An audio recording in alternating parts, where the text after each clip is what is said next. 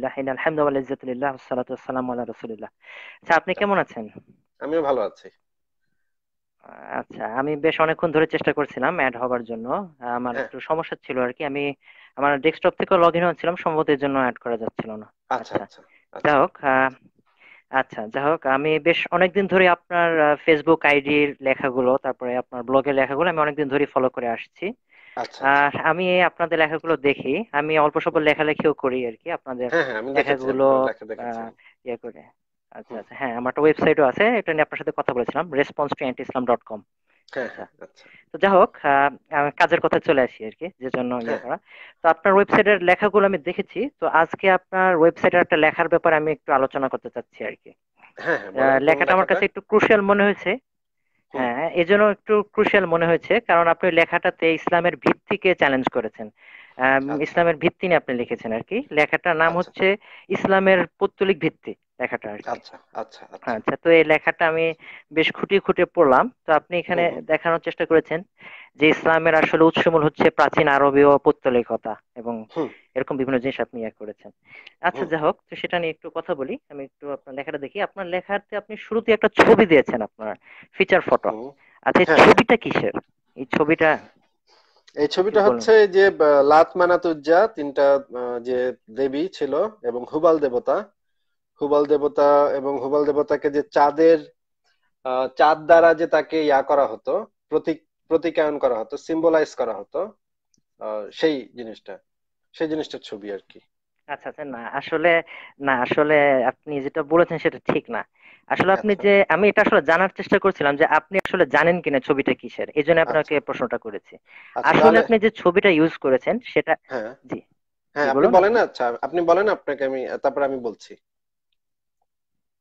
আচ্ছা আপনি ঠিক আছে আমি তাহলে বলি আপনি যে ছবিটা ইউজ করেছেন জি আপনি যে ছবিটা ইউজ করেছেন সেটা হচ্ছে প্রাচীন ইউফ্রেটিস নদীর তীরে যে সভ্যতাটা গড়ে উঠেছিল বর্তমান ইরাক আর কি সেখানে পূজিত একটা চন্দ্র দেবতা।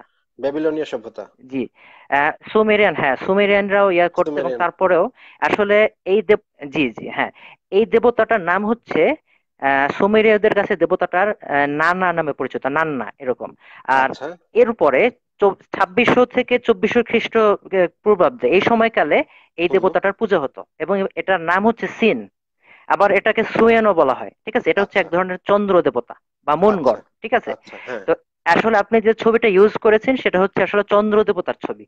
এবং এটার সিম্বল হচ্ছে ক্রিসেন্ট মুন মানে হ্যাঁ। বর্তমানে যে আমাদের যে মসজিদগুলোর অনেক মসজিদের উপরে যে ক্রিসেন্ট দেখা যায় ক্রিসেন্ট যেটাকে বলে মানে এক ফালি চাঁদ ঠিক আছে? আচ্ছা এটা আসলে হ্যাঁ ওইটার সিম্বল আপনি যে ছবিটা আচ্ছা ইউজ করছেন সেটা আসলে সেটার ছবি ঠিক আছে? আচ্ছা আচ্ছা এবং এই ছবিটার উৎস কি? এই ছবিটার উৎসটা হচ্ছে আচ্ছা আপনি কি কিছু বলবেন? নাকি আমি বলে দেবো? আপনি বলেন আপনি আপনারটা শেষ হোক তারপর আমি বলি। আপনারটা শেষ হোক তারপর আমি বলছি। আচ্ছা। ওকে ওকে ওকে আচ্ছা ঠিক আছে। তো আপনার লেখার বেশ কিছু পয়েন্ট নিয়ে আমার কথা বলার আছে তো আমি বুঝতে পারছি না কোথা থেকে শুরু করব। আচ্ছা ঠিক আছে যেহেতু মন গড় নিয়ে আলোচনা হচ্ছিল সেটা নিয়ে আমি কথা বলি। ঠিক আছে? তো এখন এই যে ইসলামের যে এই ক্রিসেন্ট মুন যে প্রতীকটা ঠিক আছে? এটা নিয়ে খ্রিস্টান মিশনারিদের কিছু আর্গুমেন্ট আছে ঠিক আছে? তো এখন আপনি বা আপনারা এভাবে নেবেন না যে আমি বল আমি আসলে মূলত এটা আসলে খ্রিস্টান মিশনারিদের ক্লেম ঠিক আছে? আচ্ছা। এবং এই যে এবং এটা আমরা অনেকেই দেখি যে মন গড লিখে সার্চ দিলেই ইন্টারনেট অনেকগুলো আর্টিকেল চলে আসে এই ব্যাপারে ঠিক আছে? যে moon god Allah Allah the pagan lunar deity এরকম বিভিন্ন আর্টিকেল আসে। আসলে এটার সোর্সটা কি? এই দাবিটা কোত্থেকে আসলো? এই আচ্ছা। দাবিটা কিন্তু সর্বপ্রথম এই দাবিটা তুলেন একজন জার্মান আর্কিওলজিস্ট ওনার নাম হচ্ছে হুগো উইকলার ঠিক আছে? উনি উনিশশো এক সালে ওনার নামটা হচ্ছে আপনি যদি সার্চ দেন উইকিপিডিয়াতে আল্লাহ অ্যাজ লুনার ডেট নামে একটা আর্টিকেল আছে। স্পেলিংটা একটু বলেন আচ্ছা। আল্লাহ অ্যাজ আল্লাহ আচ্ছা ওনার নামটা নামটা স্পেলিংটা হচ্ছে আল্লাহ অ্যাজ এ লুনার ডেটে লিখে আপনি সার্চ দিন উইকিপিডিয়াতে একটা আর্টিকেল চলে আসবে ঠিক আছে? আচ্ছা ঠিক আছে। সেখানে একদম দেখবেন দ্বিতীয় প্যারাতে প্রথম লাইনে লেখা আছে যে the idea was proposed by archaeologist Hugo Winckler in nineteen hundred one ঠিক আছে? এটা সর্বপ্রথম তিনি এই এই প্র- ইয়েটা করেন তিনি একজন জার্মান আর্কিওলজিস্ট ঠিক আছে? ঠিক আছে? তো তিনি সর্বপ্রথম এই দাবিটা তোলেন তার আগে কিন্তু এই দাবিটা কেউ তোলেনি। ঠিক আছে? এরপর আরও একটা জিনিস বলি এবং এই যে দাবিটা এই দাবিটাকে কার্যকরভাবে ইউজ করা শুরু করে খ্রিস্টান মিশনারিরা এবং যিনি এই দাবিটাকে আবার হালে পানি দেন তিনি হচ্ছেন খ্রিস্টান মিশনারি রবার্ট মরি। তিনি উনিশশো সালে একটা বই লিখেছেন এ ব্যাপারে। ঠিক আছে? সেই বইটার কথাও আপনি এই আর্টিকেলে পেয়ে যাবেন আপনি উইকিপিডিয়া ঠিক আছে? এবং তার আচ্ছা। বইটার নাম হচ্ছে দ্য মুন গড আল্লাহ। ঠিক আছে? এই আচ্ছা। বইটার আরও নামটা আরও বড় সংক্ষেপে মুন রবার্ট মরি খ্রিস্টান মিশনের রবার্ট মরি। তিনি এই দাবিটাকে আবারও তিনি পুনরুজ্জীবিত করেন। এখন তিনি যেহেতু একজন খ্রিস্টান স্বাভাবিকভাবে তিনি ইসলামকে তিনি মোকাবেলা করতে চাবেন। ইসলামকে এটাই স্বাভাবিক তার উইকিপিডিয়াতে ওই আর্টিকেলটাতে আছে। আচ্ছা ঠিক আছে এটা আমি এখন পর্যন্ত পাইনি। ঠিক আছে এটা আমি খুঁজে ঠিক আছে হ্যাঁ আপনি সেটা পাবেন। সেখানে তিনি জি। তবে হার্ড কপিটা বেশ অ্যাভেলেবল আপনি জার্মানিতে খুব সহজেই পাবেন আচ্ছা আচ্ছা ঠিক আছে। যাই হোক। আচ্ছা ঠিক আছে তিনি এটাকে পুনরুজ্জীবিত করেন এখানে তিনি বেশ কিছু আর্গুমেন্ট তিনি নিয়ে এসেছেন আমি সেগুলো দেখেছি এবং এই ছবিটার উৎস হচ্ছে আসলে সেই বই। এখান থেকে এই ছবিগুলো এসেছে ঠিক আছে? আচ্ছা, তো এখন আমরা আলোচনায় আসি এবং আপনারও বিভিন্ন লেখা আমি দেখেছি যে আপনি আল্লাহ তালা সম্পর্কে বলেছেন আরবের চন্দ্র দেবতা। এইটা আপনি বলেছেন। আমি দেখেছি আপনার বিভিন্ন ফেসবুকের লেখায় এবং আপনার আর্টিকেলটাতে আপনি সেই চন্দ্র দেবতার ছবিটাকে আপনি ফিচার ফটো করেছেন ঠিক আছে? আমি কারণে একটু জিজ্ঞেস করলাম যে আপনি এটা আসলে জানেন কিনের জন্য। ঠিক আছে আচ্ছা। যা হোক। তো আসলে এখন আপনি কি কিছু বলবেন আমার কথাগুলোর ব্যাপারে? আপনি কমেন্ট করতে আপনার কথাগুলো ঠিক আছে। আপনার কথাগুলো যেটা বলেছেন সেগুলো ঠিক আছে। আমি রেফারেন্সগুলো একটু চেক আচ্ছা। করতে হবে। চেক করে তারপর আমি আপনাকে এই বিষয়ে বলতে পারব আরও। আপনার রেফারেন্সগুলো যে এইগুলো দিয়েছেন আচ্ছা, এই ছবিটা হচ্ছে আপনি যেটা বলেছেন সুমেরিয়ান সভ্যতায় ব্যাবিলনে এই এই দেবতার একই ছবি আলা হ্যাঁ। কিছু দেবতার পূজা করা হতো এটা হ্যাঁ। সঠিক এটা আমি আগেও পড়েছি এখনও মানে এখনই যে শুধুমাত্র মানে মন গডের উপাসনা হতো হ্যাঁ এবং মুন গডের আচ্ছা, যে ব্যাপারটা ব্যাপারটাকে সিম্বলাইজ করার জন্যই আসলে আমি এই ছবিটা ব্যবহার করেছিলাম এবং এই দেবতাটার যে তিনটা মেয়ে ছিল পৃথিবীর বিভিন্ন সভ্যতায় এই একই ধরনের একটা দেবতা আছে যে দেবতার তিনটা মেয়ে আছে যে তিনটা মেয়ে তিনটা জিনিসের দেবতা এবং তাদের অনেকেরই অনেককে সিম্বলাইজ করা হয়েছে চাঁদ হিসেবে চাঁদ দ্বারা এবং এই জিনিসটা শুধুমাত্র যে মক্কায় এই উপাসনাটা করা হতো তাই না আরও বিভিন্ন সভ্যতায় এই একই টাইপের কিছু দেবতার উপাসনা করা হতো। যেমন ধরেন আপনাকে আমি বলি যে পারস্যে যে ইন্দ্র দেবতা ছিল ভারতের ইন্দ্র দেবতার ক্যারেক্টারে কিন্তু কিছুটা পার্থক্য আছে। মানে হ্যাঁ, পার্সিয়ান ইসের থেকে যখন এই ধর্মটা এই অঞ্চলে আসলো আর্যরা যখন এই অঞ্চলে এই জিনিসগুলো নিয়ে আসলো তখন ওদের ইন্দ্র দেবতার ক্যারেক্টার একেবারে ভিন্ন মানে ভারতের ইন্দ্র দেবতার ক্যারেক্টার একেবারে ভিন্ন কিন্তু লোক কিন্তু সেম লোকের ইয়া কিন্তু সেম এটা পড়লে বোঝা যায় যে হ্যাঁ। মানে দেবতাটা কিন্তু সেম আচ্ছা। কিন্তু তাদের ক্যারেক্টার ভিন্ন তো এই দেবতাগুলা যখন অন্যান্য অঞ্চলে চলে যায় তখন তাদের ক্যারেক্টার পাল্টে যায় এবং তাদের যে লোকাল যে মানুষেরা থাকে সেই অঞ্চলের যে মানুষেরা থাকে তারা তাদের কিছু বৈশিষ্ট্য ওই দেবতার উপর আরোপ করে এই দেবতাগুলোর উপর আরোপ করে, নতুন নতুন নাম তৈরি হয়, নতুন নতুন ক্যারেক্টার তৈরি হয় সেই কারণে এই একই দেবতা, এখন আমি আপনাকে এক্স্যাক্টলি বলতে পারব না যে এই দেবতাটা, এই দেবতাটাই হুবালকে হিসেবে কল্পনা করা হতো কিনা এবং এটা রেফারেন্স কি সেটা আমি। এখন আপনাকে বলতে পারব না কিন্তু আপনাকে আমি এই জিনিসটা আমি বলতে পারি যে একই টাইপের দেবতা বিভিন্ন সভ্যতায় উপাসনা করা হতো এবং এই যে একটা প্রধান দেবতা, তার যে তিনটা মেয়ে ছিল, তিনটা মেয়ে যে তিনটা জিনিস মানে রক্ষণাবেক্ষণ করত। আচ্ছা। এই জিনিসটা অনেক প্রাচীন এবং অনেক সভ্যতাতে এই জিনিসটা আছে। এই এবং আমরা আচ্ছা, আমাদের যে ধারণা সেই ধারণাটা হচ্ছে এইটারই একটা রূপ আরবে মক্কায় সে সময় ছিল যে তিনটা দেবীর নাম ছিল লাতমানা তুজা আচ্ছা। এবং তাদের বাবার নাম ছিল হুবাল এবং সেই হুবালকে চন্দ্র দ্বারা মানে রূপকায়িত করা হতো এবং সেই হুবালটাই পরবর্তীতে আল্লাহতে পরিণত হয়েছে। হ্যাঁ এবার আপনি বলেন।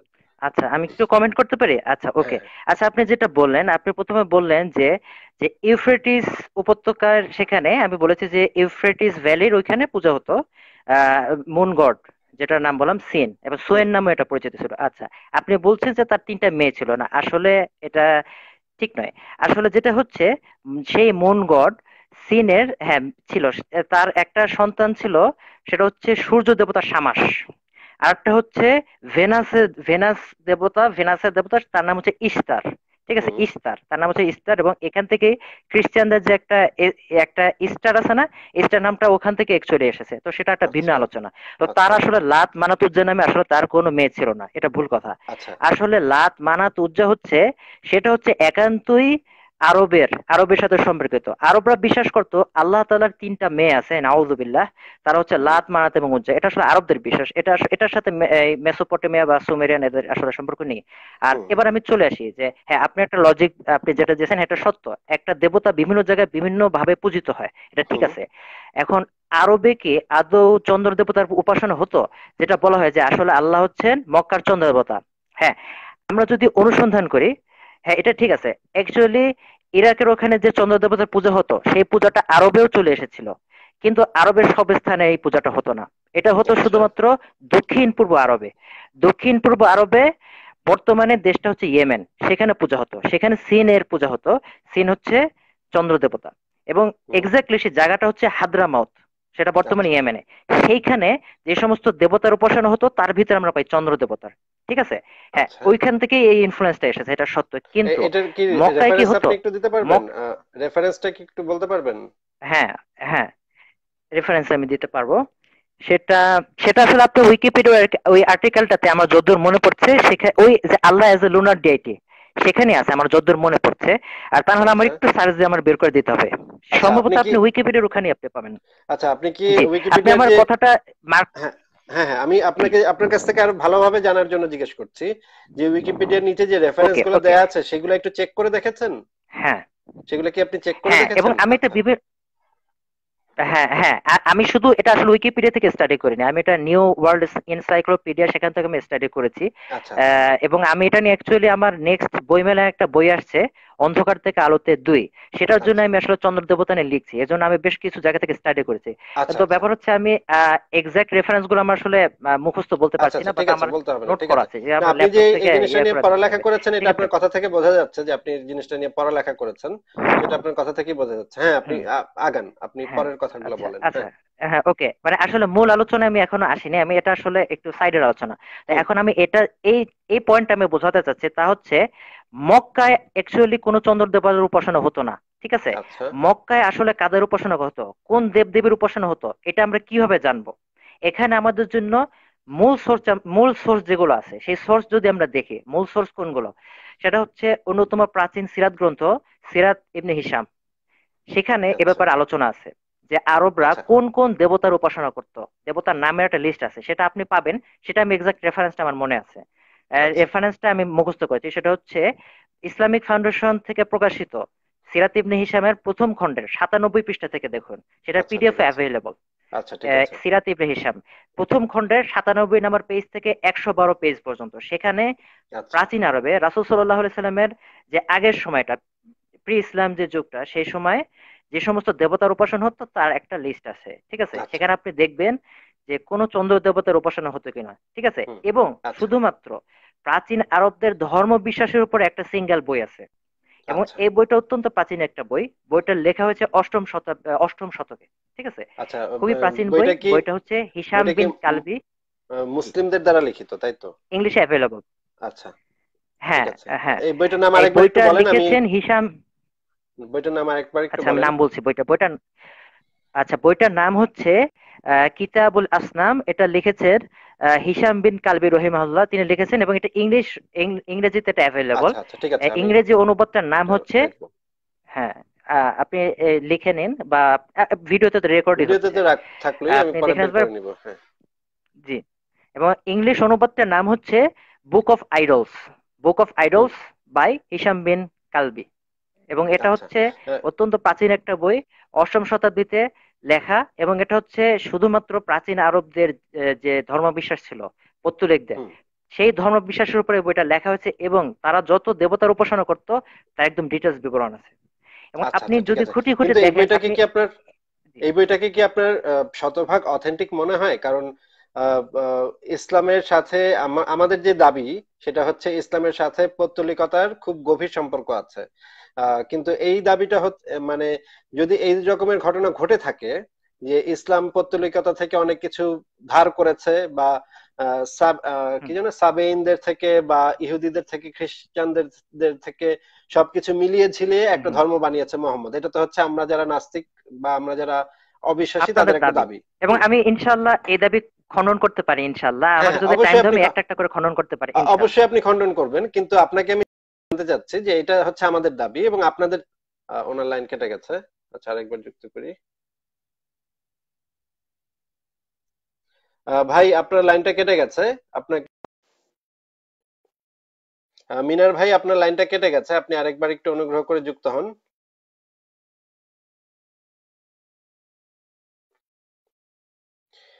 মিনার ভাই, আপনি একটু যুক্ত হন, প্লিজ।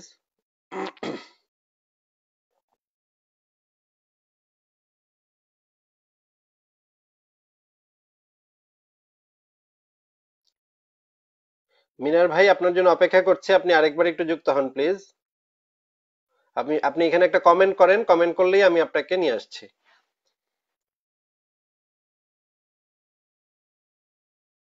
আমরা একটু মিনার ভাইয়ের জন্য অপেক্ষা করি, ওনার লাইনটা বোধহয় কেটে গেছে কোনো কারণে।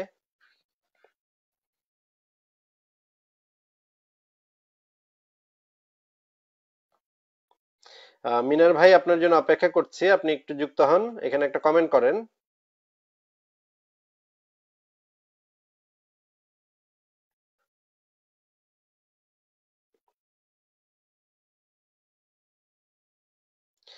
মিনার ভাই, আপনাকে আবার যুক্ত করব। আপনি একটু কমেন্ট এখানে একটা কমেন্ট করেন। কমেন্ট করলে আমি আপনাকে যুক্ত করছি।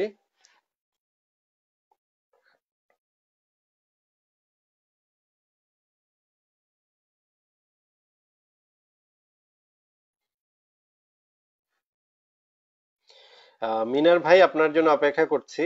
আপনি আরেকবার একটু যুক্ত হন। এখানে একটা কমেন্ট করেন। কমেন্ট করলেই আমি আপনাকে যুক্ত করে নিচ্ছি।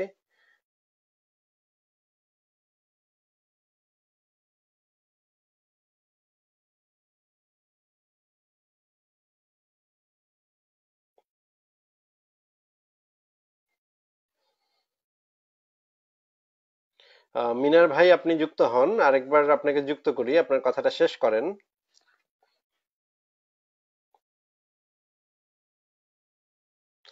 মিনার ভাই, আপনার জন্য অপেক্ষা করছি। আপনি দেখে থাকলে এখানে একটা কমেন্ট করেন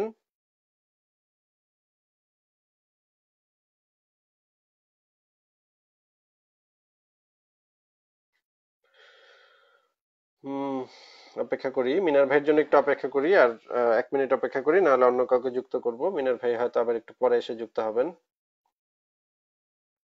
ওনার সাথে কথা বলে ভালো লাগছে। উনি পড়ালেখা করে এসছেন এই বিষয়টা নিয়ে।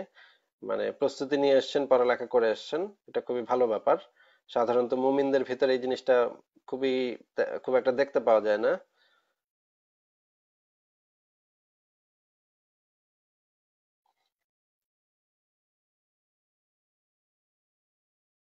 না, মিনার ভাইকে দেখাই যাচ্ছে না, কোনো কমেন্টও দেখা যাচ্ছে না, তাহলে অন্য কাউকে যুক্ত করি। মিনার ভাই, আপনি, আপনার জন্য আমি অপেক্ষা করেছি, এবং আপনি যদি পরের লাইভে বা এখন এখনও যদি পরে যুক্ত হতে চান, কিছুক্ষণ পরে, তাহলে কিছুক্ষণ পরে আপনাকে যুক্ত করতে পারব। এখন তাহলে অন্য কাউকে যুক্ত করি।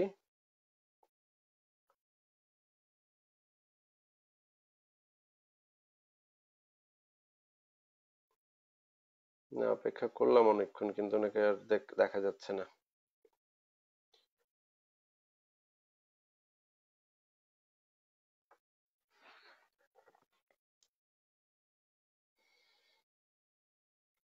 আচ্ছা নিয়ামত আলী দেখি, নিয়ামত আলীকে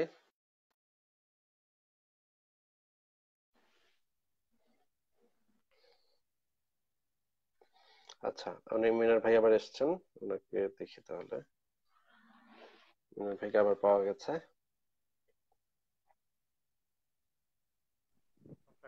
হ্যাঁ মিনার ভাই আপনার লাইনটা কেটে গিয়েছিল। হ্যাঁ। হ্যালো। হ্যালো আসসালামু আলাইকুম। সালামুন আলা হুদা। শোনা যাচ্ছে? আমাকে দেখা যাচ্ছে কি? হ্যাঁ হ্যাঁ দেখা যাচ্ছে। আপনার লাইনটা কীভাবে আচ্ছা। কীভাবে কেটে গেল? হ্যাঁ। জি আমি সরি আসলে একটু মানে নেট স্পিড হঠাৎ ফল করেছিল হঠাৎ করে। এই কারণে আচ্ছা, কেটে আচ্ছা, গিয়েছিল আমি অত্যন্ত দুঃখিত। হ্যাঁ হ্যাঁ ঠিক আছে বলেন আচ্ছা আচ্ছা যেটা বলছিলাম এর দ্রুত বলি আর কি। আচ্ছা যেটা যে আলোচনায় একবারে চলে যাই। সেটা হচ্ছে বইটা নিয়ে আলোচনা করছিলাম সেই বইটাতে একদম প্রাচীন আরবে মানে মোহাম্মদ সাল্লাহ সাল্লাম যে রিজনে ছিলেন সেই মানে মক্কা এবং আশপাশের অঞ্চলে যে সমস্ত দেবদেবীর পুজো হতো তার একদম ডিটেলস বিবরণ আছে। ঠিক আছে আপনি সমস্ত আচ্ছা। এসের ইয়ে দেখতে পাবেন এবং ইংলিশ অনুবাদটাতে প্রচুর ফুটনোট দেওয়া আছে। একদম কিছু কিছু ক্ষেত্রে আপনি নন মুসলিম সোর্স থেকে আপনি দেখতে পারেন। অবশ্যই এখানে আসলে মূল প্রাথমিক সোর্স আসলে মুসলিম সোর্স সত্যি কথা বলতে। তখন আসলে মুসলিমরা বাদে তো আসলে তখন ওইরকম ওইখানে ঐতিহাসিক ছিল না সত্যি কথা বলতে। হ্যাঁ সেটাই আমি আসলে বলতে চাচ্ছিলাম। সেখানে আমি আপনাকে পয়েন্ট করতে চাচ্ছিলাম যে নন মুসলিম সোর্স কিন্তু সেই সেরকম বা ধরেন প্যাগান যে সংস্কৃতিগুলো ছিল সেই সমস্ত জিনিসের থেকে কিন্তু কোনো সোর্স পাওয়া যায় না। কোনো বইপত্র কোনো সেগুলো কিন্তু সব মুসলমানরা জ্বালিয়ে দিয়েছে। নষ্ট করেছে হ্যাঁ না আসলে আচ্ছা এই জালিয়ে দেওয়ার পয়েন্টে আমার আসলে আমি এর ব্যাপারে কিছু বলতে পারি। এ ব্যাপারে আমি অলরেডি অল্প কিছু আলোচনা করেছি। আমার অন্ধকার থেকে আলোতে, বইটাতে খুব ছোট করে ড্যান গিবসনের আর্টিকেলটা খণ্ডন করে আমার একটা লেখা আছে। সেখানে ড্যান গিবসন এরকম একটা দাবি করেছিল যে, মুসলিমরা আসলে কোরআন, হাদিস বাদে আর সমস্ত কিছু জ্বালিয়ে পড়ে দিয়েছে। আসলে এই দাবিটার ভিতরে কিছু সমস্যা আছে। তো এটা নিয়ে ডিটেলস লিখেছেন আমাদের ভাই আরিফুল ইসলাম এবং আমার website response to anti Islam dot com এই ব্যাপারে একটা লেখা আছে যে ওমার রাদিয়াল্লাহুকে আচ্ছা। আসলে আলেকজান্দ্রিয়া লাইব্রেরি পুড়িয়ে দিয়েছিলেন কিনা। এ ব্যাপারে খুবই ডিটেলস লেখা আছে এখানে কিছু নন মুসলিম আমার যতদূর মনে পড়ছে যে কিছু নন মুসলিম সোর্স থেকে এখানে কিছু আলোচনা আছে। কিন্তু আলেকজান্দ্রিয়া লাইব্রেরির কথা কি আমরা তো আমরা বলছিলাম না আমরা বলছিলাম আরবে জি জি আপনি সেটা বলেন। আরবে। আরবে যে হ্যাঁ, আসলে দেখেন জি জি আপনি আরবের কথা বলেছেন। আসলে আমি যেটা ইন্ডিকেট করতে চাচ্ছিলাম যে মুসলিমরা আসলে সব জায়গায় পুরাতো না। মুসলিমরা পুড়িয়েছে সেটা হচ্ছে উসমান রাজ্জালানোর সময় যখন কোরআন সংকলন করা হয়েছে তখন সাধারণ জনগণ কিছু কোরআনের কপি তৈরি করছিল। ঠিক আছে? তো কিছু কিছু কপিতে ভুল পাওয়া গিয়েছিল। তারা যে সমস্ত ফুটনোট আচ্ছা, রেখেছিল সেগুলো মূল ইসের সাথে মিলে যাচ্ছিল। তো এখন এছাড়া যখন মুসলিম যে এম্পায়ারটা এক্সপানশন হচ্ছিল নন আরবদের ভিতরে বেশ কিছু সমস্যা দেখা যাচ্ছিল।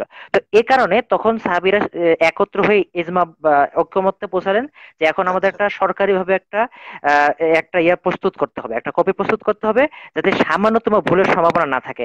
এমন না যে একজন সাধারণ মানুষ কোরআন লিখলে যে ভুল হবে এটা না কিন্তু আসলে কিন্তু সম্ভাবনা থেকে যায়। এ কারণে আচ্ছা, বিশেষজ্ঞ প্যানেলরা কোরআন মানে প্রসঙ্গটা পাল্টে গেছে ভাই প্রসঙ্গটা আসলে পাল্টে গেছে আমি এই জন্য আপনাকে একটু থামাচ্ছি আমি সরি যে আমি বলছিলাম যে নন মুসলিম নন ইসলামিক যে সোর্সগুলা প্যাগান যে সোর্সগুলা যে বইপত্রগুলা সেগুলা পড়াবার কথা। কোরআন পড়াবার কথাটা আমরা আরেক মানে অন্য সেটা আরেকটা আলোচনা হয়ে গেল না?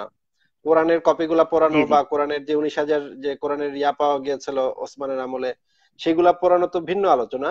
তার আগের আলোচনাটা হচ্ছে যে নন ইসলামিক প্রি ইসলামিক সময়ে যে প্যাগান ধর্মগুলা ছিল সে তাদের যে কালচার ছিল বা তাদের যে কবিতা ছিল তাদের যে বইপত্র ছিল তাদের যে সাহিত্য ছিল সেগুলো পড়াবার কথা আমি বলছিলাম আর কি। সেটা ছিল আলোচনার বিষয়।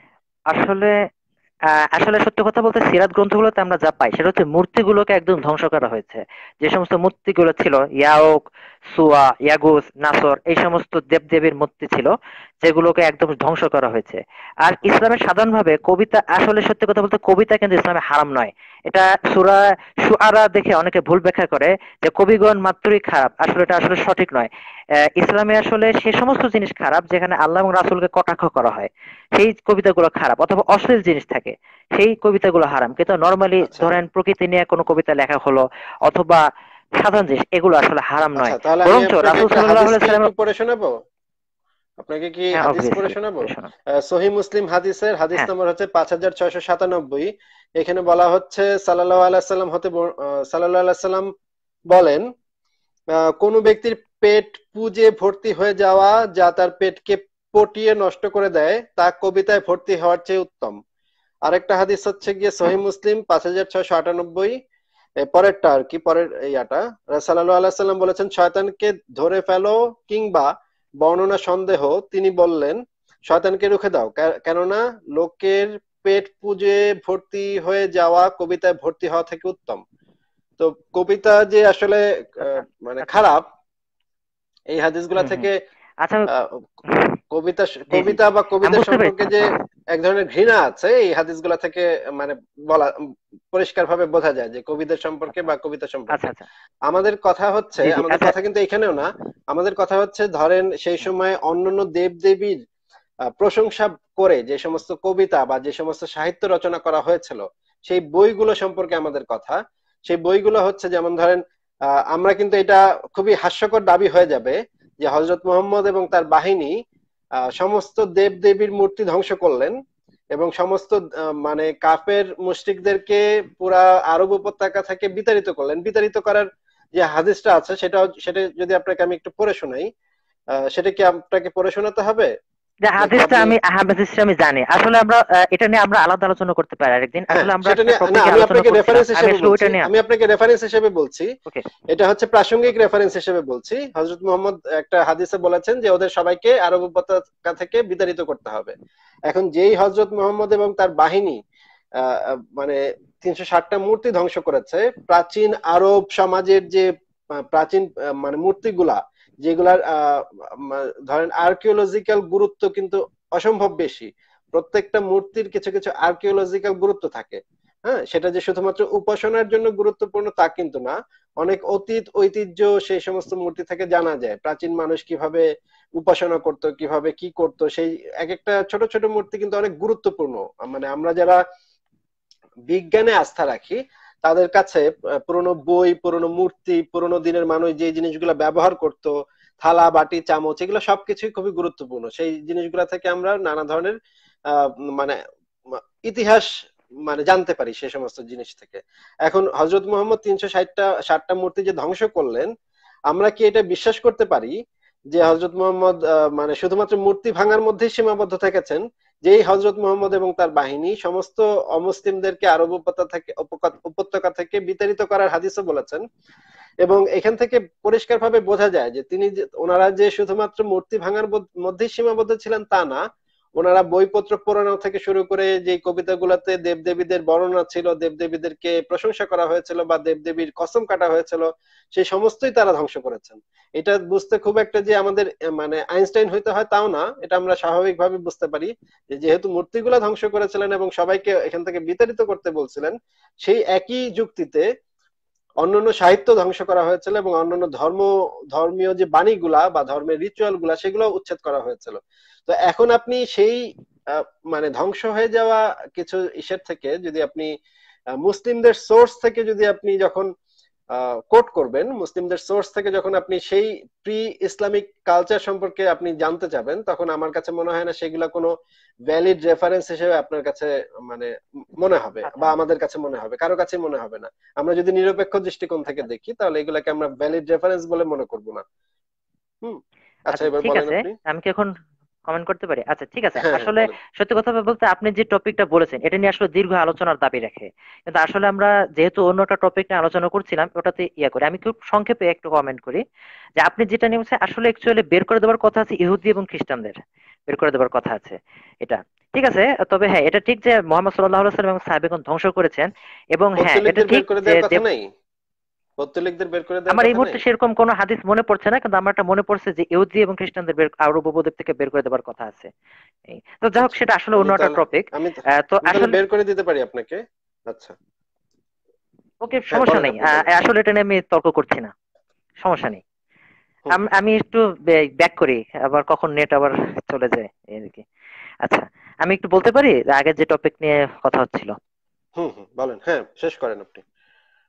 আচ্ছা ঠিক আছে। আর কবিতা নিয়ে খুব সংক্ষেপে বলে আসলে যে কবিতাগুলোর কথা বলেছে সেগুলো আসলে স্পেসিফিক কিছু কবিতা। এবং এটার প্রমাণ হচ্ছে রাসুল সাল্লাহ অনেক সাহাবি আসলে কবিতা রচনা করতেন। যেমন হাসান বিন সাবিত রাজিয়াল্লাহ তালানহ এবং আলী রাজিয়াল্লাহ তালানহ কবিতা রচনা করতেন বলে বিবরণ আছে। অ্যাকচুয়ালি কিছু স্পেসিফিক কবিতা আসলে হারাম কিন্তু রাসুল সাল্লামের সাহাবিরাও অনেক কবিতা রচনা করতেন। এবং এটাই প্রমাণ করে যে আসলে সমস্ত কবিতা ইনভ্যালিড না। আসলে সেটা আসলে আলাদা একটা আলোচনার বিষয় আমরা আসলে মানে একটু আল্লাহর প্রশংসা করলে মানে আল্লাহর প্রশংসা একটু থাকলে কবিতার ভিতরে সেটা হালাল হয়ে যায় নাকি এক্স্যাক্টলি সেটা তো হাল শুধু হালাল নয় সেটা তো উত্তম সেটা তো স্বভাবের আচ্ছা, কাজ আচ্ছা।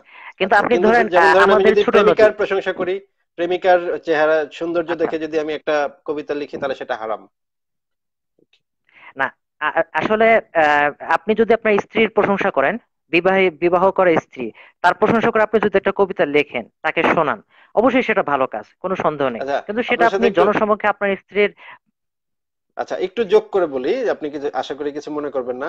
আমি আমার দাসীর মানে রূপ সৌন্দর্য নিয়ে কিছু লিখতে পারব না কবিতা? দাসী? হ্যাঁ হ্যাঁ পারবেন হ্যাঁ। কিন্তু আচ্ছা, কিন্তু আচ্ছা। ব্যাপার হচ্ছে ব্যাপারটা নিয়ে নির্লজ্জতা করা যাবে না। আমরা মুসলিম আমাদের মুসলিমদের স্বাধীনতার মানে কিছু আমাদের কিছু লেভেল হ্যাঁ। আছে দাসীর সাথে ইসলাম সেক্স করার অনুমতি দেয় এটা তো আমরা জানি।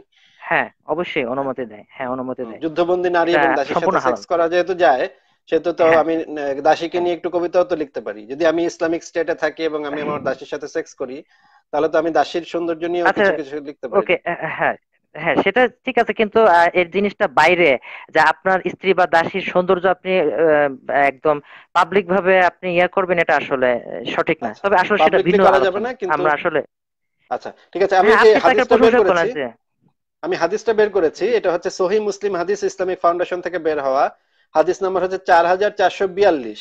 এখানে বলা হচ্ছে নিশ্চয়ই আমি ইয়াহুদি ও খ্রিস্টান সম্প্রদায়কে আরব উপদ্বীপ থেকে বহিষ্কার করব। পরিশেষে হ্যাঁ হ্যাঁ আমি মুসলমান ব্যতীত পরিশেষে মুসলমান ব্যতীত অন্য কাউকে এখানে থাকতে দেব না। এই এটা লাস্ট লাইন হ্যাঁ পরিশেষে মুসলমান ব্যতীত অন্য কাউকে এখানে থাকতে দেব না। তার হ্যাঁ মানে হ্যাঁ হচ্ছে আচ্ছা হজরত মোহাম্মদ এবং মানে হজরত মোহাম্মদ এবং তার সাহাবীরা সবাইকেই পরিশেষে বিতাড়িত করেছিল আরব ওকে আরব আমার আসলে ব্রেনে ইহুদি খ্রিস্টান ওই শব্দ দুইটা আমার ব্রেনে ছিল। এই হাদিসটার প্রতি আমার ব্রেনে ছিল। আচ্ছা আচ্ছা আচ্ছা। ওকে ঠিক আছে আমরা সেটা আরেকটা জিনিস। তো ওকে আমি আসলে যেটা বলতে চাচ্ছি আসলে সত্যি কথা বলতে সে সময় নিয়ে যদি আমরা আলোচনা করি আমাদের কাছে রেফারেন্সগুলো আসলে আমরা যেটা পাই আসলে সত্যি কথা বলতে ওটা নিয়ে আমাদের আসলে ডিল করতে হবে। এছাড়া হ্যাঁ যেহেতু আমাদের হাতে রেফারেন্স নেই আসলে রেফারেন্স আর নেই কাজে আমরা তো আমরা তো এটা নিয়ে ডিল করব। এবং সাধারণত ইসলামের বিরুদ্ধে যে আর্গুমেন্টগুলো তোলা হয় খ্রিস্টান মিশনারি অথবা আপনারা যে আর্গুমেন্টগুলো তোলেন সেগুলো তো আসলে ইসলামিক রেফারেন্স থেকে আপনারা তোলেন তাই না? আর এটা যে হান্ড্রেড পার্সেন্ট ইনভ্যালিড তা তো না। এমন তো না যে মুসলিমরা সমস্ত ইতিহাস একদম মিথ্যা ভাবে রচনা করছে। তা তা নিশ্চয়ই না। এর ভিতরে সত্যতাও আছে তাই না? হ্যাঁ সত্যতা কিছু আছে হ্যাঁ কিছু তো আছে। আসলে হ্যাঁ সেটাই। আসলে আমাদেরকে ওইখানে যেতে হবে। তো এখন আসলে প্রাচীন আরবের দেবদেবী সম্পর্কে আমাদের যে প্রাথমিক সোর্সগুলো আছে সেই সোর্স গুলোতে আমরা যদি ব্যাক করি তাহলে একটা অন্যতম বড় সোর্স হচ্ছে সিরাত ইবনে হিসাম এটা একটা সোর্স যেটা নেমে বললাম যে ইসলামিক ফাউন্ডেশন প্রথম খণ্ড সাতানব্বই থেকে একশো বারো হ্যাঁ এরপরে হচ্ছে হিসাম হিসাম ইবনে কালবির কিতাবুল আসনাম এবং এটা ইংলিশ অনুবাদ হচ্ছে বুক অফ আইডলস এই নামে পাওয়া যায়। বুক অফ আইডলস আচ্ছা। পিডিএফ লিখে সার্চ দিলে যে কেউ পিডিএফটা আচ্ছা। ডাউনলোড করতে পারবে। তো এখানে একদম আচ্ছা ডিটেলস আছে। আছে। তো এখানে আসলে কোনো প্রকারের মুন গডের কোনো প্রকারের ইয়ে নাই উল্লেখ নাই। হ্যাঁ আরবরা অনেক রকম দেবদেবীর উপাসনা করতো। হ্যাঁ আমি অন্তত আমি অন্তত পাইনি আমি পাইনি। আচ্ছা তবে আপনার যদি কি আপনি এরকম একটু মনে হতে পারে না? আমাকে সংশোধন করুন। আচ্ছা আপনার কি এরকম একটু মনে হতে পারে না যে আল্লাহ দেবতাটার সাথে আল্লাহকে কিন্তু সেই সময় কাফেররাও কিন্তু যুদ্ধের ময়দানে এসে আল্লাহর উপাসনা করে হ্যাঁ। যুদ্ধ করতে আসতো তাই না? মানে আমরা আচ্ছা আল্লাহর সাহায্য চাই বলে তারপরে মুহাম্মদের সাথে মারামারি করতো তাই তাই তো? আমরা এটা হাদিসে আচ্ছা পেয়েছি। এখন আমি এক্স্যাক্টলি হাদিসটা হ্যাঁ বলতে হ্যাঁ। পারব না এখন আমার খেয়াল নেই হাদিসটা কত নম্বর। আচ্ছা। কিন্তু এরকম আমি আচ্ছা। হাদিসে পেয়েছি যে আবু সুফিয়ানরা আল্লাহ টাল্লাহ বলে টলে হুবাল টুবাল হুবালের হ্যাঁ। কথা বলে টলে আল্লাহ টাল্লাহর কথা বলে মানে তলোয়ার নিয়ে ঝাঁপায় পড়তো। হ্যাঁ আপনি যেটা বলছেন হ্যাঁ আপনি যেটা বলছেন আপনার কথা সূত্র ধরে আমি একটু কন্টিনিউ করি। হ্যাঁ অবশ্যই। প্রাচীন আরবের মুশরিকরা আল্লাহকে ডাকতো সত্য। আহ, তারপর তারা হুবালকেও ডাকতো। লাত উজ্জা মানাত অনেক দেবতাকে ডাকতো কিন্তু আল্লাহ সম্পর্কে তাদের অ্যাকচুয়ালি বিলিফটা কি ছিল? এখানে এখন হলো একটা সমস্যা চলে আসে। যারা এখানে অভিযোগটা তোলে তারা এখানে একটা মারাত্মক ভুল করে। সেই ভুলটা হচ্ছে যে আমরা সবাই জানি যে প্রাচীন আরবে কাবায় তিনশো ষাটটার মতো মূর্তি ছিল। তিনশো ষাটটা মূর্তি ছিল তাই না? তো এখন চট করে বলে দেওয়া হয় যে আল্লাহ ছিল সেই তিনশো ষাটটা মূর্তির একটা তাই নয় কি? এরকম তো বলা হয় নাকি? মানে আল্লাহকে ধরা হতো প্রধান দেবতা এবং তারা তো আচ্ছা আমি একটু হ্যাঁ। মানে আমার দর্শকদের জন্য একটু ইয়া করে বলি আর একটু সহজ করে বলি যে সেই সময়ে আসলে হজরত মুহাম্মদ যখন প্রথম নবুয়তের দাবি দাবি করল এর আগ পর্যন্ত কিন্তু আল্লাহকে উপাসনা করা হতো কাবাতে আল্লাহকে উপাসনা করা হতো এবং আব্দুল মুতালিবের কিছু কথাবার্তা আছে যে আব্দুল মুতালিব যখন কাবা ঘরকে ছেড়ে চলে গিয়েছিলেন এবং তখন বলেছিলেন যে এর দায়িত্ব আল্লাহর আল্লাহ এটাকে রক্ষা করবে। তাই না? এরকম বলেছিলেন না আব্দুল মুত্তালিব? হ্যাঁ হ্যাঁ। দাদা। আল্লাহর কাছে দোয়া করেছেন বলে একটা মোনাজাতও আছে যে আল্লাহর কাছে দোয়া করছেন মোনাজাত হাত হ্যাঁ থেকে রক্ষা করবার জন্য। হ্যাঁ তাহলে দেখা গেল মক্কা লোকদেরকে হ্যাঁ তাহলে আমরা বুঝতে পারি এবং হজরত মোহাম্মদের বাবার নামও ছিল আব্দুল্লাহ আব্দ আল্লাহ তার মানে হচ্ছে আল্লাহর দাস। এখন এই সূত্রগুলা থেকে আমরা জানতে পারি যে হ্যাঁ। হজরত মোহাম্মদের আমি এটা আগে নিয়ে কথা আল্লাহটা বলতে যে চাই জি। হ্যাঁ আল্লাহ শব্দটা যে খুব একটা হজরত মোহাম্মদ নতুন একটা শব্দ তৈরি করল বা নতুন একটা দেবতার কথা বলল তা না। সেই সময়ের মানুষ অলরেডি আল্লাহ নামক একটা দেবতার কথা জানতো। হ্যাঁ আল্লাহ নামক হ্যাঁ। দেবতার পূজাও আচ্ছা। করতো। হজরত মোহাম্মদের পরিবার বর্গ তা বা আশেপাশে পত্তলিকরাও আল্লাহ নামক একটা দেবতার পূজা করতো। যেটা আরেকটা সোর্স থেকে আমরা পাই সেটা হচ্ছে আবু সুফিয়ান যখন যুদ্ধ করতে গিয়েছিল তখন আবু সুফিয়ানও আল্লাহর কাছে প্রার্থনা করছিল যে হে আল্লাহ আমাকে সাহায্য করো এই যে মোহাম্মদের বিরুদ্ধে যুদ্ধে। হ্যাঁ। এবং মোহাম্মদও তখন মানে প্রার্থনা করছিল আল্লাহর কাছে হে আল্লাহ আমাকে সাহায্য করো। এই কাফেরদের বিরুদ্ধে যুদ্ধে হ্যাঁ? দুই দলই তখন আল্লাহর কাছে মানে প্রার্থনা করছে। কিন্তু হ্যাঁ, হ্যাঁ, কুরাইশদের পৌত্তলিক কুরাইশদের যে আল্লাহ ছিল সেই আল্লাহর কনসেপ্টটা ছিল এরকম যে আল্লাহ ছিল হচ্ছে প্রধান দেবতা কিন্তু তার সঙ্গী সাথে অনেকগুলো ছোট ছোট দেবতা আছে যে দেবতাগুলো অনেক বিভিন্ন বিষয় নিয়ে ডিল করে। যেমন কেউ বৃষ্টি ফলায় বা কেউ ভাগ্য ভাগ্য ভাগ্যের দেবী কেউ হচ্ছে মঙ্গলের দেবী কেউ হচ্ছে এই দেবী সেই দেবী দেব দেবী এরকম অনেকগুলা অনেকগুলা ভাগ বাটোয়ারা ছিল অনেকগুলা ক্যাটাগরির ভিতরে ছোট ছোট দেবতা ছিল। তবে প্রধান দেবতাটা হচ্ছে আচ্ছা। আল্লাহ। প্রধান মানে এক নম্বর শুরুটা হচ্ছে আল্লাহ। হজরত মোহাম্মদ এসে যে প্রথম কথাটা বললেন যে আল্লাহ হচ্ছে একমাত্র দেবতা। এছাড়া বাদ বাকি যে দেবতার কথা আমরা জানি বা বাদ বাকি যে দেবতার কথা আমরা বলি তারা সব ভুয়া তারা সব নাই তারা সব মিথ্যা এদের কোনো ক্ষমতা নেই। শুধুমাত্র ওই একটা আল্লাহ যে প্রধান যে আল্লাহ সেই শুধুমাত্র সত্য ভালো মন্দের বিচার বিবেচনা বা ভালো মন্দ করার সবকিছুর কৃতিত্ব হচ্ছে ওই একজনকে দিতে হবে, অন্য কাউকে দেয়া যাবে না। এই ছিল হজরত মোহাম্মদের সাথে কুরাইশ যারা পত্তলিক, তাদের যে কনফ্লিক্টের প্রধান জায়গাটা ছিল এইখানে। হুম? এবং কোরাইশরা বারবার হজরত মোহাম্মদকে ডেকে বলছে যে, তুমি লাতমানাতুজাকে মেনে নাও। তুমি যদি লাতমানাতুজাকে মেনে নাও, তাহলে তোমাদের সাথে, তোমার সাথে আমাদের সুসম্পর্ক হয়ে যাবে। হজরত মোহাম্মদ আবার কিছু কিছু ক্ষেত্রে লাতমানাতুজাকে একটু একটু মেনে নেওয়ার মতো মানে অপরিস্থিতির সৃষ্টি হয়েছিল হজরত মোহাম্মদের ক্ষেত্রে। আবার পরবর্তীতে সে বলেছে না আমি এইগুলার কাউকে মানি না শুধুমাত্র ওই এক আল্লাহর উপাসনা করতে হবে একাত্মবাদী হতে হবে পুরো আরবকে। এইটা ছিল টোটাল ফাইট মানে টোটাল বিষয়টাকে যদি আমরা এইভাবে দেখি তাহলে এটা হচ্ছে হজরত মোহাম্মদের সাথে করে পত্তলিকদের টোটাল যুদ্ধটা। এখন আচ্ছা। তাহলে সেই আল্লাহটা যে যেই আল্লাহকে আসলে কোরাইশ প্যাগান কোরাইশটা যে উপাসনা করতো সেই আল্লাহটা আসলে কে? সেই আল্লাহটা সম্পর্কে যদি আমরা আরও ডিটেইলসে জানতে চাই তখন আমাদের যে সোর্সগুলোর উপরে নির্ভর করতে হয় সেই সোর্সগুলা হচ্ছে গিয়ে হজরত মোহাম্মদ এবং তার সাহাবিদের লিখিত কথাবার্তা বা সোর্স এখন এই সোর্সগুলা থেকে আমরা যদি ধরে নেই এরকম একটা জিনিস ধরে নেই যে এই আল্লাহ দেবতাটার প্রতীক ছিল চাঁদ এবং চাঁদ মানে যে মানে চন্দ্র দেবতার, চন্দ্রের পূজা করতো তারা তা না, চাঁদটাকে এটা একটা, এই এই ধরনের দেবতাদের এক একটা সিম্বল থাকে। প্রত্যেকটা দেবতার এক একটা গ্রহ দ্বারা তাদেরকে সিম্বলাইজ করা হয় সিম্বলাইজ করে তাদেরকে পূজা করা হয়। এখন আমরা যদি ধরে নেই যে আল্লাহর, আল্লাহ নামক যে দেবতাটা ছিল, সেই দেবতাটার প্রতীক হচ্ছে গিয়ে চাঁদ। তাহলে, এবং এখান থেকে হজরত মোহাম্মদ তার আল্লাহ নামক দেবতাটার কনসেপ্ট গ্রহণ করেছে। যেহেতু আমরা এখন বিবেচনা করছি মানে নিরপেক্ষভাবে কোন মানে মুসলমানদের দৃষ্টিভঙ্গি থেকে না বাইরের থেকে আমরা জিনিসটাকে বিবেচনা করছি। তাহলে আমরা দেখতে পাই যে যদি এরকম হয়ে থাকে যে যেমন ধরেন আপনাকে উদাহরণ হিসেবে আমি বলতে পারি যে খ্রিস্টানিটির সাথে কিন্তু প্যাগানিজমের খুব একটা গভীর সম্পর্ক আছে এবং এই ধরনের কিছু ভিডিও হ্যাঁ। আপনি দেখেছেন কিনা? জাইড গেস্ট নামক একটা ভিডিও আপনি দেখেছেন কিনা? যদিও জাইড গেস্টের বেশ কিছু অংশ হচ্ছে কনস্পিরেসি থিওরি কিন্তু একটা অংশ খুবই গুরুত্বপূর্ণ ছিল যে অংশটা ছিল হচ্ছে গিয়ে সেই সময় রোমানরা যে খ্রিস্টানিটিকে যে পরিবর্তন করে নিয়েছে আচ্ছা। নিজেদের মতো করে পরিবর্তন করে নিয়েছে ক্রস জিনিসটা থেকে শুরু করে তারপরে আপনার জেসাসের যেই বৈশিষ্ট্যগুলা সেই বৈশিষ্ট্যগুলা যে আসলে প্যাগান কালচার থেকে মানে পিক করা তুলে নেওয়া এবং সেগুলা যীশু খ্রিস্টের উপরে চাপায়া দেয়া সেই জিনিসগুলা কিন্তু আমরা এখন মোটামুটি বলতে পারি। এই একই দৃষ্টিভঙ্গি থেকে আমরা যদি ইসলামকে বিবেচনা করি যে আল্লাহ হচ্ছে, আল্লাহ যে মুন গডটা ছিল, সেই মুন গডটা থেকে হজরত মোহাম্মদ প্রথম তার আল্লাহ নামক দেবতাটার কনসেপ্ট গ্রহণ করেছে এবং কনসেপ্ট গ্রহণ করে পরবর্তীতে হজরত মোহাম্মদের সাহাবিরা যে কাজটা করেছে, সেটা হচ্ছে গিয়ে হজরত মোহাম্মদ যে এই কাজটা করেছে, সেটাকে ধামাচাপা দেওয়ার চেষ্টা। সেইটার পিছনে যত রেফারেন্স আছে, সবগুলোকে বিলুপ্ত করে দেয়া, উচ্ছেদ করে দেয়া, যেন এই ধরনের আর কোনো রেফারেন্স না থাকে। এটাও কিন্তু এক ধরনের দাবি হতে পারে আমাদের। আমরা যারা নিরপেক্ষভাবে এই জিনিসগুলো পড়তে চাই বা নিরপেক্ষভাবে যাচাই করতে চাই, তাদের কিন্তু এক ধরনের দাবি হতে পারে। এই ধরনের দাবি যদি আমরা করি, সেটাকে আপনারা কীভাবে মোকাবেলা করবেন? সেটা আমাকে একটু বলেন। আচ্ছা আচ্ছা আচ্ছা আমরা আসলে অনেকগুলো টপিকে আসলে চলে গেছি। খ্রিস্টবাদের পৌত্তলিকতা এটা ভিন্ন একটা টপিক আমি এটা নিয়ে স্টাডি করেছি, এটা নিয়ে আমি কিছু বলতে পারব বাট আমরা একটা টপিকে স্টিক থাকি। আমি এটা নিয়ে এখন আমি কিছুক্ষণ একটু বলি। আপনি বেশ কিছু জিনিস বলবেন আচ্ছা প্রথম কথা হচ্ছে আপনি যে রেফারেন্স বা এগুলো বলেন বিলুপ্ত করে দেয় আসলে এটা তো তারা যে আসলে সবকিছু রেফারেন্সগুলো মানে সে সময় তো অ্যাকচুয়ালি কোনো হিস্টোরিয়ান ছিল না সেভাবে। তারা যেভাবে ইমাম তাবারি রহিমাউল্লাহ বা অন্যান্যরা যেভাবে লিখেছেন এভাবে আসলে কেউ ওভাবে লিখতো না।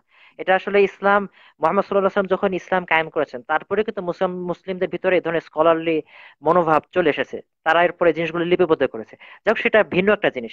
আমরা আপাতত আমাদের হাতে যে নফেল ওয়ারাকাবিন নফেল কিন্তু বাইবেল অনুবাদ করেছিলেন আরবি ভাষায়। তার মানে তার হযরত মুহাম্মদের আগে ওয়ারাকাবিন নফেল তিনি হ্যাঁ বাইবেল আচ্ছা আমি বলতে পারি হ্যাঁ ওয়ারাকা বিন নফেল তো না ওয়ারাকা বিন নফেল ছিলেন একজন খ্রিস্টিয়ান এবং তিনি যে সেক্টর অনুসারী ছিলেন সেটা আসলে এবিওনাইট সেক্ট যারা ছিল একত্ববাদী খ্রিস্টান। তিনি আসলে বাইবেলের কিছু অংশের তিনি অনুবাদ করেছেন কিন্তু সম্পূর্ণ বাইবেল কিন্তু তিনি অনুবাদ করেন অল্প কিছু অংশ আচ্ছা। করেছেন এবং আচ্ছা, সম্পূর্ণ বাইবেল অনুবাদ হয়েছে সেটা অনেক পরে। সেটাও মোহাম্মদ সাল্লাহ প্রায় তিনশো বছর পরে এ ধরনের একদম অর্গানাইজড অনুবাদ কাজ শুরু হয়েছে। কিন্তু ওয়ারাকা বিনফল হ্যাঁ বোখারিতে উল্লেখ আছে কিন্তু তিনি খুব সামান্য কিছু অংশ করেছেন। মানে তার মানে কিন্তু আমরা বুঝতে পারি সেই সময় বইপত্র লেখা হতো বা সেই সময় অনুবাদও হতো।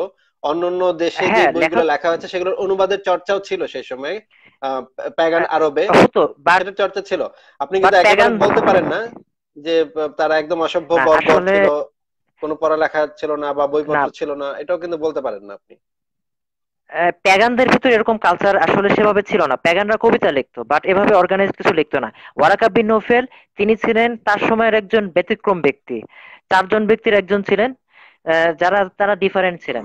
ওয়ারাকা বিন নোফেলের সাথে অন্য আরব পত্তলিকদের মিলালে আসলে হবে না তিনি ডিফারেন্ট ছিলেন। তিনি তো পত্তলিকও ছিলেন না। তিনি ছিলেন একজন খ্রিস্টান এবং একত্ববাদী খ্রিস্টান। তার সেক্ট হচ্ছে ইবিউনাইট সেক্ট সেটা সম্পূর্ণ ভিন্ন জিনিস।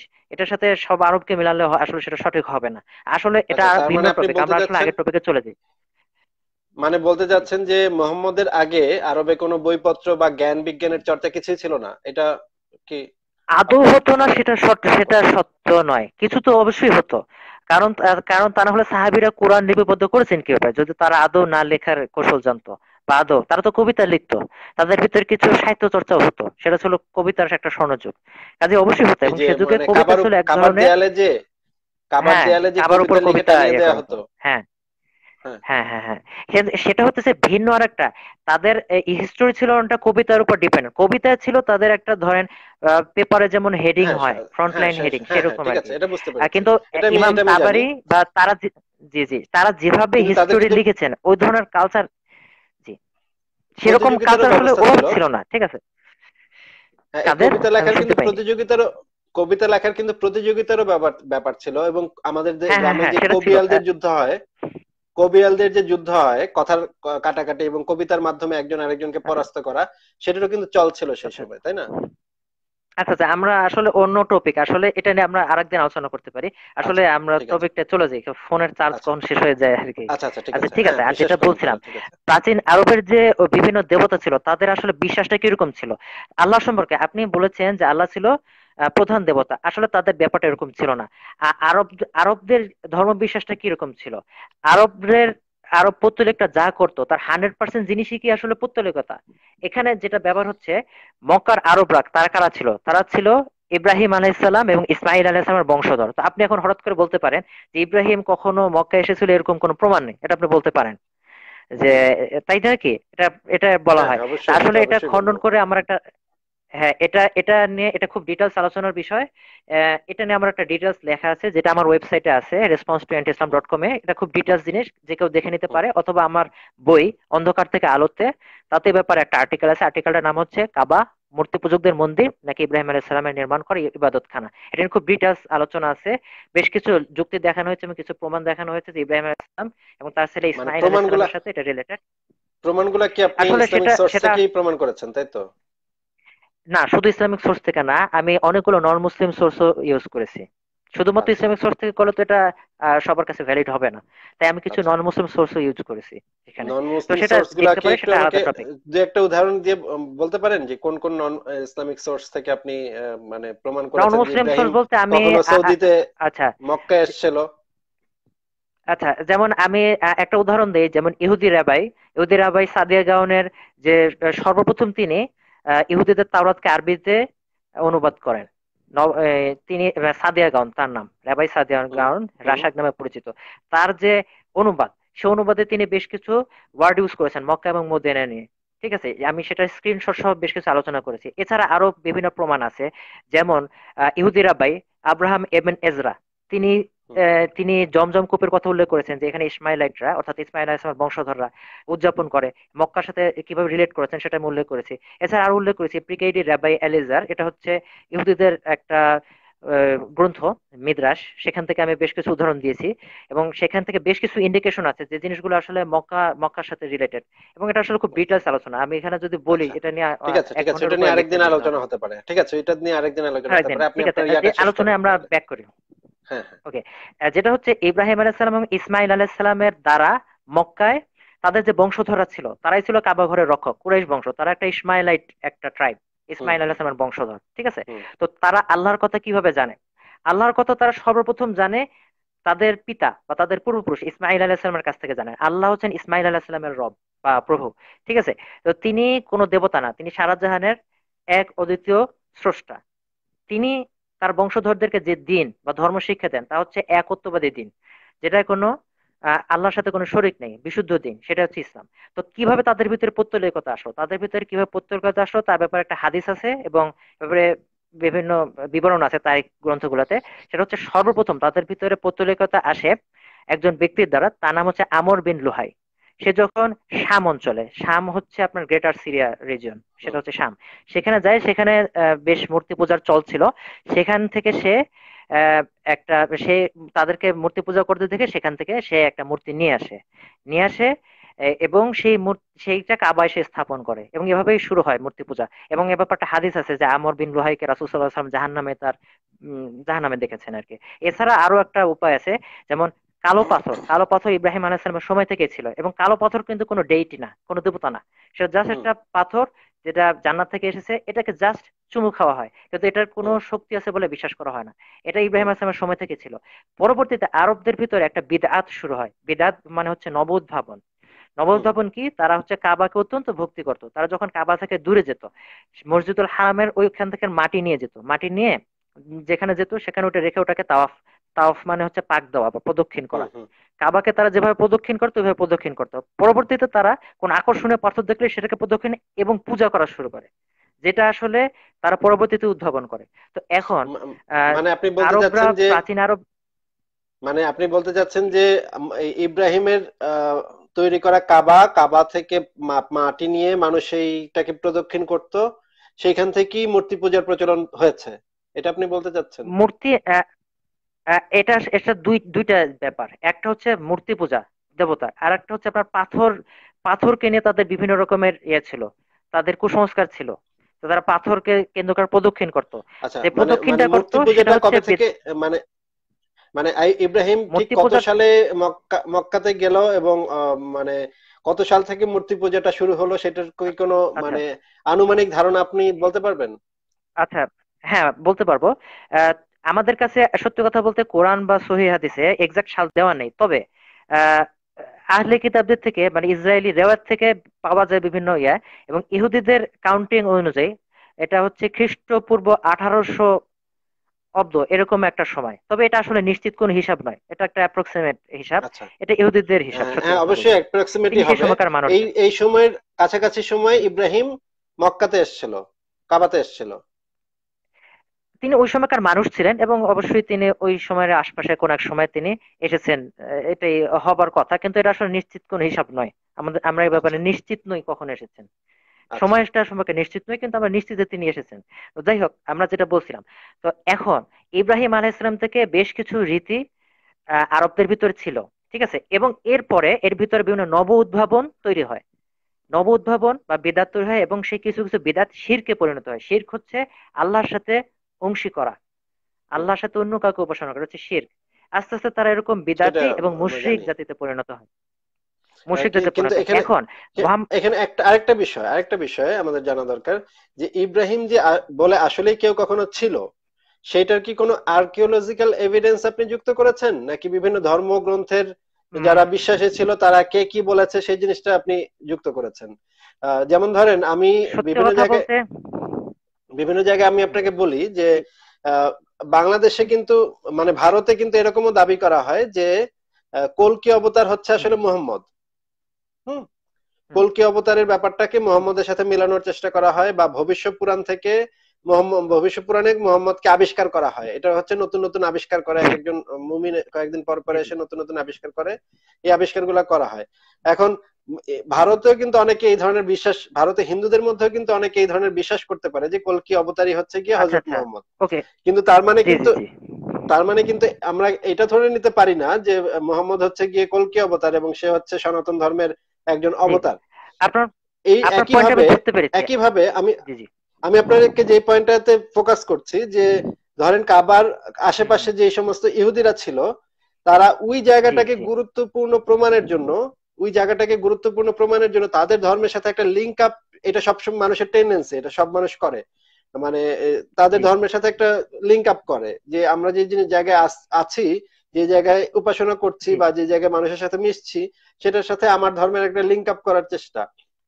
কিন্তু এই জায়গা আচ্ছা থেকে আচ্ছা। কিন্তু আপনি ইহুদি। রাবাইদের সেই রেফারেন্স গুলাকে কি আপনি গ্রহণ করতে পারেন নাকি আপনার আহ, মানে কিছু মানে আচ্ছা। জেনুইন রেফারেন্স আপনার প্রয়োজন মানে ইব্রাহিম বলে আচ্ছা। কেউ ছিল এবং ইব্রাহিম বলে কেউ এখানে এসেছিল এরকম কিছু আসলে সত্যিকারের রেফারেন্স আমরা যেটাকে বলি সেরকম কিছু আপনার প্রয়োজন আচ্ছা আচ্ছা আপনার পয়েন্টটা আমি ধরতে পেরেছি যে আমি শুধু ধর্মগ্রন্থ নিয়ে এসেছি নাকি এছাড়া আর কোনো রেফারেন্স দিয়েছি আমার লেখাটা আপনি পড়ে দেখুন সেখানে আমি শুধু ধর্মগ্রন্থ না ধর্মগ্রন্থের বাইরেও রেফারেন্স এনেছি যেমন ঐতিহাসিক জোসেফাস থেকে আমি এনেছি তারপরে টলেমি তার থেকে এনেছি। এছাড়া আরেকজন লেখক আছে আমার লেখকটার নাম এই মুহূর্তে মনে আসছে না উইল ডুরান্ট সম্ভবত।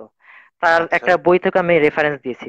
আপনি আসলে লেখাটা আসলে পড়ুন পড়ে আপনি কমেন্ট করুন তাহলে আচ্ছা মনে হয় ভালো ঠিক আছে ঠিক আছে আমি দেখব এখানে আচ্ছা। বেশ আমি শুধুমাত্র ধর্মগ্রন্থের রেফারেন্স আনিনি ধর্মগ্রন্থের বাইরে টাইটেলটা টাইটেলটা একটু বলেন টাইটেলটা লেখাটার টাইটেল হচ্ছে আপনি আমার ওয়েবসাইটে চলে যান সেখানে ক্যাটাগরির ভিতরে ইসলামের উৎপত্তি সংক্রান্ত একটা ক্যাটাগরি আছে। সেখানে আপনি পাবেন কাবা মূর্তি পূজকদের মন্দির নাকি ইব্রাহিম আলাইহিস সালামের নির্মাণ করা ইবাদতখানা।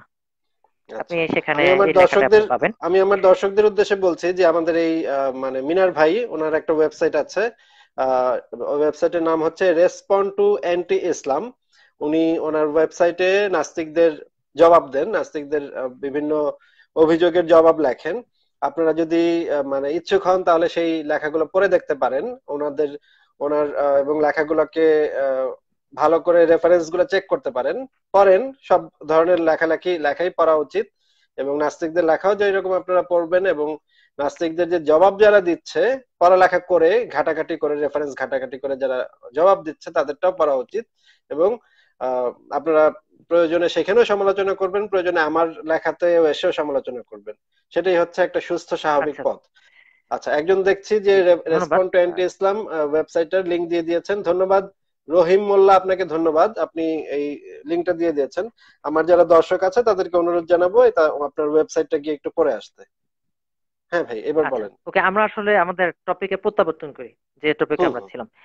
যেটা হচ্ছে ইব্রাহিম আলাইহিসসালাম এবং ইসমাইল আলাইহিসসালাম থেকে কিছু ধর্ম বিশ্বাস তাদের ভিতরে ছিল এবং এর পরে ভিতরে কিছু নব উদ্ভাবন যুক্ত হয় ঠিক আছে? মোহাম্মদ সাল্লাহ সাল্লামের মিশন কি ছিল? তার মিশন ছিল তাদের থেকে পৌত্তলিকতাগুলো তিনি দূর করে দিয়েছেন। এবং তিনি সেই খাঁটি ইব্রাহিমী বা আব্রাহামিক যে প্র্যাকটিসগুলো সেগুলো তিনি পুনরুদ্ধার করেছেন। এবং আপনি যদি কোরআন পড়েন, আপনি দেখবেন বারবার বলা হচ্ছে যে, তোমরা ইব্রাহিমের মিল্লাত, ইব্রাহিমের ধর্মাদর্শ অনুসরণ করো। বারবার বলা হচ্ছে যে, ইব্রাহিমে ব্যাক করো। বারবার সেটা বলা হচ্ছে যে, ইব্রাহিম হচ্ছে একত্ববাদী ছিলেন এবং তার সেই ধর্ম বিশ্বাসে প্রত্যাবর্তন করো। এখন মুশরিকরা বা মূর্তি পূজকরা তারা যা করতো, তার হান্ড্রেড পার্সেন্টই কিন্তু ভুল ছিল না বা পত্তলিকতা ছিল না। তার কিছু কিছু ছিল যেটা ছিল অরিজিনাল। আমি আপনাকে একটা উদাহরণ দিই। ধরা যাক আপনি একটা আকাশ আকাশ থেকে বৃষ্টি পড়ে ঠিক আছে? সেই বৃষ্টির পানিটা বিশুদ্ধ না? সেই পানিটা তো বিশুদ্ধ যে বৃষ্টির যে পানিটা সে পড়ে। পানিটা বিশুদ্ধ। সেই পানিটা সবসময় যে বিশুদ্ধ হবে তা তো না। বৃষ্টির পানি যে সবসময় বিশুদ্ধ হবে বিশুদ্ধ হবে না বাট কোরআনে কোরআনের একটা আয়াতে বলা আছে এবং হাদিসে বলা আছে বৃষ্টির পানি নাকি সব সময় বিশুদ্ধ হবে কিন্তু সব সময় বিশুদ্ধ আসলে হবে না। কারণ অ্যাসিড বৃষ্টি হয় আপনি আসলে তারপর অন্যান্য হ্যাঁ অ্যাসিড রেইন হয় সেটা আমরা জানি বাট ইন জেনারেল সেটা হচ্ছে সেটা হচ্ছে ইন জেনারেল সেটা বিশুদ্ধ কিন্তু অনেক সময় পরিবেশ দূষণের দ্বারা কিছু প্রবলেম হয় কিন্তু বেসিক্যালি সেটা বিশুদ্ধ। জলীয় বাষ্প থেকে যে মেঘের মাধ্যমে যেটা আসে সেটা বেসিক্যালি বিশুদ্ধ কিন্তু আচ্ছা যাক আমরা সেটা ভিন্ন জিনিস। আমরা ধরুন আপনি বৃষ্টির পাঁচ মিনিট পরে যে বিশুদ্ধ যে পানিটা আসে সেটা আপনি একটা গ্লাসে বা একটা জগে রাখলেন ঠিক আছে? জগে আপনি সংরক্ষণ করলেন। দুই দিন হয়ে গেল, পানিটাতে কিছু ময়লা জমলো, কিছু ময়লা পড়ল, ঠিক আছে? আপনি সে পানিটাকে ফিল্টার এরপরে সেটাকে আপনি ফিল্টার করলেন, ঠিক আছে? ফিল্টার করার পর আপনি আবার বিশুদ্ধ পানি পেলেন, ঠিক আছে? এখন বিশুদ্ধ পানিটা একটা গ্লাসে রাখা হলো। এখন কেউ যদি বলে যে, না, এই পানিটা তো একসময় নোংরা ছিল, এই পানিটা খাওয়া যাবে না, তাহলে এটাকে লজিক্যাল কথা হবে? না, সেটা লজিক্যাল কথা হবে না কেন সেটাকে তো ফিল্টার করা হয়েছে, তাই নয় কি? ফিল্টার করে সেটাকে আদি অবস্থায় নিয়ে যাওয়া হয়েছে মানে বিশুদ্ধ অবস্থায় নিয়ে যাওয়া হয়েছে, তাই নয় কি?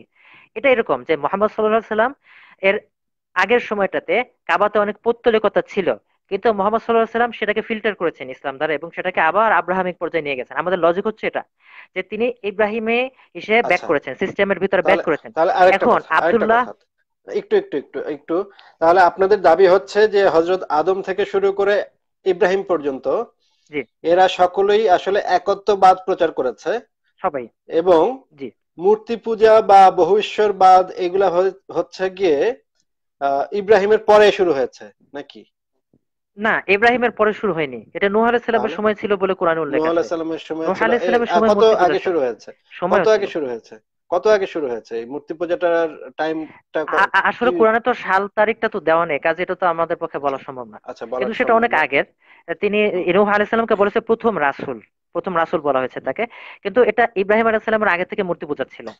তাহলে আপনি বলতে যাচ্ছেন যে আপনারা বলতে যাচ্ছেন যে একত্ববাদের শুরুই হচ্ছে প্রথমে এবং মূর্তি পূজা বা পৌত্তলিকতার ইয়া হয়েছে পরে আরও অনেক পরে।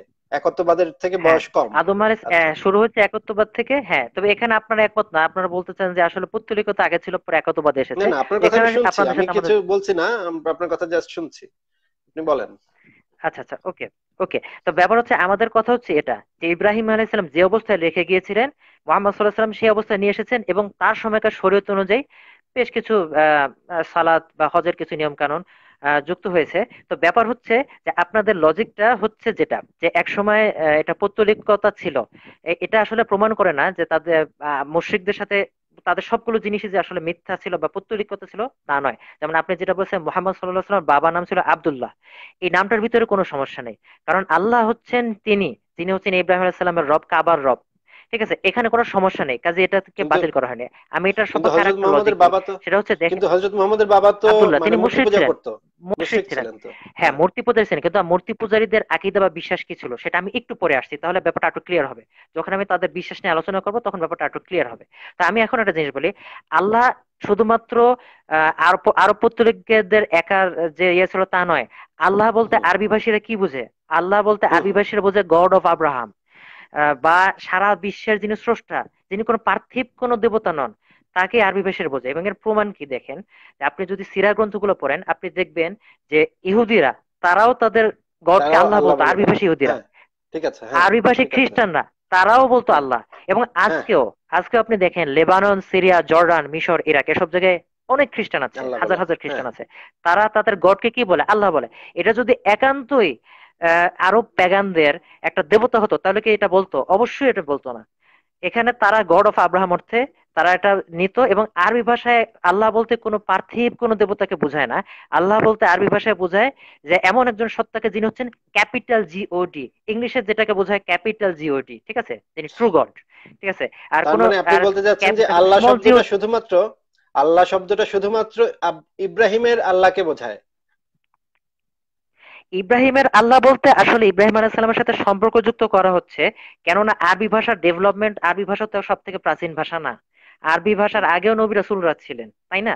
কিন্তু এটাকে হুম। ইব্রাহিম আলাইহিস সালামের রিলেট করা হচ্ছে কেননা তিনি হচ্ছেন ওই জেনারেশনটার সূচনার সাথে তিনি আসলে জড়িত। যে আব্রাহামিক যে ইহুদি খ্রিস্টান মুসলিম আসলে সবাই তো এক সময় মুসলিমই ছিল কিছু কিছু জিনিস চেঞ্জ হয়ে তারা পরবর্তীতে অন্যান্য ধর্ম হয়ে গেছে।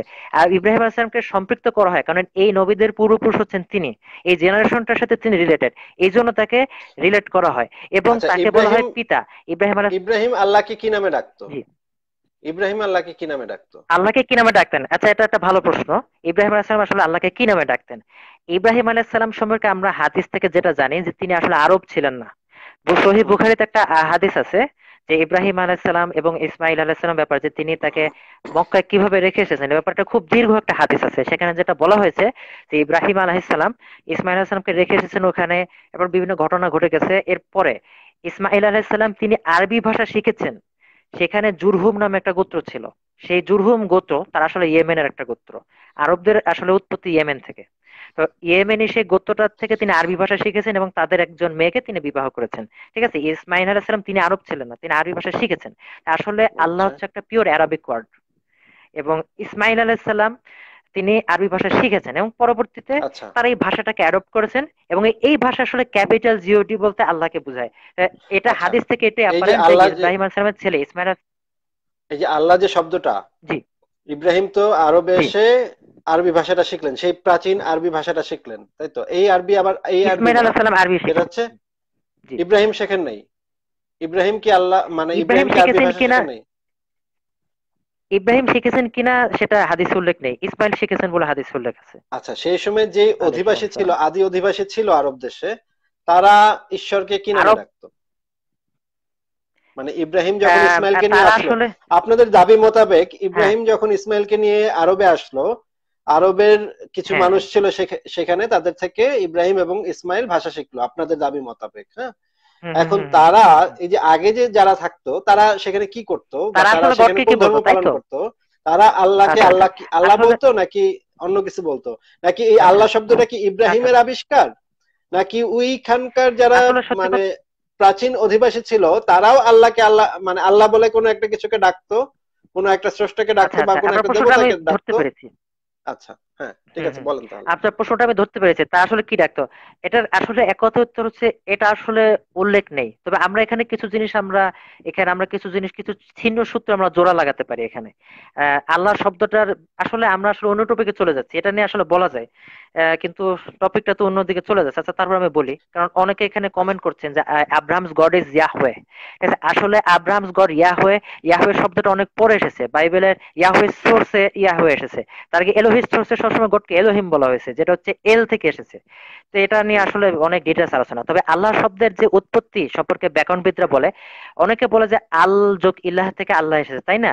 তো আসলে সত্যি কথা বলতে আমি স্কলারদের থেকে দেখেছি, আল্লাহ শব্দটার সাথে আসলে রিলেশন হচ্ছে প্রাচীন সেমিটিক রুট এল এটার সাথে এটা সম্পর্ক। এবং হিব্রু ভাষায় এলোহ কথাটাও এল থেকে এসেছে। এলোহ থেকে এলোহি এবং এলোহিম এখন এল থেকেই আল্লাহ এবং সেখান থেকে আল্লাহ। এবং এটা রেফারেন্স আপনি পাবেন আমি বলে দিচ্ছি ইসলাম কিউ এ ডট ইনফোতে ব্যাপারে কিছু আছে। আমি লিঙ্কটাও দিয়ে দিতে পারি। আমি আর্টিকেলটার নামটা বললে যে কেউ খুঁজে নিতে পারে। আর্টিকেলটার নাম হচ্ছে এখানে আল্লাহ শব্দের উৎপত্তি সম্পর্কে আলোচনা করা হয়েছে। আর্টিকেলটার নাম হচ্ছে doubts of one who is interested in Islam এখানে কিছু মনগড় নিয়েও কিছু আলোচনা আছে। আচ্ছা, Islam one QA who is ইনফোতে দেয়া আছে। এটা এই বইটার হ্যাঁ, নামটা হ্যাঁ, ইসলাম কিউএ কিন্তু হ্যাঁ আল্লাহ শব্দটাকে যদি আমরা নিরপেক্ষভাবে জানতে চাই যে আল্লাহ শব্দটা কোথা থেকে আসলো তাহলে কি আমাদের ইসলাম কিউএ ডট ইনফো ওয়েবসাইটে লেখাপড়াটা উচিত হবে? অ্যাজ ইউ উইশ আপনি স্কলারদের বিভিন্ন লেখা দেখেন এবং সবাই এটা বলবে যে আল্লাহ শব্দের সাথে আসলে প্রাচীন সেমেটিক রুট এল রিলেটেড আপনি আপনি যদি একটা ভাষাতাত্ত্বিক ভাষাতাত্ত্বিক উৎস মূল জানতে চান একটা একটা কিছুর ভাষাতাত্ত্বিক উৎস কোথায় সেটা জানতে চান তাহলে কি আপনার একটা ধ- বিশেষ ধর্মের বিশ্বাসীদের রেফারেন্সগুলো পড়া উচিত? নাকি আপনার পিওর ভাষাতত্ত্ব বিষয় ভাষাবিদদের রেফারেন্সগুলো পড়া উচিত। হ্যাঁ আর্কিওলজিস্টরা কি ভাষাবিদ বলেছেন? সেটা পড়া উচিত। আসলে ভাষাবিদদের থেকে মূলত একটা শব্দের উদ্ভব দেখা উচিত বিভিন্ন ডিকশনারি থেকে। আপনি দেখেন এখানে মানে সবাই এটা এটার সাথে আসলে অ্যারামেক আল্লাহ এবং হেব্রো এল এবং এলহ এই শব্দগুলো রিলেটেড এটা আল্লাহ শব্দটা আসলে এটার সাথে রিলেটেড এবং আপনি ইসলাম কিউতে আমি ইসলাম কিউ আমি আমি- জাস্ট সুবিধার জন্য বললাম। আরও অনেক রেফারেন্স আছে আচ্ছা। আপনারা মুক্তভাবে খুঁজে দেখেন। ঠিক আচ্ছা, আছে? এখানে ইসলাম। কিউতে এটা ইসলাম কিউতে একটা রেফারেন্স থেকে এটা উল্লেখ করা হয়েছে। ওনারা তো ভাষা উনি তো ভাষাবিদ না তাই না? উনি ভাষাবিদদের থেকেই এটা ইয়ে করেছেন। সম্ভবত ইবনু আচ্ছা। ফারিস নামে একজন বিখ্যাত ভাষাবিদ আছে। যাই হোক আচ্ছা। তো সেটা আসলে ভিন্ন টপিক তো যাই হোক আসলে ব্যাপার হচ্ছে যেটা যে আব্দুল্লাহ আব্দুল্লাহ মানে আল্লাহর দাস। এখন এই এই নামটার সাথে কোনো সমস্যা নেই। এবং ইহুদি এবং খ্রিস্টানও তারাও আব্রাহামিক জাতি তারাও তাদের গডকে আরবি ভাষায় আল্লাহ বলে থাকে। ঠিক আছে? এটা হচ্ছে আমার খুব এটা হচ্ছে খুব সাধারণ মানুষ যারা ভাষাবিদ না। হ্যাঁ, হ্যাঁ। তারাও এটা দেখে বুঝতে পারবে। এবং আজকেও আপনি দেখেন। হ্যাঁ, এখন এটা হচ্ছে ব্যাপার। হ্যাঁ হ্যাঁ পয়েন্ট নাম্বার ওয়ান হচ্ছে এটা যে মোহাম্মদ সাল্লাহ নাম আব্দুল্লাহ। এর মানেই হচ্ছে যে আসলে আব্দুল্লাহ একটা প্যাগান গডের নামে ব্যাপারটা আসলে তা নয়। এখানে আব্দুল্লাহ নামটার সঠিক কিন্তু আরবে অনেকের নাম আব্দুল উজ্জাও ছিল। আব্দুল উজ্জাও ছিল। এখন আব্দুল উজ্জা যাদের নাম এরকম থাকতো হ্যাঁ আব্দুল মানাফ ছিল। যাই হোক। হ্যাঁ। এই সমস্ত নাম যাদের থাকতো মোহাম্মদ সাল্লাম তাদের নামগুলোকে চেঞ্জ করতে বলতেন। কারণ হচ্ছে এগুলো হচ্ছে মিথ্যা দেবতার নামে। কিন্তু আব্দুল্লাহ যাদের নাম থাকতো তাদের নাম তো চেঞ্জ চেঞ্জ করতে বলতেন না কারণ এটা ভুল নয়। মোহাম্মদ সাল্লাম হচ্ছে যেটা ভুল সেটাকে বিয়ে করতেন এমনকি ইহুদি যারা ছিল আরব ইহুদি আর তাদের নামও আব্দুল্লাহ থাকতো। আপনি যদি সিরাত ইবনে হিসাম দেখেন সিরাত ইবনে হিসামে আপনি দেখবেন সে সময়কার আরবে ইহুদি আলেমদের নামের লিস্ট আছে। আমি এক্সাক্ট পেজ নাম্বারটা আমার খেয়াল নেই। কিন্তু আপনি সিরাত ইবনে হিসাম প্রথম অধ্যায়ে আপনি পাবেন ইহুদি আলেমদের নামের লিস্ট এখানে আপনি একাধিক ইহুদি আলেমের নাম দেখবেন আব্দুল্লাহ। শুধু তাই না খ্রিস্টানদের নামের সাথে আব্দুল্লাহ পাওয়া যাবে খুঁজলে। আসলে আচ্ছা। আব্দুল্লাহ এখানে আল্লাহ হচ্ছেন সেই সত্তা যিনি সারা বিশ্বের স্রষ্টা। এটা কোনো প্যাগান কোনো মূর্তি নয়। আল্লাহর কোনো মূর্তি বানানো হয়নি। এটা অমুসলিম ঐতিহাসিকের ব্যাপারে একমত। ঠিক আছে? আল্লাহর কোনো মূর্তি বানানো হয়নি। আমি এখন আপনাকে রেফারেন্স বলতে পারি। আমি যে শুরুতে আপনাকে একটা রেফারেন্স বলেছিলাম, যে আল্লাহ এজ রুনার ডেটি উইকিপিডিয়ার একটা আর্টিকেল সেখানেই একজন একজন অমুসলিম বিশেষজ্ঞের উদ্ধৃতিতে উল্লেখ করা হয়েছে যে আল্লাহর কখনো মূর্তি বানানো হয়নি। এটা তো ইসলামিক সোর্স থেকে প্রুভড ইসলামিক সোর্স থেকে এটা ওয়েল প্রুভড আপনি ইবনে হিসাম দেখেন, অথবা আপনি বুক অফ আইডলস দেখেন, আল্লাহর নামের কোনো প্যাগান কোনো মানে মূর্তি ছিল না, ঠিক আছে? এটা ইসলামিক সোর্স থেকে প্রুফ এবং নন মুসলিমরা এখানে একমত। এখন এই যে একটা ছবি দেখানো হয়, রবার্ট মরি। রবার্ট মরি তার বইতে যে মন গডের ছবিটা দিয়েছে, সেখানে মন গড মন গড তখন উপাসনা করা হতো কিনা সেটা একটা প্রশ্ন। সেটা একটা প্রশ্ন। আর দ্বিতীয়ত, যদি করেও থাকে, আমি তর্কের ক্ষেত্রে ধরে নিলাম যে তারা মন গডের উপাসনা করত, তাতেও কিন্তু কিছু ইয়া হয় না, তাতেও কিন্তু কিছু প্রমাণ হয় না। কেন প্রমাণ হয় না? আপনাকে বলি। আমি আপনাকে খুব সহজ একটা উদাহরণ দিই। আমি একটা উদাহরণ দিব যেটা একজন ভাষাবিদ না সেও বুঝতে পারবে। একজন সাধারণ ব্যক্তি যে কম্পারেটিভ রিলিজন জানে সেও বুঝতে পারবে। আমি এরকম একটা উদাহরণ দেবো। আচ্ছা বাংলা ভাষায় আমরা গডকে কি বলি? ঈশ্বর বলি তাই নয় কি? বাংলা ভাষায়। ঈশ্বর বলি না? ঈশ্বর বলি। এখন এইটা হচ্ছে বাংলা ভাষায় গড বোধক একটা শব্দ। আপনি যদি খ্রিস্টানদের বাইবেল দেখেন খ্রিস্টানদের বাইবেল বাংলাদেশ বাইবেল বাইবেল সোসাইটির অনুবাদ সেখানে গডের লেখা অনুবাদ কি করা হয়েছে? ঈশ্বর বলা আছে হ্যাঁ সেটা হচ্ছে আপনার কিতাবুল মোকাদ্দাস ভার্সন। ইনজিল হ্যাঁ। শরীফ নামে একটা বের করেছে মুসলিমদেরকে কনভার্ট হ্যাঁ। করার জন্য। সেটা ভিন্ন কিন্তু প্রথম যে অনুবাদগুলো করা হয়েছিল তারা তো সেখানে ঈশ্বর অনুবাদ করেছে তাই নয় কি? মূল যে বাইবেলগুলো এখন ঈশ্বর শব্দটা প্রথম কারা ইউজ করতো? হিন্দুরা। হিন্দুরা ইউজ করতো। ঈশ্বর শব্দটা। বাংলা বাঙালি হিন্দুরা তো ইউজ করতো। এখন হিন্দুরা ঈশ্বর বলতে কি বুঝে থাকে? হিন্দুদের ঈশ্বর সম্পর্কে ব্যাপক কনসেপ্ট আছে। একটা কনসেপ্ট হচ্ছে ঈশ্বর হচ্ছে শিব, বিষ্ণু এবং ব্রহ্মার ট্রিনিটি বা ত্রিমূর্তি। ত্রিমূর্তি সেটা হচ্ছে ঈশ্বর, যে তিনে মিলে এক ঈশ্বর। ঠিক আছে? এটা আপনি ট্রিনিটি ইন হিন্দুইজম রেখে সার্চ দিলে উইকিপিডিয়া একটা আর্টিকেল পেয়ে যাবেন। সেটা খুব ভালো একটা সেখানে বিভিন্ন রেফারেন্স দিয়ে, অথবা জ্ঞানী কোনো হিন্দুকে জিজ্ঞেস করে সে বলে দেবে। এই তিনটে ঈশ্বর বলতে তারা এটাকে বোঝে, অথবা বিভিন্ন অবতারকে বোঝে। ঠিক আছে? যাদের উপাসনা করে। এখন আপনি একজন খ্রিস্টানের বাইবেল খুলে ঈশ্বর দেখে বলেন, খ্রিস্টানরা এই যে শিবের উপাসনা করে, তাহলে এটা কি কোনো যৌক্তিক অভিযোগ হবে? সেটা কি কোনো ইনসাফের আছে। কথা হবে। যে হিন্দুরা হিন্দুরাও ঈশ্বর বলে আপনি পয়েন্টটা ধরতে পেরেছেন এবং আশা করি লাইভে যারা দেখছেন তারাও পয়েন্টটা ধরতে পেরেছে। এটা আসলে কোনো পয়েন্ট হবে না। যে আবার এটা হচ্ছে ব্যাপার। এবং এখন আপনি আরবিতে আরবি খ্রিস্টানদের আরবি বাইবেলে দেখবেন আল্লাহ। আল্লাহ বলতে খ্রিস্টানরা কি বুঝে? আল্লাহ বলতে খ্রিস্টানরা বুঝে এমন একজন সত্তা যিনি তিন রূপে বিরাজমান পিতা পুত্র এবং পবিত্র আত্মা। ঠিক আছে? আরব খ্রিস্টানরা বলে আল্লাহ আল আব আল্লাহ আল ইবন আল্লাহ আর রুহ তিন ভাবে। আল্লাহ বলতে তারা বুঝে তিনের এক ট্রিনিটি এটা বুঝে। এখন আপনি আবার মুসলিমরা বুঝে আল্লাহ হচ্ছেন আহাদ যিনি এক অদ্বিতীয় তার কোনো শরিক নেই। ঠিক আছে? এরকম একজন একক সত্তাকে বুঝে। এখন আপনি খ্রিস্টানদের বাইবেলে আল্লাহ দেখলেন দেখে আপনি জানলেন যে সে তিনের এক। আবার মুসলিমদের কোরআনে দেখলেন আল্লাহ। এখন আপনি বললেন মুসলিমরা এই পিতা পুত্র পবিত্র আত্মার উপাসনা করে। এটা কি কোনো যৌক্তিক অভিযোগ হবে? না না ঠিক আছে। আপনার এই পয়েন্টগুলো ঠিক আছে। এগুলো আমরা বুঝি। এগুলো আমরা এমনিতেই বুঝি। এগুলো আর হ্যাঁ। আপনার আম- হ্যাঁ, এত এক্সপ্লেন হ্যাঁ। করতে হবে না। হ্যাঁ এই জিনিসগুলো আমরা এমনিতেই বুঝি। আচ্ছা আশা কর জি জি অবশ্যই।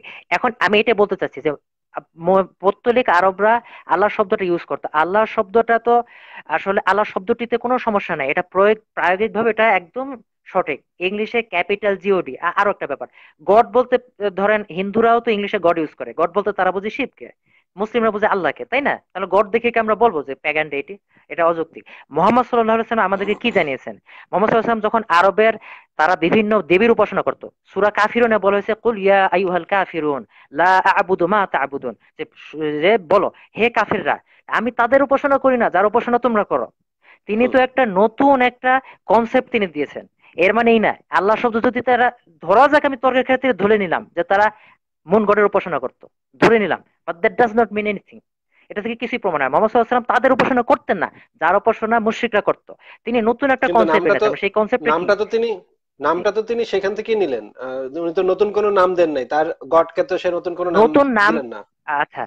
ইসলাম তো কোনো নতুন ধর্ম নয়। ইসলাম কোনো নতুন ধর্ম নয় যে সবকিছু নতুন। যদি নতুন আনতো সবকিছু তাহলে ইহুদি খ্রিস্টানরা বলতো মোহাম্মদ নতুন ধর্ম বানিয়েছে। আসলে ইসলামের কাজ নতুন কিছু না। ইসলাম হচ্ছে সে আদি ধর্ম যেটা আদম আলাহিসাল্লামের সময় থেকে আছে। অথবা ইব্রাহিম আলাইহিস যে ধর্ম আপনাদের দাবি। এটা হচ্ছে আপনাদের দাবি। আমাদের দাবি এবং আমাদের দাবিটা খুবই যৌক্তিক, ঠিক আছে? সেটা সেটা আমরা আপাতত যেটা নিয়ে আলোচনা করছি ওটাতেই থাকি। তো ইসলাম কিন্তু সবকিছু বদলাতে আসেনি, ইসলাম হচ্ছে যেটা ভুল সেটাকে সংশোধন করেছে।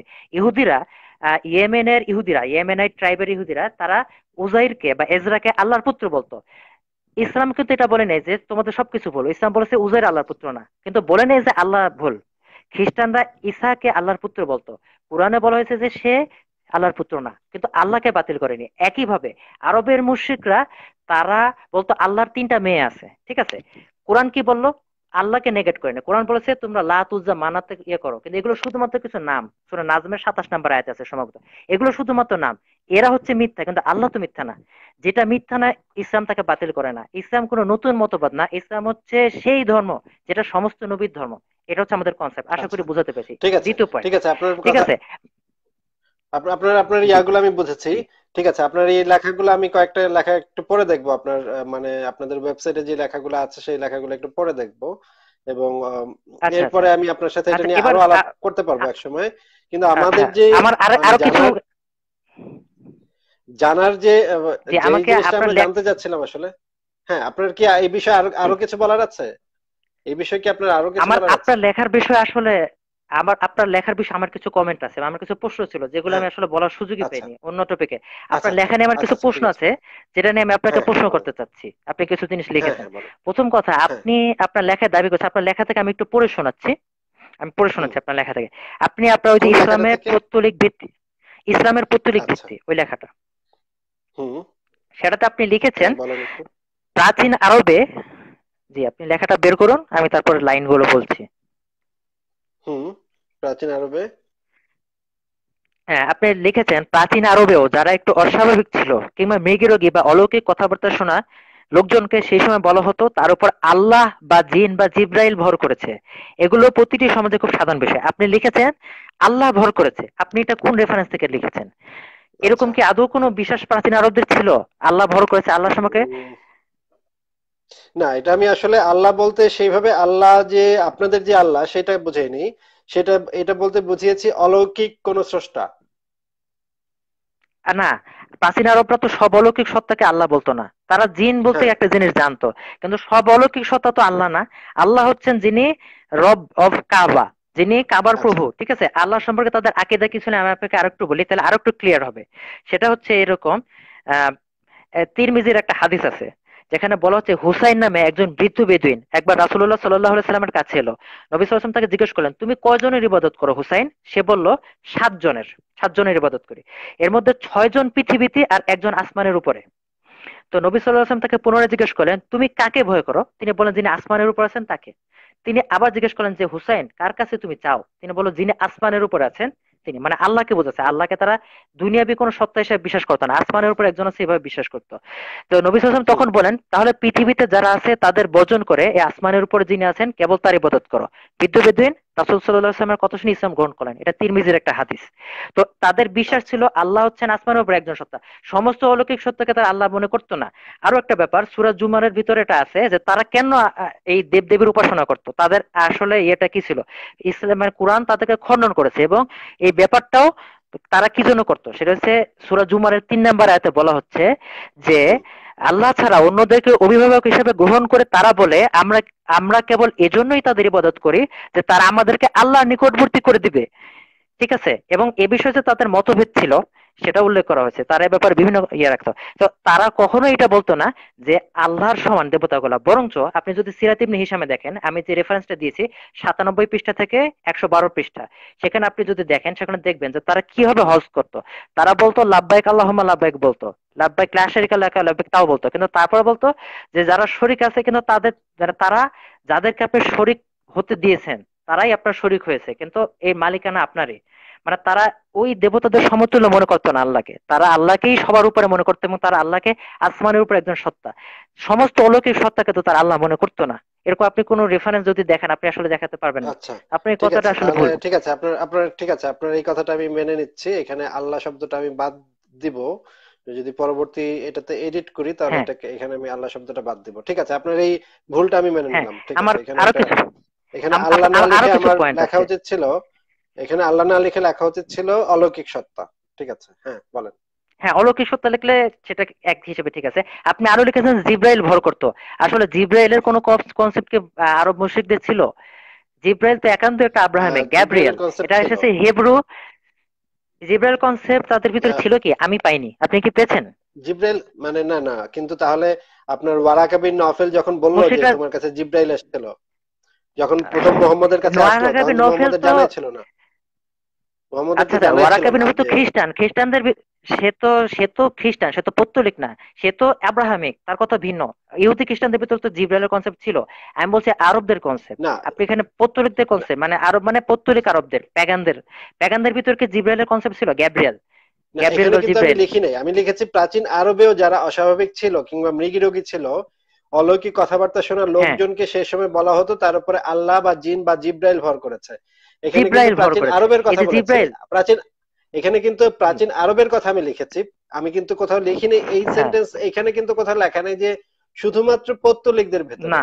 এখানে এটা কিন্তু ইন জেনারেল এখানে এখানে কিন্তু পৌত্তলিক হতে পারে খ্রিস্টান এবং আহ, মানে ইহুদিও হতে পারে। তাই না? আসলে আপনি যদি সেটাও বোঝাতে চান সেটা আসলে ভুল। কিন্তু আপনি দেখেন আপনি একসাথে লিখেছেন আল্লাহ বা জিন বা জিব্রাইল। আসলে ইহুদি বা খ্রিস্টানরা তো এটা বিশ্বাস করে না জিব্রাইল মানসিক রোগের উপর ভর করে। এটা তো ওয়ারাকে ভিন্ন ফেরত বিশ্বাস না। জিব্রাইল হচ্ছে এমন একজন আহ, ফেরেশতা যে আল্লাহর রাসূলদের কাছে আল্লাহর বাণী নিয়ে আসে। যেমন আপনি বাইবেলে যদি দেখেন যে সেই সময় যে সেই ম্যারির কাছে আগের সময় সেই সময় তার আগের সময় কিন্তু প্রচুর মানুষ নিজেকে নবী বলে দাবি করেছে। তাই না? না না দেখেন আপনার এই কথাটা ভুল যে মানসিক রোগীদের উপরে ভর করতো এটা তো তাদের কনসেপ্ট নয়। তাদের কনসেপ্ট হচ্ছে নবী অথবা নেককারদের কাছে আসে। ইহুদি খ্রিস্টানদের এরকম কনসেপ্ট যেমন জিব্রাইলের ব্যাপারে ইহুদিদের বিশ্বাস কি? Book of Daniel book of ড্যানিয়েলে জিব্রাইলের কথা আছে যে সে নবী দানিয়েল তার কাছে জিব্রাইল এসেছিল ঠিক আছে? জিব্রাইল এবং এবং জিব্রাইলকে দেখে সে সে খুব ভয় পেয়েছে এরকম উল্লেখ আছে জিব্রাইল। কিন্তু এর মানে এই না যে জিব্রাইল মানুষ এটা যে শুধুমাত্র ইহুদি এবং খ্রিস্টানদের মধ্যে প্রচলিত ছিল তা তো না। এটা তো সকলের মধ্যেই প্রচলিত ছিল সেই সময়। সেই সময় যখন আসলে ভিতরে ধারণা ছিল। কালচারে যখন মিক্স হয় একটা একটা এলাকায় যখন প্যাগানরা থাকে যখন খ্রিস্টানরা থাকে ইহুদিরা থাকে তখন নানা কনসেপ্টগুলো তখন মিশ্রিত হয় তাদের মধ্যে। হুম? তখন যেমন ধরেন আহ, আমার অনেক হিন্দু বন্ধু আছে বলে যে মানে জিব্রাইলের কথা বলে। যে জিব্রাইল বা মিকাইল মানে ধরেন বৃষ্টি হচ্ছে না বলতেছে আমার হিন্দু বন্ধু বলতেছে ছোটবেলার কথা বলছে তারা বলতেছে মিকাইল ফেরেস্তা আজকে মনে হয় ছুটিতে গেছে ওই জন্য বৃষ্টি হচ্ছে না। এই ধরনের কথা কালচারাল কথা হয়ে যায় এই ওয়ার্ডগুলো তখন কালচারাল লজিক আমি বুঝেছি। আপনার লজিকটি বুঝেছি। আপনার লজিকটি হচ্ছে যে একটা কালচারের থেকে অন্য কালচারের ভিতরে মানে অন্য জাতির ভিতরে সঞ্চারিত হয় তাই তো? কিন্তু আপনার এখানে রেফারেন্স দিতে হবে যে এটা হতে পারে এটা একটা পসিবিলিটি অনেক কিছুই হতে পারে। যে ইহুদিরা তো উজাইরকে আল্লাহর পুত্র বলতো তার মানে কি এই যে মদিনার আরব মুশরিকরা উজাইরকে আল্লাহর পুত্র বলতো? না। এরকম তো আচ্ছা কিছু না। সবকিছু যে মিশ্রিত এমন কিছু না। আপনি নির্দিষ্ট করে বলেছেন আল্লাহ বা জিব্রাইল বা জিন ভর করেছে।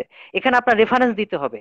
এখানে যে আসলেই তার একটা বিশ্বাস করতে হবে। রেফারেন্স ছাড়া আপনার ধারণার কোনো মূল্য নেই। এটা কোনো আচ্ছা একাডেমিক ঠিক জিনিস হবে না। ঠিক আছে এটা হচ্ছে আমার পয়েন্ট আপনার কথা আচ্ছা ঠিক আমার আরও বেশ কিছু পয়েন্ট আছে। এখানে আমি এখানে আমি আমি একটা পয়েন্ট আউট করে রাখলাম। এখানে আমি পরবর্তীতে আরেকটু পড়ালেখা করে এই বিষয়টা এখানে আমি হয়তো রেফারেন্স যুক্ত করতে পারব আশা করি। কারণ এই এই বিষয়ে আচ্ছা আমি আমার মোটামুটি মনে হচ্ছে এই বিষয়ে আমি রেফারেন্স দিতে পারব। হ্যাঁ বলেন এবার। আচ্ছা ওকে দ্যাটস ফাইন আপনি যদি রেফারেন্স দেন আমি মেনে নেব। আমি বলছি যে আমি পাইনি। আমি পাইনি মানে আচ্ছা যে নেই তা নয়। আমি আচ্ছা। আচ্ছা ঘেটেছি কিন্তু আমি পাইনি। তো আপনি যদি আচ্ছা পান আচ্ছা। আমরা মেনে নিব। আমাদেরকে অনেস্ট হতে হবে। হ্যাঁ যাই হোক আমার আরও কিছু পয়েন্ট আছে যে এটা অবশ্য আমি বলে ফেলেছি যে আল্লাহ বলতে ঈশ্বরকে বোঝায় এটা নিয়ে আমি আলোচনা করে ফেলেছি। এবার আমি আসি হজের ব্যাপারে আপনি জিনিস লিখেছেন যেটার ব্যাপারে আমার আপত্তি আছে। যেটা হচ্ছে আপনি লিখেছেন হজ শব্দের পুরানো অর্থ হচ্ছে মূর্তি দর্শন। আপনি লিখেছেন হজের পুরানো অর্থ হচ্ছে মূর্তি দর্শন। আপনার এই কথাটির আসলে ভিত্তি কি বা দলিল কি বা রেফারেন্স কি? এটা হচ্ছে হজের অর্থ কি আপনি আগে আমি আচ্ছা আপনি বলেন আপনি শেষ করেন। হজের আসলে হজ শব্দটা আরবি থেকে করে এসেছে সে ব্যাপারে আমার কিছু ধারণা আছে ঠিক আছে? কিন্তু এবং এ ব্যাপারে আমি কিছু রেফারেন্সও দেখাতে পারব ইনশাআল্লাহ। কিন্তু আচ্ছা। এর সাথে মূর্তি দর্শনের আমি কোনো যোগ পেলাম না বরঞ্চ আমি ভিন্ন একটা জিনিস পেলাম। এটার উৎপত্তি আচ্ছা। সম্পর্কে আমি কিছু স্টাডি করেছি এবং পেয়েছি কিন্তু এর সাথে মূর্তি কিছু পাইনি। আপনি কি কোনো সোর্স থেকে এটা পেয়েছেন? নাকি এটা আন্দাজের ভিত্তিতে লিখেছেন? না এটা আন্দাজের ভিত্তিতে লিখিনি। অনেকদিন আগে একটা পড়া বইতে এই জিনিসটা আমি পেয়েছিলাম এখন আমার একটু মনে করতে হবে। আমি এই মুহূর্তে মনে করতে পারছি না। তবে আমি আচ্ছা, তাহলে- আপনাকে একটু অপেক্ষা করুন। জি আপনি দেখেন আচ্ছা আপনি আপনি বলতে থাকেন আপনি বলতে থাকেন আমি একটু ততক্ষণে দেখতে থাকি এটা পাই কিনা। আচ্ছা আমি বইটার নাম আমি- কি? আপনি খেয়াল করতে পারবেন? আমার আচ্ছা আপনি আপনি দেখান আপনি বলেন তাহলে আপনি খেয়াল করতে পারবেন না। আপনি বলেন তারপর আমি বলব আমি ওয়েট করছি। এটা কোন বই থেকে পড়েছিলাম এখন আমার মনে পড়ছে না। আমি আপনাকে পরে বলব। পরে আশা করি এক সময় আচ্ছা। আমি আপনাকে রেফারেন্সটা দিতে পারব এটার। ওকে। হ্যাঁ বলেন। আসলে হজ শব্দটার উৎপত্তি কি হয়েছে এভাবে আমি কিছু স্টাডি করেছি এবং এ ব্যাপারে আমি ডিটেলস লিখেছি। আহ, যারা দেখছেন লাইভ তারা আসলে কথা থেকে সব নাও বুঝতে পারেন। ডিটেলস দেখার জন্য আপনারা আমার ওয়েবসাইটে যে হজের ব্যাপারে একটা আর্টিকেল আছে সেটা হচ্ছে হজের রীতি রীতিগুলোকে আসলে আরব পৌত্তলিকদের থেকে নেওয়া হয়েছে এই নামে একটা আর্টিকেল আছে ইসলামের উৎপত্তি সংক্রান্ত এই ক্যাটাগরির ভিতরে। এটাতে আপনারা দেখতে পারেন সেখানে খুব ডিটেলস আছে। তো আমি এখানে একটু সংক্ষেপে বলে দিই আসলে উৎপত্তিটা কি এবং আমি কিছু রেফারেন্সও বলছি যে সহজে সবাই চেক করতে পারবেন এরকম রেফারেন্স সেটা হচ্ছে আসলে হজ শব্দটা কি অ্যারাবিক শব্দ? না হজ শব্দটা আসলে পিওর অ্যারাবিক শব্দ না এটা একটা বিদেশি বিদেশি শব্দ থেকে এসেছে। হজ শব্দটা এটা একটা সেমিটিক শব্দ। এটা এটার সাথে আসলে হিব্রু হাগ। আসলে হিব্রু হিব্রুতে উচ্চারণটা হাগ বা হাগ এভাবে উচ্চারণটা হয়। এটার সাথে রিলেটেড ঠিক আছে? এটা হচ্ছে একটা ইব্রাহিমী শব্দ। এবং আপনি যদি আরবি শেখেন মদিনা বুক শব্দ শেখেন সেখানে একদম ইব্রাহিম শব্দ বলতে? আসলে ইব্রাহিমী শব্দ হচ্ছে আসলে সেই শব্দগুলো যেগুলো আসলে ইব্রাহিম আলাহ ইসলামের সাথে রিলেটেড মানে সেমিটিক মানে ইব্রাহিম আলাহ ইসলাম কি ভাষায় কথা বলতে এটা নিয়ে বিভিন্ন থিওরি আছে। তিনি আক্কাডিয়ান ভাষায় অথবা প্রাচীন অ্যারামেইক এরকম বিভিন্ন থিওরি আছে। মানে যেটা আসলে ইব্রাহিম আলাহ ইসলাম থেকে যেগুলো আসছে সেটা। ঠিক আছে? এটা হচ্ছে ইব্রাহিম এভাবে আমি এক কথা এটা বুঝিয়ে দিয়েছি আর কি তো যাই হোক আচ্ছা। আসলে এই শব্দটার সাথে রিলেটেড হচ্ছে হেব্রু হাগ শব্দটি। কারণ এই আরবি হজ এবং হেব্রু হাগের উৎপত্তি একই। হেব্রু ভাষায় এই শব্দটার অর্থ হচ্ছে কোনো কিছুকে পাক দিয়ে বা কেন্দ্র করে প্রদক্ষিণ করা বা ঘোরা। এটাকে হিব্রু ভাষায় হাক বলে। এবং হিব্রু ভাষায় টেলিফোনের যে ডায়াল আছে যেটা গোল যেটা ঘোরা নয় সেটা বলা হয় হেউ মানে এটা সেম রুট থেকে এসেছে। এবং আমি রেফারেন্স সহকারে আমার আর্টিকেল এটা লিখেছি। কোনো কিছুকে কেন্দ্র করে ঘোরা সেটি আসলে সেমিটিক রুট হচ্ছে এটা হচ্ছে হাগ সেখান থেকে আরবিতে হাজ শব্দটা এসেছে। এবং এক আচ্ছা। ভাষা থেকে যদি অন্য ভাষার শব্দ আসে এর অর্থ কিছুটা চেঞ্জ হয়ে যায়। যেমন আমি একটা উদাহরণ দিই। যেমন বাংলা একটা শব্দ আছে কেচ্ছা। কেচ্ছা শব্দটা এসেছে আরবি কসস থেকে। আরবি ভাষা কসস শব্দের মানে হচ্ছে সত্য ঘটনা নিশ্চিত ঘটনা। আর বাংলা ভাষায় কেচ্ছা মানে কি? যেটা হচ্ছে আষাঢ়ে গল্প। তাই না? অর্থ একটু চেঞ্জ হয়ে গেছে। একইভাবে এই সেমিটিক থেকে আরবিতে আসার পর অর্থটা একটু চেঞ্জ হয়ে গেছে। বাট মূল মিনিং ঠিকই আছে। অর্থটা হয়ে গেছে যে কাবায় কাবা কাবায় কিছু ধর্মীয় রীতিনীতি আহ, পালন করার জন্য সংকল্প করা। ঠিক আছে? সংকল্প। আরবিতে এটা এরভাবে চলে এসেছে। তা আপনি এই সবগুলো সবগুলো অর্থ আপনি কোথায় পাবেন? যে কেউ সহজে খুঁজে পাবেন। এরকম একটা আমি রেফারেন্স দিই সেটা হচ্ছে বাংলাপিডিয়া। সেটা হচ্ছে বাংলাপিডিয়া। বাংলাপিডিয়া আপনি হজ আর্টিকেলে চলে যান। আপনি হজ বাংলাপিডিয়া লিখে সার্চ দিন, সবগুলো অর্থ, আমি যে অর্থগুলো বললাম, আমি তো উৎপত্তি সহকারে বলেছি। আমি আসলে উইকিপিডিয়া আর বাংলাপিডিয়া রেফারেন্স দিচ্ছি এই জন্য যে সব মানুষ সহজে যাতে চেক করতে পারে। কারণ আমি যদি অন্য অন্য ইয়াতে সবার পক্ষে এটা অ্যাক্সেস নেই, সবাই সবগুলো চেক করতে পারবে না। আপনি কিন্তু বাংলাপিডিয়া বা উইকিপিডিয়া সবাই চেক করতে পারবে। আপনি দেখেন বাংলাপিডিয়া হজ আর্টিকেলটা দেখেন। হজ বাংলাপিডিয়া লিখে সার্চ দিন। একদম প্রথম লাইনে আপনি পাবেন। যে আবেদনিক অর্থ কোথায় যাওয়ার ইচ্ছা করা সংকল্প করা বা চক্র আকারে প্রদক্ষিণ করা। বাংলাপিডিয়াতে। আপনি প্রথম আচ্ছা। লাইনে দেখেন। ঠিক আছে। আমি আমি এটা পরে দেখে নিচ্ছি। ঠিক আছে? আপনি হ্যাঁ। শেষ করেন। আসলে আপনি যেটা লিখেছেন যে মূর্তি দর্শন এটা আসলে সঠিক নয়। এটা আমি অন্তত যা রেফারেন্স দেখেছি আমি এরকম কিছু পাইনি। আপনি যদি পান তবে খ্রিস্টান মিশনারিদের থেকে হয়তো পাওয়া যেতে পারে তারা অনেক কিছু রেফারেন্স বিহীন লিখেছে। তো এখানে তাদের কথাটা আসলে ভ্যালিড না। কেন ভ্যালিড না আমি বলি? একটা উদাহরণ দিই। রবার্ট মরি তার বইয়ের ভিতরে সে বলেছে যে সে একটা রেফারেন্স দিয়ে উল্লেখ করেছে যে এই মন গডকে বলা হতো আল্লাহ। আসলে সেই রেফারেন্সটাতে দেখা যায় সে ওখানে মন গডকে আল্লাহ না ইলাহ। ইলাহ বলতে আরবিতে যে কোনো উপাস্যকে বোঝানো হয়। ইলাহ আর আল্লাহ কখনোই এক নয়। আমরা কালিমার আচ্ছা, ভিতরে লা ইলাহা ইল্লাল্লাহ কোনো ইলাহ নেই আল্লাহ ছাড়া। আল্লাহ এবং ইলাহ আচ্ছা। এক নয় যাকে উপাসনা করে সেই ইলাহ সে সত্য ইলাহ হতে পারে মিথ্যা ইলাহ হতে পারে। এই কারণে অনুবাদ করে আল্লাহ ছাড়া কোনো সত্য ইলাহ নেই বা সত্য উপাস্য নেই ঠিক আছে? তো এখন এরকম বেশ কিছু ইলমি খেয়ানত করা হয়। আপনার মূল সোর্স থেকে জিনিসগুলো দেখতে হবে। মূল সোর্স থেকে যদি আপনি দেখেন তাহলে দেখবেন যে এখানে জিনিসটা ভিন্ন। আচ্ছা। তা আমি আপনাকে বাংলা পিডিএ থেকে দেখেছি এটা এবং অন্যরা অন্যান্য জায়গা থেকে চাইলে দেখতে পারে। দে আর ওয়েলকাম বাট আমি এরকম মূর্তি দেখা এরকম আমি আমি কিছু অন্তত পাইনি। আচ্ছা। এটা একটা পয়েন্ট ঠিক আছে আমি আপনার এটার সাথে আপত্তি করছি এবং আমার দাবি হচ্ছে জিনিসটা ভুল। তা আপনি আচ্ছা, ব্যাপারটা চেক করবেন আশা করি। আচ্ছা আমি চেক করব। আরও আরও বেশ কিছু জিনিসের ব্যাপারে আমার আমার কথা আছে। আমি কি সেটা আজকে বলব? আপনার নাকি আমি আমি আরেকদিন যুক্ত হব? যদি আমি এখন বলার জন্য খুবই উন্মুখ কিন্তু সবাই আচ্ছা, ধৈর্য ঠিক আছে। আপনি যদি একটু আপনি যদি একটু শর্ট করে বলতে পারেন তাহলে একটু ভালো হয়। কারণ অনেকক্ষণ ধরে আপনার সাথে কথা বলছি একটা না। জি জি জি।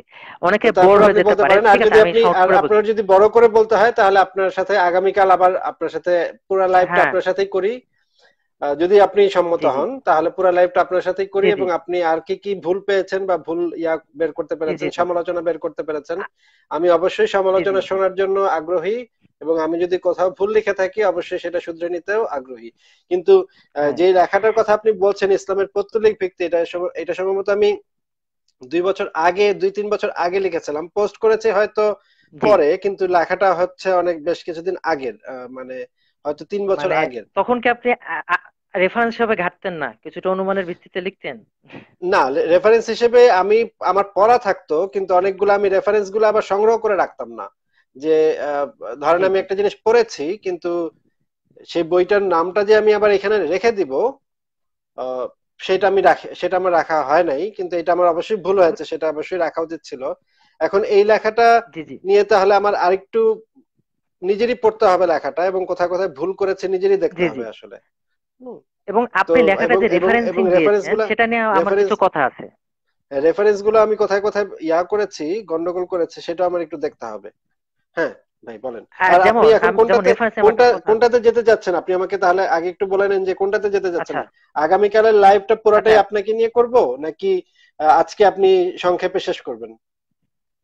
আসলে সত্যি কথা বলতে আমার যেটা হচ্ছে আমার আসলে আমার ফোন সেট হচ্ছে আসলে মাইক্রোসফট এটার অপারেটিং সিস্টেম সিস্টেম হচ্ছে উইন্ডোজ ওই আমার সেট থেকে আসলে লাইভে যাওয়া যায় না। আর পিসি থেকেও যাওয়া যায় না। আমি আসলে আরেকজন ফোন সেট ধার নিয়ে আসলে লাইভ করছি। আচ্ছা। মানে আপনার লাইভে তাহলে আপনি আজকেই বলেন। আজকে আপনি বলেন কিন্তু একটু একটু তাহলে আজকেই বলে বলে ফেলেন। আর যদি আগামীকাল যদি আপনি আবার আচ্ছা, ফোনটা একটু ধার আনতে পারেন তাহলে আপনি আগামী হ্যাঁ। আগামীকাল বলতে পারেন। কোনো সমস্যা নাই। আপনার অনেক লেখা দিয়ে আমার আলোচনা করার আছে যেটা আমি অনেক ঘণ্টার পর ঘণ্টা আলোচনা করতে পারব। তা আসলে সব সময় আসলে পর্যাপ্ত সুযোগ নেই আমি তো লিখে ফেলি। এটা আমি আমি খুবই আনন্দিত যে আপনি আমার লেখা খুব গভীর মনোযোগ দিয়ে পড়ছেন এবং সেখান থেকে ভুল খুঁজে বের করছেন এটা আমি মানে খুবই অ্যাপ্রিশিয়েট করি আপনাকে। জি। এটার জন্য। জি জি। ধন্যবাদ। হ্যাঁ। আর আপনি যে রেফারেন্স দিয়েছেন আপনার লেখার শেষে তথ্য সূত্র লিখেছেন যে এক তিনটা আপনি রেফারেন্স দিয়েছেন। মুহাম্মদের জীবনী দুই উইকিপিডিয়া তিন ছবিগুলো সংগ্রহ করা হয়েছে ইন্টারনেটের বিভিন্ন ওয়েবসাইট থেকে। আচ্ছা এটা নিয়ে আমার একটা কথা আছে। আসলে এটা কি রেফারেন্স দেওয়ার কোনো উপায়? ধরুন আমি আমি একটা উদাহরণ দিই তাহলে সবাই বুঝতে পারবে। যে আমি খ্রিস্টানদের নিয়ে একটা প্রোপাগান্ডা আর্টিকেল লিখব। সাপোজ আমি আর্টিকেলটার নাম দিব যে খ্রিস্ট ধর্মের মঙ্গলিক ভিত্তি। মানে আমি দাবি করব যে খ্রিস্টান আসলে মঙ্গল গ্রহে এলিয়েনের উপাসনা করে। আমি এটা আর কি দাবি করব, ষড়যন্ত্র করে, ঠিক আছে? আমি একটা আর্টিকেল লিখলাম যে খ্রিস্ট ধর্মের মঙ্গলীয় ভিত্তি। তো এখানে আমি কিছু জিনিস লিখলাম যে খ্রিস্টানরা আসলে যে জেসাস ক্রাইস্টের যে ক্রস এটা ধারণ করে ক্রসটা আসলে মঙ্গল গ্রহে এরকম একটা পাহাড়ের টিলা পাওয়া গেছে, এরকম ক্রস এটার সাথে একদম মিল পাওয়া যায়। আমি একটা ছবি দিলাম, এরকম ছবি দিলাম, বিভিন্ন রেফারেন্স দিলাম। লাস্টে আমি কোন রেফারেন্স উল্লেখ না করে তথ্য সূত্র দিয়ে দিলাম, এক সেন্ট লুকের জীবনী, দুই উইকিপিডিয়া উইকিপিডিয়ার কোন লিঙ্ক সেটা আমি উল্লেখ করলাম না। তিন দিলাম ছবিগুলো সংগ্রহ করেছে বিভিন্ন ওয়েবসাইট থেকে। এভাবে করে কিন্তু আমি একটা আর্টিকেল লিখতে পারি। পারি না? পারে। হ্যাঁ। এটা আপনি যেভাবে রেফারেন্স দিয়েছেন এটা কিন্তু আসলে কোনো রেফারেন্সের সিস্টেম নয়। এটা কোনো একাডেমিক সিস্টেম এখনই আমি এখনই আমি দেখলাম এই জিনিসটা। এই লেখাটা আমি আপনাকে আগে হ্যাঁ। আগে বলেছি এখন আবার বলছি। লেখাটা বেশ অনেকদিন আগের এবং আমি রেফারেন্সগুলা এই লেখাটা আমি ঠিকভাবে লিখি নাই রেফারেন্সিংও আমার ঠিক হয় নাই। এটা আমার আবার এডিট করতে হবে। তাহলে আপনি যেহেতু ভুল স্বীকার মানে আপনার যে রেফারেন্সের সমস্যা আছে আপনি সেটা আপনি হ্যাঁ, একমত হ্যাঁ। আমার সাথে। ওকে হ্যাঁ, মানে আসলে রেফারেন্স একাডেমিক লেখার সিস্টেম হচ্ছে আপনি একটি লাইন লিখবেন যে দাবিটি করেছেন। ওই লাইনের শেষে আপনি একটি একটা একটা নাম্বার দিবেন এবং ফুট নোটে সেটা দিবেন। এটি হচ্ছে একাডেমিক সিস্টেম আপনার লেখাটাতে একাডেমিক এরকম হয়নি। এই একটা ব্যাপার। আপনার বেশ কিছু লেখাতে আমি এরকম সমস্যা পেয়েছি তো আজকে তো সব আলোচনা করা যাবে না। যাই হোক এইটা আচ্ছা আপনি একমত হয়েছেন তাহলে আমি হ্যাঁ আপনি অন্য কোন কোন লেখায় আপনি এরকম পেয়েছেন? আপনি আমাকে একটু পয়েন্ট আউট করে দেন ভাই। আমি এই মুহূর্তে আচ্ছা আমি এই মুহূর্তে আমি আপনাকে পরে একদিন লাইভে যুক্ত ইনশাল্লাহ আমি আলোচনা করতে খুবই আগ্রহী। আমি আলোচনা আচ্ছা। করব তো আজকে যেটা নিয়ে আমি সমালোচনা আমার খুবই ভালো লেগেছে এবং আপনাকে আমি অ্যাপ্রিশিয়েট করি। আপনি আমার এই যে ভুলগুলো ধরিয়ে দিয়েছেন এখানে রেফারেন্সিং আমার এইভাবে দেওয়াটা একেবারেই উচিত হয় নাই। এইভাবে আমি সাধারণত রেফারেন্সিং করিও না কিন্তু লেখাটা অনেক আগের বলে আমি হয়তো আমার পুরনো ইসের থেকে পেয়ে লেখাটা নাস্তিক ডট কমে পোস্ট করে দিয়েছি। ঠিকভাবে আমার ইয়াটা করা উচিত ধন্যবাদ। ধন্যবাদ আপনি যেহেতু অ্যাগ্রি করলেন আপনাকে ধন্যবাদ। আচ্ছা তাহলে আমি অন্য আরেকটা আপনার লেখা থেকে আমি কিছু পয়েন্ট ফাইনাল করেছি যেটা আমি আসলে বলার জন্য খুব উন্মুখ তাহলে আমি বলি। আচ্ছা, আচ্ছা। হ্যাঁ, হ্যাঁ, সেটা হচ্ছে আপনি এখানে যেটা করেছেন আমি একটু দেখে বলছি। আচ্ছা এটা একটু সংক্ষেপেই বলি। হাজরে আসওয়াদের কথাটা চলে এসেছে। হাজরে আসওয়াদ সম্পর্কে আপনি দাবি করেছেন যে এটা কালো পাথর এটা হচ্ছে আদমা এটা ঠিক আছে। আপনি এটাকে লিখেছেন যে নারী দেহের জননাঙ্গের মতো মনে হয় বাইরে থেকে দেখে হাজর আসাদকে এটা শুধু আপনি এটা অনেকেই বলে। এই আধুনিক সময়ের যে মানে ইয়াটা পরবর্তীতে যে ইয়াটা লাগানো হয়েছে মেটালিক যে জিনিসটা লাগানো হয়েছে এটাকে দেখলে অনেকটা জননাঙ্গের মতোই মনে হয়। জি জি। এবং আপনি এরপরে লিখেছেন যে ভারতের প্যাগানিজম সম্পর্কে আপনি এখানে নিয়ে এসেছেন যে ভারতে ভারতে যে মানে আপনি এটা নিয়ে এসেছেন যে আসলে ভারতে তো জনি পূজা আছে বিভিন্ন দেবী তাই না? কামাখ্যা মন্দিরে জনি পূজা করা হয়। এটা একদম হিন্দুদের থেকে এটা প্রুফড এটা কোনো ডিবেটের জিনিস না। তো এখন এই যে এটার সাথে রিলেট করা হয় এটা নিয়ে আমার আপত্তি আছে যে নারীদের জন্য। অনেকে হয়তো ওই যে সিলভারের যে ধারকটা আছে সেটা ভিতরে কালো পাথর দেখে একই সাথে মিলিয়ে দেয় তাই না? যে এটার সাথে আমার আপত্তি আছে। কেন আপত্তি আছে আমি সেটা বলি। সেটা হচ্ছে আহ এই যে কালো পাথরটা কালো পাথরটা কেন সিলভার ধারকের মধ্যে আছে এটা কি জানেন আপনি? কেন সিলভার ধারকের মধ্যে আছে? ওরকম একটা আকৃতির ধারক আপনি ওকে ওকে সমস্যা নেই আমি বলছি। আর যদি ইয়া আচ্ছা, হয় তাহলে আমি আপনাকে আপনাকে বলব। ওকে কোনো সমস্যা নেই। আমি আপনাকে বলছি কেন ওরকম রাখা হয়েছে। এটা রাখা হয়েছে এটা অনেক দিন আগে। এটা হচ্ছে কারামিতা নামে একটা ক্যারামাইট ক্যারামেটিয়ান্স বিভিন্ন ইংলিশে লেখা হয় তারা হচ্ছে কাবা লুট করেছিল। মানে মানে তারা ইয়ে করে কালো পাথরটা তারা লুট করে নিয়ে গিয়েছিল অনেকদিন আগে। তো খলিফারা ছিল তখন খলিফাদের যুগে। তো লুট করে তারা একটা মুক্তিপণ দাবি করে এবং একজন খলিফা অনেক টাকা মুক্তিপণ দিয়ে সেই পাথরটা আবার তাদেরকে দিতে বলে। তারা যখন ফেরত দেয় তখন তারা মূর্তিটা একটা বস্তার ভিতর সরি মানে পাথরটা পাথরটা একটা বস্তার ভিতর ঢুকিয়ে তারা সেটা ছুঁড়ে মারে। ছুঁড়ে মারার ফলে সেটা পরে ভেঙে অনেকগুলো টুকরো টুকরো হয়ে যায় একদম ভেঙে আচ্ছা। গুড়িয়ে যায়। তো এখন সেই টুকরাগুলো এখন সেটাকে জোড়া দেওয়ার জন্য রূপা গলিয়ে ওটাই একটা ভালো উপায় ছিল রূপা গলিয়ে জোড়া দেওয়া হয়। জোড়া দিয়ে সেটাকে রাখা হয় এবং পরবর্তীকালে ওইটাকে একটা সিলভার ধারকের ভিতরে ওটা আসলে ভাঙা। ভাঙাটাকে আসলে ধারকের ভিতরে রাখা দরকার এই জন্য ওইভাবে রাখা হয়েছে। এছাড়া আর কোনো কারণে এটা আসলে নারী জনাঙ্গ না। ওটা তো একটা পাথর। পাথরের সাথে তো এটা আসলে এটা কখনোই ইয়ে হবে না। ধারকটা রাখার কারণে। এখন ধারকটা রাখা হয়েছে ভাবে আপনি দেখেন আপনার যদি চিন্তা থাকে আপনি আকাশের মেঘ থেকে আপনি অনেক ধারকটা এরকম কেন তাহলে? ধারকটার ডিজাইনটা এরকম কেন? ধারক আসলে ডিজাইনটা এরকম ওটা হচ্ছে এরকম রাখা হয়েছে যে যাতে চুমু খেতে সুবিধা হয় এরকম একটা ডিজাইন দেওয়া হয়েছে। আসলে আপনি একটা জিনিস আপনাকে বলি একটা বাস্তব উদাহরণ দিই যাতে সবাই বুঝতে পারে। যেমন আপনি যদি আকাশের মেঘে মেঘ দেখেন আপনি মেঘের ভিতরে বিভিন্ন আকৃতি পাবেন না। মেঘের ভিতরে আপনি আপনার কল্পনায় যেটা থাকবে সেই আকৃতি আপনার ফুটে উঠবে। মেঘ থেকে অনেক অনেক আকৃতি বের করে। তার মানে এই না। ব্যাপার হচ্ছে আপনাকে দেখতে হবে মূল পাথরটা কীরকম ছিল। মূল পাথরটার কিন্তু ছবি আছে। মূল পাথরটার ছবি আছে আমি নন মুসলিম সোর্স থেকে আপনাকে ছবি দেখাতে পারি। একজন প্রাচ্যবিদ সম্ভবত নামটা যেন কি ওলিয়া মুর হতে পারে। আমি নামটা এই মুহূর্তে মনে আসছে না। তার বইতে কালো পাথরের মূল ছবি আছে যে বিভিন্ন খণ্ডের মানে একদম প্রস্তচ্ছেদের ছবি আছে সেটা আচ্ছা। সেটা যদি আপনি দেখেন ছবিটা তো আমি আসলে লাইভে দেখাতে পারছি না। আমি আচ্ছা আচ্ছা ঠিক আছে দেখাতে পারছি না। আমার ওয়েবসাইটের আর্টিকেলে সেই ছবিটা দেওয়া আছে যে হজের রীতিগুলোকে আসলে পত্তলিকদের থেকে নেওয়া হয়েছে। ইসলামের উৎপত্তি সংক্রান্ত আর্টিকেলে আমি একদম পৃষ্ঠা নাম্বার সহ এবং রেফারেন্সে ক্লিক করলে সরাসরি ওই ওরিয়েন্টালিস্টের বইয়ের পৃষ্ঠায় চলে যাবে। মানে বইটা অনলাইনে পড়া যায়। আমি লিংক দিয়ে দিয়েছি যে কেউ ক্লিক করে ওইখান থেকে দেখতে পারে। নন মুসলিম সোর্স আপনার অথবা অন্য যে কোনো সোর্স থেকে আপনারা দেখতে পারেন। পাথরটা অরিজিনাল ছবি সেটা কয়েকটা টুকরা। সেটার সাথে নারী জননাঙ্গের দূরতম সম্পর্ক নেই। ধারকটা রাখা জন্য হ্যাঁ এখন অন্যভাবে ধারকে রাখা যায় বিভিন্ন ভাবে রাখা যায়। কিন্তু এখন আরব সৌদি আরবের কর্তৃপক্ষ এটাকে আসলে চিন্তা করে যে আমার কাছে মনে হয় তাদের একটা মাইন্ড সেট থাকতে পারে। তারা যদি এখন ওইটা ভেঙে চুরে নতুন একটা দেয়, তাহলে তো ওই দাবিটাকে সাপোর্ট করা হবে, যেটা আগে নারী জননাঙ্গের মতো ছিল। তাই না? মুসলিমরা কেন আপনার একটা কমন সেন্স থেকে বুঝতে মুসলিমরা কেন এরকম একটা জিনিস এরকম একটা পবিত্র জায়গা বলে মুসলিমরা বিশ্বাস করে এখানে দিবে? মুসলিমরা তো আসলে নারীর জননাঙ্গ সম্পর্কে তো তাদের ওরকম হিন্দুদের যেরকম কনসেপ্ট আছে তারা যেমন জনি পূজা করে এরকম তো কোনো কনসেপ্ট ইসলামে নেই। তাহলে যেটা তাদের নেই এটা তো বংশ মুসলিমরা অশ্লীল হিসেবে গণ্য করে এই জিনিসগুলোকে তাই না? আপনি তো জানেন আপনি একজন এক্স মুসলিম আপনি আপনি তো এটা জানেন যে এটাকে মুসলিম কিন্তু ধরেন শয়তানকে পাথর ছড়া শয়তানকে পাথর ছড়ার ইয়াটা কি? মানে হ্যাঁ এটা আমি আপনাকে বলব ইনশাআল্লাহ এটা আমি আপনাকে বলব। আমি বলতে এই যে পাথরকে পাথরকে চুমু দেয়া পাথরকে চুমু দেওয়ার ভিতরে মানে হ্যাঁ, হ্যাঁ। ইসলামিক ইসলামের কোর আইডিওলজি অনুসারে পাথরকে চুমু দেওয়ার ফজিলত কি? ফজিলত তো নাই। আমি বলব আমি বলব। শয়তানকে পাথর ছোড়ার ভিতরে ফজিলত তো নাই কোনো। এবং পাথরটা কোন দিকে মুখ আমি সবগুলোই আমার হ্যাঁ, আমি সবগুলো পাথরটা আবার দিকে মুখ মানে করে সিজদা করা। পাথরটা মুখ করা কোন দিকে? পাথরটার গুরুত্ব আচ্ছা আচ্ছা আমি বলছি আপনি যদি আমাকে বলতে সময় দেন আমি বলব।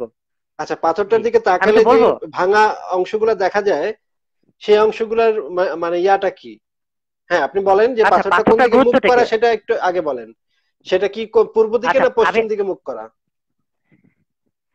পাথরটা কোন দিকে মুখ করা? পাথরটা কোন একদিকে মুখ করা এখন কোন দিকে আমার এই মুহূর্তে মনে পড়ছে না? সম্ভবত পূর্ব দিকে মুখ করা। সম্ভবত। এটা বাট আমি আসলে আমি হজ করি হওয়ার কথা। আচ্ছা এখন পূর্ব দিকে মুখ করা হওয়ার কারণ আমার আসলে স্মরণে নেই আমি হজ করিনি আচ্ছা। আসলে এটার ইব্রাহিম আলাইসালামের সময় যেভাবে ছিল এটাকে ঠিক সেভাবে রাখা হয়েছে। এটা আর পাথরটার কি গুরুত্ব? বা সেটা আমি ডিটেলস বলতে পারি যদি আপনি আমাকে বলার পারমিশন দেন টাইম দেন হ্যাঁ, আমি বলতে পারি কেন? এবং আমি এটা আমার ওয়েবসাইটেও ডিটেলস লিখেছি। এটার আচ্ছা। গুরুত্ব কি? এটার গুরুত্ব হচ্ছে প্রথম কথা সহি হাদিসে আছে যে এটা জান্নাত থেকে পাথরটা এসেছে। ঠিক আছে? যদি আপনারা বিশ্বাস করেন না জান্নাতে কিন্তু এটা একটা আমাদের হতে পারে। দ্বিতীয় কথা যে হ্যাঁ এটা আপনার উল্কাপিণ্ড বলে থাকে তো যাই হোক এটা আমাদের বিশ্বাস নয়। আমাদের বিশ্বাস এটা। আর পাথরটার আরেকটা সিগনিফিকেন্স আছে। সেটা হচ্ছে আখবারুল মাক্কা নামা গ্রন্থে একটা বিবরণ আছে যে পাথরটা এমন একটা মানে ইব্রাহিম আলাইসালাম পাথরটা যেখানে রেখেছেন ওই জায়গার উপরেই ইব্রাহিম আলাইসালাম আল্লাহর ঘর কাবা নির্মাণ করেছেন। এরকম একটা বিবরণ আছে আকবরুল মাক্কা আচ্ছা, নামে একটা গ্রন্থে। এটা আমি এখন একটু জানার ইচ্ছা যে পাথরটা কবে আসলো? পৃথিবীতে আসলো কবে? জান্নাত থেকে কবে আসলো পৃথিবীতে? আমি এটা জানি না। কবে আসে আসলে তারিখটা বলা নেই কাজে আমি এটা জানি না। মানে কোন নবীর আমলে বা কোন আদমের আগে নাকি আদমের পরে? এই ধরনের কোনো আচ্ছা আচ্ছা। এটা আসলে আমার আমার কাছে মনে হয়েছে, আকবরুল মাক্কার বিবরণটা দেখে মনে হয়েছে আমার কাছে, যে ওটা সম্ভবত ইব্রাহিম আলাইসলামের সময়, কারণ ওখানে বলা হয়েছে যে ওটা দিয়ে স্থান নির্দেশ করা হয়েছে, যে এইখানে কাবা বানাতে হবে। এরকম বর্ণনাটা দেখে আমার এরকম মনে হয়েছে। কাজে আমার মনে হয়েছে যে ওটা ওই সময় এসেছে। কারণ কিন্তু এটা অন্য বিবরণ থাকতে পারে, আমার জানা নেই। হতে পারে বাট ওটার সিগনিফিকেন্স এভাবে উল্লেখ করা আছে ওই জায়গায় রেখেছেন। এবার এটা মুফতি তাকি উসমানের দার্সে তিরমিজি তিরমিজিতে বিবরণটি আছে যে জিব্রাইল আলাইসালাম ওই স্থানে রাখেন এবং ওই স্থানের উপরেই কাবা স্থাপন করা হয়। এবং আচ্ছা। যেভাবে ছিল রাসুল সাল্লাহ আসলামের সময় সেভাবে রাখা হয়েছে। এটা ব্যাপার। আচ্ছা। এবং এখানে একটা খুব মজার জিনিস আছে। নিয়ে যদি গবেষণা আমরা করি তাহলে আমরা জানতে পারব যে বেহেশতে আসলে কি কি পাথর টাথর আছে সেই জিনিসটা আমরা জানতে পারব। হ্যাঁ অবশ্যই। এখানে একটা মজার জিনিস আছে যেটা আমি সংক্ষেপে বলি যে ইহুদিদের যে টেম্পল মাউন্ট সম্পর্কে হয়তো আপনি শুনেছেন টেম্পল মাউন্ট যেটাকে আমরা বলি মসজিদুল আকসা বা বাইতুল মুকাদ্দাস বলি। সেটার সম্পর্কে বাইবেলে একটা ঘটনা আছে যে জ্যাকব জ্যাকবকে আমরা বলি ইয়াকুব আলাহিসাল্লাম প্রফেট জ্যাকব আর হিব্রুতে বলে ইয়াকব। তো তার ব্যাপারে একটা ঘটনা আছে বাইবেলে book of Genesis chapter twenty এইটে আছে যে গড মানে তাকে নির্দেশ দেয় টেম্পল মাউন্টের ভিত্তি স্থাপন করতে বলে। মানে এটা যে বুক অফ জেনেসিস আঠাশ নম্বর অধ্যায় আছে। তো সে একটা পাথরের উপর শুয়ে স্বপ্ন দেখে যে এইখানে আল্লাহর ঘর আছে, এরকম একটা ঘটনা আছে। তো তাকে বলা হয় যে ওই জায়গার উপরেই টেম্পল মাউন্টের ভিত্তি স্থাপন করতে এবং পরবর্তীতে তিনি ওইখানে ভিত্তি স্থাপন করেন এবং সেই পাথরটাকে তিনি বেশ সম্মান করেন। এবং সেই পাথরটা এখনও আছে। সেই পাথরটা এখনও ফিলিস্তিনে ডোম অফ রক নামে একটা মসজিদ আছে, সোনালী গম্বুজের, যেটাকে আরবরা বলে কুব্বাতু সাখরা, আর ইংলিশে বলা হয় ডোম অফ রক সেখানে ওই পাথরটা এখনও আছে। যেটা যেটা সম্পর্কে আল বিদায় নিহাতে উল্লেখ করা আছে, যে ওমর রাদিয়াল্লাহু ফিলিস্তিন জেরুজালেম জয় করার পরে ইহুদি পণ্ডিত যিনি তখন ইসলাম গ্রহণ করছেন, কাবাল আহবারকে বলেন যে পাথরটা কোথায়? দেখিয়ে দিতে। উনি পাথরটা দেখিয়ে দেন বাইতুল মুকাদ্দাস। মানে খ্রিস্টান মানে রোম সম্রাট টাইটাস তো সত্তর খ্রিস্টাব্দে বাইতুল মুকাদ্দাস বা টেম্পল মাউন্ট ধ্বংস করে দেয়। তো ওই জায়গাটায় পাথরটা তিনি দেখিয়ে দেন ইহুদি পণ্ডিত, ওই জায়গায় ওই স্থানে তিনি তারপর মসজিদ স্থাপন করেন। মানে উমর রাদিয়াল্লাহু তাকে দেখাতে বলেন। এটা আছে আপনার আল বিদায় নিহাতে আছে। যাই হোক। তো একটা মজার ব্যাপার হচ্ছে ইহুদিদেরও কিবলার সাথে পাথরটা রিলেটেড ওই পাথরটার জায়গাতেই টেম্পল মাউন্ট বানানো হয় এবং ইহুদিদের ধর্মেও কিবলার কনসেপ্ট আছে।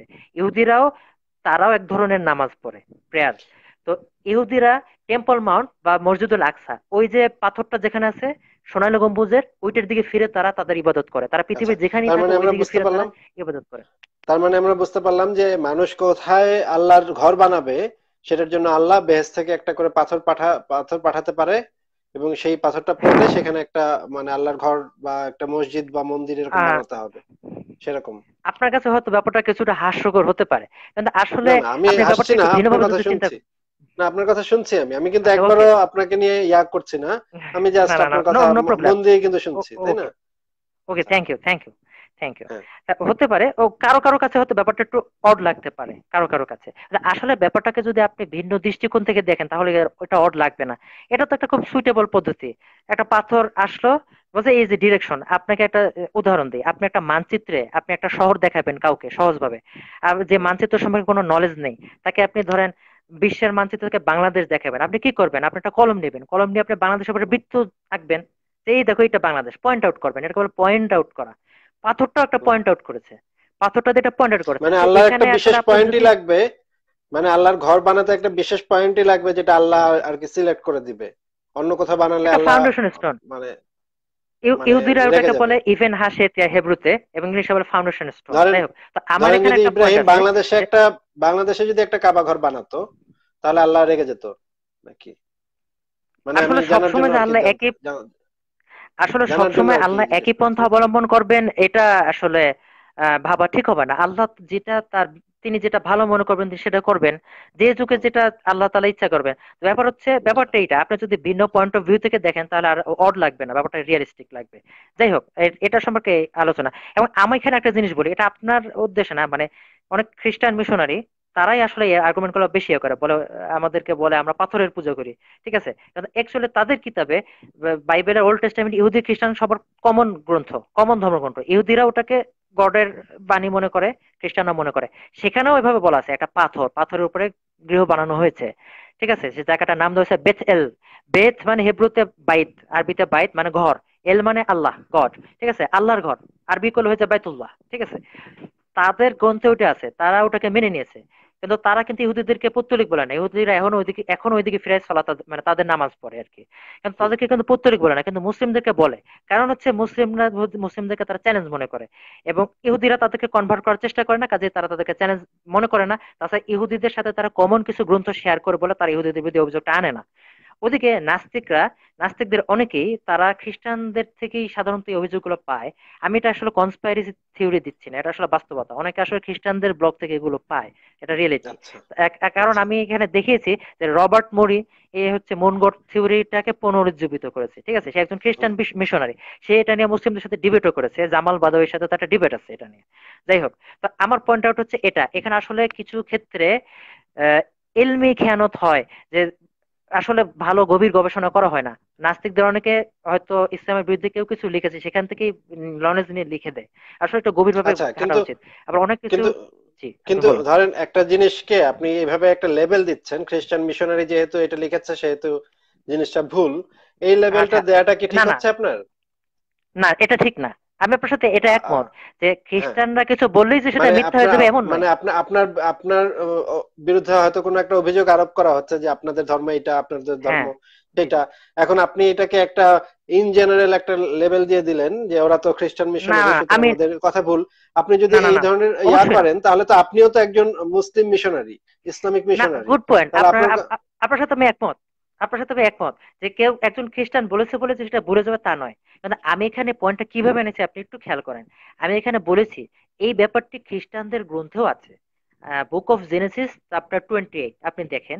অথবা বাংলা বাইবেলে আদি পুস্তক নামে আছে। আদি পুস্তক আঠাশ নম্বর অধ্যায় সেখানে আপনি দেখেন। কিন্তু খ্রিস্টানরা কি এখন কোনো পাথরকে চুমু খায়? না খ্রিস্টানরা খায় না। খ্রিস্টানরা পাথরে চুমো খায় না। কারণ তারা তারা মনে করে যে জেসাস ক্রাইস্ট সে ক্রুসিফাইড হয়ে সমস্ত ল ওল্ড টেস্টামেন্টের সমস্ত ল কে রহিত করে দিয়েছে অ্যাব্রোগেট করে বা কোনো বা কোনো শয়তানকে পাথর মারে? শয়তানের উদ্দেশ্যে কি পাথর মারার সিস্টেমটা কি শয়তানকে পাথরকে শয়তান শয়তানকে পাথর মারার সিস্টেম সম্পর্কে আমি আলোচনা করব ইনশাআল্লাহ যদি আপনাকে বলেন। আচ্ছা। কিন্তু জিসাস ক্রাইস্টের সেখানে কনসেপ্টগুলো আপনাকে সেখানে ব্যাপারটা ভিন্ন। আমি আমার লেখায় জিসাস ক্রাইস্টের ব্যাপারেও লিখেছি। জিসাস ক্রাইস্ট বাইবেলে নিউ টেস্টামেন্টে গসপেল অফ ম্যাথিউ চ্যাপ্টার নং ফাইভ সেখানে উনিশ বিশ এই এত নম্বর ভার্সের দিকে আপনি যদি দেখেন তাহলে দেখবেন জিসাস ক্রাইস্ট বলছেন যে আমি পূর্বে নবীদের এবং আইনকে বিলোপ করতে আসিনি। বরং আমি পূর্ণ করতে এসেছি যে সেগুলোর এক অক্ষরও বিলোপ হবে না। এরকম কথা তিনি বলেছেন তিনি আইনকে সাপোর্ট করেছেন। ঠিক আছে? কিন্তু পরবর্তীতে সেন্ট পল সেন্ট পল সে বুক অফ কলোসিয়ান্স এবং আরও বিভিন্ন জায়গায় সে বলেছে যে এখন জেসাস ক্রাইস্ট ক্রুসিফাইড হয়েছেন কাজে আমাদেরকে এখন আর আর আইন মানতে হবে না। এটা এক খ্রিস্টানরা মূলত সেন্ট পলকে বেশি অনুসরণ করে। এবং আপনি যদি দেখেন জেসাস ক্রাইস্ট নিজেও ওল্ড টেস্টামেন্টের ল গুলো মেনেছেন। তিনি তিনি সাবাত পালন করেছেন তিনি আহ ইহুদিরা যে একটা ঈদ ঈদুল ফিসাক বলে আরবিতে আর হিব্রুতে মানে সেটা হচ্ছে পাস ওভার ইংলিশে পাস ওভার পাস ওভার উদযাপন করেছেন ইহুদিদের পর্ব। তিনি ওল্ড টেস্টামেন্টের সব ল তিনি মেনেছেন ঠিক আছে? তিনি এগুলো রদ করেননি ঠিক আছে? তো পরবর্তীতে দেখা গেছে যে খ্রিস্টানরা সেন্ট পলকে অনুসরণ করে এগুলো আর মানে না। কিন্তু জিসাস ক্রাইস্ট তিনি ইহুদিরা যেরকম তিনবার ইয়ে করে নামাজ পড়ে জিসাস ক্রাইস্ট সম্পর্কে নিউ টেস্টামেন্ট যদি আপনি গভীর মনোযোগ দিয়ে পড়েন আপনি দেখবেন যে জিসাস ক্রাইস্ট ওই সময়গুলোতে ইবাদত করছেন। এবং জিসাস ক্রাইস্ট তিনি মাটিতে উবু হয়ে মাটিতে মাথা ঠেকে ইবাদত করছেন। এটা নিউ টেস্টামেন্টে আপনি বিভিন্ন গসপেল অফ ম্যাথিউতে আপনি পাবেন। আমার এক্সাক্ট ভার্স নাম্বারটা মনে নেই। যে মাথা থেকে মানে মাথা থেকে মাথা থেকে আমরা আপনারা যেভাবে নামাজ পড়েন এই জিনিসটার শুরু তাহলে কথা থেকে? এখান থেকে আমরা কি সিদ্ধান্ত শুরু হলো- আদম থেকে? আসলে আচ্ছা এটা কীভাবে শুরু হলো? এটা আসলে সত্যি কথা বলতে এটা এটা কীভাবে শুরু হলো, এটা আমরা কেন এভাবে নামাজ পড়ি একটাই উত্তর। সেটা হচ্ছে নবী মোহাম্মদ আলাইহি সাল্লাম এভাবে নামাজ পড়তেন, আমাদেরকে শিখিয়েছেন। তিনি বলেছেন যে, সল্লু কামা রাআইতুমুনি উসাল্লি। যে, তোমরা সেভাবে নামাজ পড়ো, যেভাবে আমাকে পড়তে দেখো।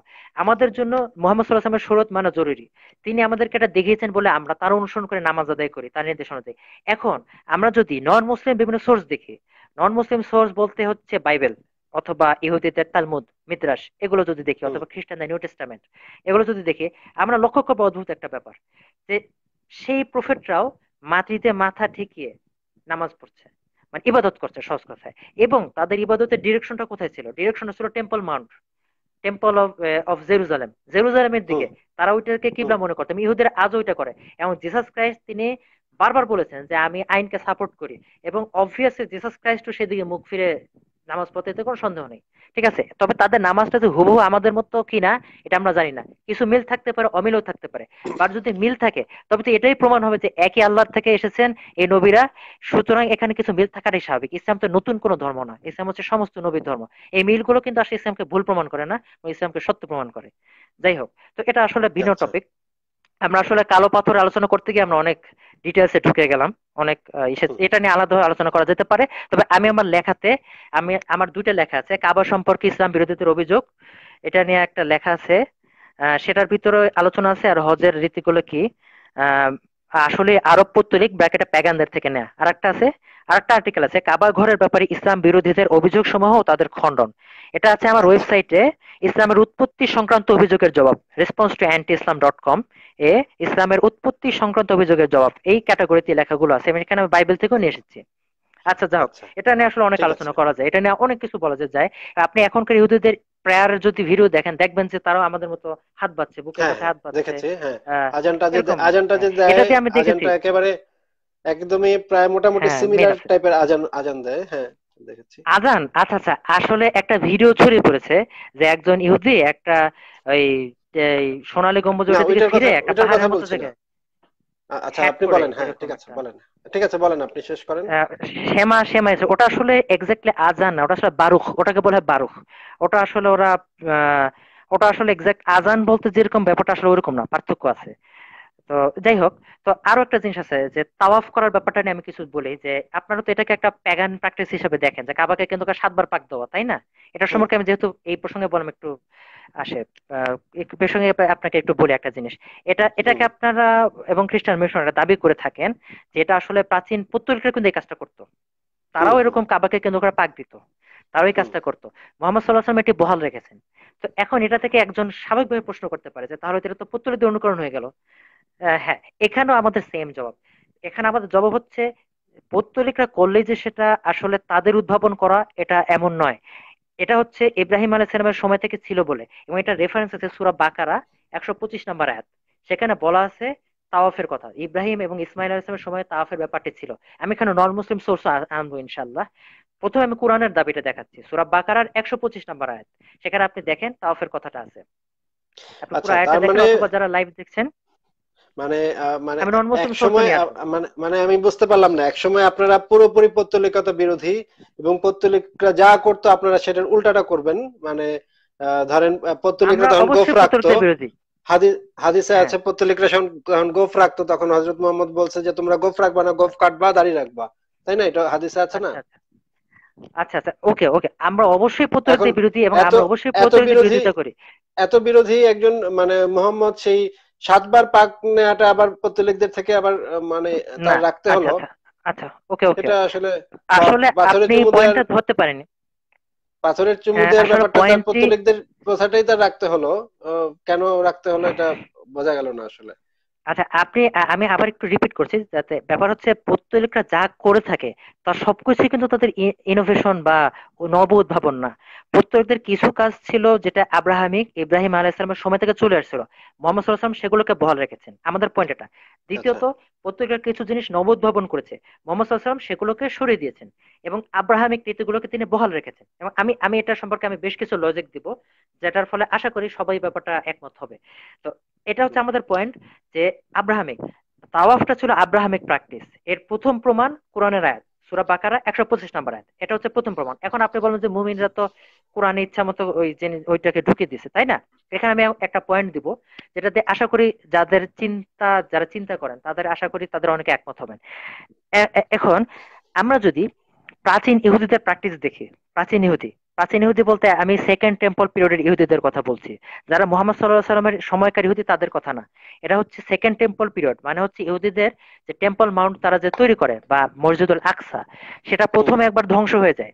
সেটা ধ্বংস করে বেবিলনের সম্রাট নেবুচাদ নেজার বা বখত না একজন সম্রাট। সেটা ধ্বংস করার পরে তার ষাট সত্তর বছর পরে আবার ইহুদিরা ব্যাক করে ফিলিস্তিনে। ওজাইর এবং নেহেমিয়ার নেতৃত্বে। তো তারপরে তারা আবার টেম্পল বা মসজিদুল আকসা নির্মাণ করে, সেটাকে বলে সেকেন্ড টেম্পল সেই সময় থেকে ঈসা আলাহ ইসলামের সময়, ঈসা আলাহ ইসলামের সময়ের কিছুকাল পরে সত্তর খ্রিস্টাব্দে রোম সম্রাট টাইটাস আবার ধ্বংস করে। সেই ধ্বংস করার সময়ের আগ পর্যন্ত যে সময়টা, এটাকে সেকেন্ড টেম্পল পিরিয়ড বলা হয়। তো এই সময় ইহুদিরা ছিল একত্ববাদী ছিল তারা। তারা তখন কীভাবে তাদের ধর্মীয় হজের রীতি ছিল? তারাও তাদের ভিতর হজের রীতি ছিল এবং এই হজকে হিব্রু ভাষা বলে হাক। অথবা হয়ের মতো করে উচ্চারণ করে হাগ। এইচ এ জি এভাবে লেখা হয়, হাগ। এর মানে হচ্ছে প্রদক্ষিণ করে এবং তাদের তাওরাত বলে তারা যেটাকে মনে করে, পেন্টাটিউক, বাইবেলের প্রথম পাঁচটা বই, ওল্ড টেস্টামেন্টের প্রথম পাঁচটা বই। সেখানে সেখানে তিনটা হজের কথা আছে, তিনটা পিলগ্রিমেজ বা হজের কথা আছে, ঠিক আছে? পরবর্তীতে টেম্পল ধ্বংস হওয়ার পরে আরেকটা হজ যুক্ত হয়ে চারটা হজ হয়ে যায় এবং এই চার এই হজের মাসগুলো পবিত্র মাস হিসেবে গণ্য হতো ইহুদিদের। ঠিক আছে? যাক সেটা একটা আলোচনা। এই হজের রীতিটা কীরকম ছিল? আচ্ছা, আমি হজের রীতি ছিল একটু স্পেসিফাই করি। সাতবার যে চক্কর নেয়া এটার উদ্ভাবন কবে থেকে এবং সাতবারের ফজিলত কি? সাতবারের ফজিলত। আসলে সাতবারের ফজিলত আসলে এটা আমরা এই জন্য করে থাকি যে মোহাম্মদ সাল্লাহ সাল্লাম আমাদেরকে এভাবে এটা বল রেখেছেন শুধু এই জন্য। আচ্ছা। এটা আসলে সাতবারের ব্যাপারে আসলে আমাদেরকে আলাদা বলা হয়নি।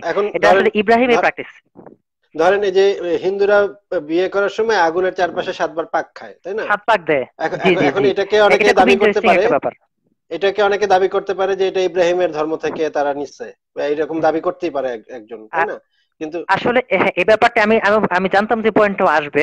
আসলে যে এখানে আমি যেটা বলব যে প্রথম কথা মোহাম্মদ সাল্লাম নিশ্চয়ই হিন্দুদের থেকে কপি করেননি। হিন্দুদের থেকে কপি করে কি সম্ভব ছিল তার পক্ষে? হিন্দু বলতে তো আসলে হিন্দু হিন্দু বলতে তো আসলে মানে হিন্দু বলতে আমরা বোঝাই যে ভারতের মানে সিন্ধু নদীর পাড়ের যেই অধিবাসীরা কিন্তু ব্রাহ্মণ্যবাদী হিন্দু হ্যাঁ। ধর্মটা তো আসলে এখান থেকে সৃষ্টি হওয়া না। মানে পারস্য থেকে মানে ইউরোপের আর্যজাতি আর্য জাতি হ্যাঁ ইউরোপ থেকে পারস্য হয়ে তারপরে এই এই অঞ্চলে এসছে। এখন এই আস্তে আস্তে তো বিভিন্ন সময় ধর্মটা নানা ধরনের পরিবর্তন হয়েছে নানা বিবর্তন ঘটেছে। এখন আপনি তো স্পেসিফিকলি এটা বলতে পারেন না যে এটা হিন্দুদের শুধুমাত্র হিন্দুদের কালচার এটা সেই সময়ে সেই টাইমলাইন ধরে গেলে সেই আগের আদিম আমলে হ্যাঁ। মানুষজন কি রিচুয়াল পালন করতো সেই সবকিছুই আপনার মানে কাউন্ট করতে হবে। এবং সেই তাদের কোথায় কোথায় গেছে? তাদের শাখা প্রশাখা কোথায় কোথায় গেছে আরবে গেছে কিনা সেই জিনিসগুলো মানে ইয়া করতে হবে। আসলে সেই বিষয়গুলো সম্পর্কে আমাদের কাছে খুব বেশি তথ্য যে আছে তা না। আচ্ছা আমার আমাদের আমার এখন অনেক সময় হয়ে গেছে আমি আসলে এখন এখন একটু শেষও করতে হবে আমার আর বেশি সময় নেই। আপনাকে তারপরে কিছুক্ষণ আচ্ছা। সময় দিচ্ছি আপনি একটু শর্ট করে শেষ করেন আর কি। আপনাকে আগামী দিন আবার শুরুতে আমাকে হ্যাঁ পাঁচ মিনিট দিচ্ছি টানা বলতে দিন। আচ্ছা ঠিক আছে আচ্ছা বলেন ঠিক আছে। আমি পাঁচ মিনিট তাহলে টানা দ্রুত বলে শেষ করে দিই। হ্যাঁ, আচ্ছা, আচ্ছা যেটা হচ্ছে হিন্দুদের ব্যাপারটা আপনি আনলেন যেহেতু আমি একটু কমেন্ট করতেই হচ্ছে হিন্দুদের ব্যাপারটা আমরা যেটা বলব এটা ব্যাপারটা ইন্টারেস্টিং তারাও কাশি কাশি থেকে তারা এই কাজটা করে থাকে। এবং হিন্দুদের বেদেও কিন্তু এক ঈশ্বরের কনসেপ্ট পাওয়া যায় ঠিক আছে? ঈশ্বরের কোনো বিভাজন এরকম অনেক কথা পাওয়া যায় এক ঈশ্বরের কথা পাওয়া যায়। তারপরে স্বর্গ নরকের কথা পাওয়া যায়, যেটা আসলে মিলে। এটা ব্যাপারে আমরা একটা জিনিস বলব যে আল্লাহ তালা তো সব জাতির নিকট নবী রাসুল পাঠিয়েছেন। এটা কোরআনে বলা হয়েছে। হতে পারে তারা হয়তো বা কোনো নবীর কাছ থেকে এটা শিখেছে। আমরা নিশ্চিত নই হয়তো বা তারা শিখেছে, এ ব্যাপারে আল্লাহ ভালো জানেন। তবে এই মিলটা আসলে ইন্টারেস্টিং এটাই বলব। এখন আরেকটা জিনিস, এই যে এই প্র্যাকটিসটা সাতবার ঘোরা, আল্লাহর ঘরকে কেন্দ্র করে সাতবার পাক দেওয়া, এই ব্যাপারটা ইহুদিদের ভিতরেও ছিল, তারা যেভাবে হাগ পিলগ্রিমেজ ইয়া করতো, তিনটা পিলগ্রিমেজ তারাও সাতবার পাক দিত। এবং এটা একদম ওয়েল রেফারেন্স জিনিস। আমি আমার হজের রীতিগুলোকে আসলে আরও পত্তলিকদের থেকে নেয়। এই আর্টিকেল আমি ডিটেলস রেফারেন্স দিয়েছি। তারা সেভাবে সেকেন্ড টেম্পল পিরিয়ডে হজ করতো তাদের তাদের তাদের হজ করতো আর কি। এইটা। তো এখন আপনি হয়তো একটা পয়েন্ট আনবেন যে মোহাম্মদ সাল্লাহ আসলামের সময় মদিনা অনেক ইহুদি ছিল, তিনি হয়তো সামহাও ইহুদিদের থেকে কপি করেছেন, কিন্তু না। এটা তার ইহুদিদের থেকে কপি করা সম্ভব ছিল না। কেননা, তাদের এই যে হজের রীতিটা এটা সত্তর খ্রিস্টাব্দের পর থেকে তারা এটার উপর আর কখনোই তারা আমল করেনি। কেননা সত্তর খ্রিস্টাব্দে রোম সম্রাট টাইটাস ইহুদিদের টেম্পল মাউন্ট ধ্বংস করে দেন, একদম ধ্বংস করে দেন, গুড়িয়ে দেন মসজিদুল আকসা। এরপরে ওমান রাজ্লানো এরপরে তিনি আবার ওই জায়গায় আবার মসজিদ তৈরি করেন। তার আগ পর্যন্ত ওখানে একদম শুধু একটা প্রাচীর ছিল, আর কিছুই ছিল না, ইমারতটা ঘুরিয়ে দেওয়া হয়েছিল জাস্ট প্রাচীর ছিল সেগুলো তো দরজা ছিল জাস্ট আর কিছু ছিল না। তো ইহুদিদেরকে ওইখানে রোমানরা আসতেই দিত না। ইহুদিদেরকে রোমানরা আসতে দিত না কাজে তাদের কোনো হজে ওইরকম সাতবার পাক ওটা একদম হারিয়ে গেছিল। সত্তর খ্রিস্টাব্দে ধ্বংস হয়। আর মোহাম্মদ সাল্লাহামের জন্ম হয় পাঁচশো সত্তর খ্রিস্টাব্দে। তার জন্মেরও পাঁচশো বছর আগে। তো ঠিক আছে সেই সময়কার ইহুদিদের রীতি কপি করা মোহাম্মদ সাল্লাহামের পক্ষে সম্ভব না। এটা একটা অযৌক্তিক ব্যাপার ঠিক আছে? তো এই যে ইহুদিদের সাথে আচ্ছা। আরবদের লিঙ্কটা কি আসলে? আসলে আরবদের সাথে একটা ভাবেই লিঙ্ক হয় আরেকটা প্রশ্ন আচ্ছা, এসে যাচ্ছে আসলে। টানা বলতে দেওয়ার কথা ছিল। আচ্ছা আচ্ছা ঠিক আছে আচ্ছা, বলেন শেষ করেন। ঠিক আছে বলেন ঠিক আছে বলেন শেষ করেন। এখানে আরবদের সাথে ইহুদিতে একটা লিংক সেটা হচ্ছে মক্কার আরবদের পূর্বপুরুষ ইব্রাহিম আলাইসালাম ইহুদিদের পূর্বপুরুষ ইব্রাহিম আলাইসালাম এবং তারা ইসমাইল আলাইসালামের থেকে এটা পেয়েছে ইহুদিরা তাদের নবীদের থেকে পেয়েছে। এখানে লিঙ্ক এছাড়া এখানে লিঙ্ক করাটা মানে এটা যৌক্তিক। এরপর আপনি বিভিন্ন পয়েন্ট আনতে পারেন। যে হয়তো মোহাম্মদ সাল্লাহ সাল্লাম কোনো জ্ঞানী ইহুদি র্যাবাইট থেকে এটা জেনেছেন। বাট এটা আসলে সে সময় তাদের ভিতরে প্র্যাকটিসটা ছিল না এবং এখনও নেই। বাট তাদের একদম একদম এটা তাদের আর্কাইভের ভিতরে আছে জিনিসটা ইতিহাসের পাতায় আছে। বাট এটা পয়েন্ট আনতে পারেন কিন্তু আমার কাছে মনে হয় কিন্তু তাহলে তো আপনি এটা বলতে হবে যে এটা আসলে জিউস প্র্যাকটিস আপনি তাহলে প্যাগান প্র্যাকটিস এটা বলতে পারেন না। আরব পত্রিকা ইহুদিদের ভিতরে রিলেট আপনি একভাবে করতে পারেন পূর্বপুরুষ হয়েছে ইব্রাহিম। এছাড়া আপনি আর রিলেট করাটা আসলে লজিক্যাল না। আমার কাছে মনে হচ্ছে এটা ভাবাটাই অধিক যৌক্তিক যে আসলে এক আল্লাহর কাছ থেকে এসেছে বলেই মিল। এটা দ্বিতীয় পয়েন্ট আর আরেকটা জিনিস যেটা, এটা হচ্ছে একটা পয়েন্ট আর পাথর ছোড়া, পাথর ছোড়ার কথা আপনি বলেছিলেন। পাথর ছোড়ার কারণটা হচ্ছে এখানে একটা ব্যাপার। হজের ভিতরে যে একটা জিনিস, এখানে আমি ইহুদিদের উদাহরণ নিয়ে আসি। ইহুদিরা তাদের তাদের যে বিভিন্ন পিলগ্রিমেজ আছে, এখানে পাক দেওয়া ছাড়াও, পাক দেওয়ার সময় তারা গডের প্রশংসা করে মুসলিমরা গডের প্রশংসা করে। এটা। আর ইহুদিরা বিভিন্ন কাজ করে। যেমন ইহুদিদের গ্রন্থে আছে যে, মোসা আলাহিসাল্লাম যখন ইহুদিদেরকে নিয়ে মিশর থেকে বের হয়ে এসেছেন তখন তারা ভেড়া কোরবানি দিয়েছেন। তারা ওটা অনুসরণ করে কোরবানি দেয়। তারপরে তারা যখন মরুভূমি থেকে, পবিত্র ভূমির দিকে যখন যাত্রা করেছে, যেটাকে বলে এক্সোরাস এক্সোরাসের সময় ইহুদিরা তারা তাবুর মতো যে জিনিসের ভিতরে তারা থাকতো, ওটাকে ইহুদিরা অনুসরণ করে তারা সুক্কাহ সুক্কাহ নামে তারা একটা ইয়া করে। ওই হজের ভিতরে হজ সুক্কা বা সুক্কা বলে তারা। তারা ওইরকম একটা ইসের ভিতরে থাকে। অনুকরণমূলক কাজ, ঠিক আছে? বিভিন্ন ঐতিহাসিক ঘটনার অনুকরণমূলক কাজ, এটা হচ্ছে ইহুদিদের হজের বৈশিষ্ট্য, ঠিক আছে? এবং ইন্টারেস্টিং ব্যাপার, মুসলিমদেরও আব্রাহামিক বিভিন্ন ঘটনার অনুকরণমূলক কাজ করা হয়। যেমন এই বিবি হাজেরা আলাইহাসালাম তিনি পানির জন্য ছুটোছুটি করেছেন, সাফা মারা। মুসলিমরা ওইটাকে ইয়া করে, ওই ঘটনাটাকে স্মরণ করা। আর ইব্রাহিম আলাইসালামকে যখন নির্দেশ দেওয়া হয়, তার সন্তানকে, আপনি এটা অনেক কিছু বলেন, জিনিসটাকে আপনি অমানবিক বলেন। যাই হোক, সেটা আর একটা আলাদা আলোচনা, সেটা আমরা পরে আলোচনা করতে পারি ইনশাল্লাহ সেটা বিনোট পয়েন্ট যখন তাকে, তিনি তার ছেলেকে নিয়ে যাচ্ছিলেন কোরবানির জন্য। তখন শয়তান বাধা দেয় এবং তিনি কিছু পাথর মারেন। এবং এ ব্যাপারে বিবরণ আছে মুসনাদ আহমদে। মুসনাদ আহমদের এরকম একটা বিবরণ আছে বলে আমার এই মুহূর্তে মনে পড়ছে। আচ্ছা। সেটা তাফসির ইবনে কাসিরে আছে এবং আরও বিভিন্ন কিতাবে আছে। তো তিনি পাথর মেরেছেন। ওইটাকে অনুসরণ করে ওইটাকে অনুকরণ করে রাসুল সাল্লাহ সাল্লাম তিনি পাথর মেরেছেন। রাসুল সাল্লাহ সাল্লামকে অনুসরণ করে মুসলিমরা এই কাজটা করে। এটা হচ্ছে ব্যাপার। মানে এটা আসলে অনুকরণমূলক? শয়তানের গায়ে এখন আর এই পাথরগুলো লাগছে আসলে আসলে শয়তান যে ওইখানে বসে আছে ওই যে স্তম্ভগুলো এর মানে এই না শয়তান কি আমরা ডাইরেক্ট মারছি। শয়তান তো করে না। ওই ওই স্তম্ভগুলো তো ডিরেকশনের জন্য তা নাহলে ডিরেকশন ঠিক থাকে যায় এবার হচ্ছে শয়তানকে মারছেন। প্রতীকী হিসেবে। এটা একটা প্রতীক সামহাও বলতে পারে হ্যাঁ, হিন্দুরা হিন্দুরা যেরকম হিন্দুরা যেরকম শিবলিঙ্গ বানায় এবং শিবলিঙ্গের উপরে দুধ ঢালে প্রতীকী হিসেবে এরকম হচ্ছে গিয়ে শয়তানের আচ্ছা, কে আচ্ছা। পাথর মারাটাও প্রতীকী হিসেবে আচ্ছা। তাই তো? আমি জানতাম এই পয়েন্টটা আসবে। এখানে আসলে অন্য সমস্ত পৌত্তলিক জাতির সাথে এটা আসলে রিলেটেড না। যেমন ধরেন আপনি হয়তো কালো পাথরের ব্যাপারে এটা বলবেন যে কালো পাথরকে চুমো করা এটাকেও তো বলা হয়। তারপর পাথর ছোড়া। আপনি প্রথম কথা কালো পাথরের ব্যাপারে যে অভিযোগটা করা হয় আপনি কি কোনো পৌত্তলিক জাতিকে দেখেছেন যে তারা এই ধরেন হিন্দুরা হিন্দুরা কি দুর্গার মূর্তিকে চুমু খায়? মূর্তিকে চুমু খায় না। অথবা অর্থোডক্স বা ক্যাথলিক খ্রিস্টান তারা মরিয়ম স্পেসিফিকলি যে চুমুই হতে হবে এরকম তো কোনো কথা নেই। আমি আপনাকে যেটা জিজ্ঞেস করেছি যে শয়তানের উদ্দেশ্যে প্রতীকী পাথর ছোড়া? শয়তান এবং একটু স্পেসিফিকলি শোনেন প্রশ্নটা। প্রতীকী হিসেবে শয়তানকে পাথর ছোড়া যে পাথরটা আসলে শয়তানের গায়ে লাগছে কি লাগছে না আমরা শিওর না বুঝতে পারছি না। কারণ এত পাথর বছরে এত পাথর লাগলে শয়তানের এতদিনে অক্কা পেয়ে যাওয়ার কথা কিন্তু আমরা আমাদের মুসলিম ভাইয়েরা তারপরে গায়ে লাগে না। হ্যাঁ শয়তানের গায়ে লাগছে না এখন তার মানে হচ্ছে আসলে মুসলিমরা আচ্ছা। পাথর মারে এটা মোহাম্মদ সাল্লাল্লাহু আলাইহি অনুসরণে এবং এটা করা হয় ইব্রাহিম আলাইহিস সালামের কাজে এখানে আপনাকে আপনাকে কিন্তু 5 মিনিট সময় দিয়েছি এখন আমাকে একটু আমাকে একটু বলতে দেন তাহলে। আপনাকে কিন্তু 5 মিনিট শেষ হয়ে গেছে আপনার। আরও এক মিনিট আগে পাঁচ মিনিট শেষ হয়ে গেছে। আপনাকে আমাকে একটু এখন একটু বলতে দেন। আপনার আপনাকে কিন্তু কথা বলার আমি যথেষ্ট সুযোগ দিয়েছি এবং অনেকক্ষণ ধরে সুযোগ দিয়েছি। ঠিক আছে? এখন আমরা যদি শয়তান শয়তানকে যে পাথর ছড়া শয়তানের মানে ইয়াগুলা যদি আমরা দেখি যে হাদিসে কিন্তু আছে শয়তান পাদ মারে। তাই না? শয়তান পাদ মারে। হাদিসে আছে আমি শুনতে পাইনি আপনি আবার বলেন ইকো হচ্ছে শুনতে পাইনি। আবার একটু বলেন। হাদিসে আছে শয়তান পাদ মারে পাদে। মানে তার পেটে গ্যাস হয় গ্যাস হওয়ার ফলে যে পাদু হয় সেই পাদু করে শয়তান। আছে না? হাদিসে এ ব্যাপারে আছে বায়ুত্যাগ করা একটা হাদিস আমার এই মুহূর্তে মনে পড়ছে। হ্যাঁ বায়ুত্যাগ করা হ্যাঁ একটা হাদিস আছে। আচ্ছা এটা হচ্ছে আমি আপনাকে পড়ে শোনাচ্ছি মানে আপনাকে দেখে নিতে পারেন। শয়তানের পাদ মারার হাদিস আর কি। বায়ুত্যাগ করার হাদিস। এখানে না আছে ঠিক আছে আপনি আনুন। ওকে। এটা হচ্ছে মানে আমি শয়তান ক্যারেক্টারটাকে বোঝার চেষ্টা করছি যে শয়তানের গায়ে আসলে সেই পাথরগুলো লাগে কি লাগে না। নাকি পাথরগুলো হুদাই প্রতি বছর মারা হয়?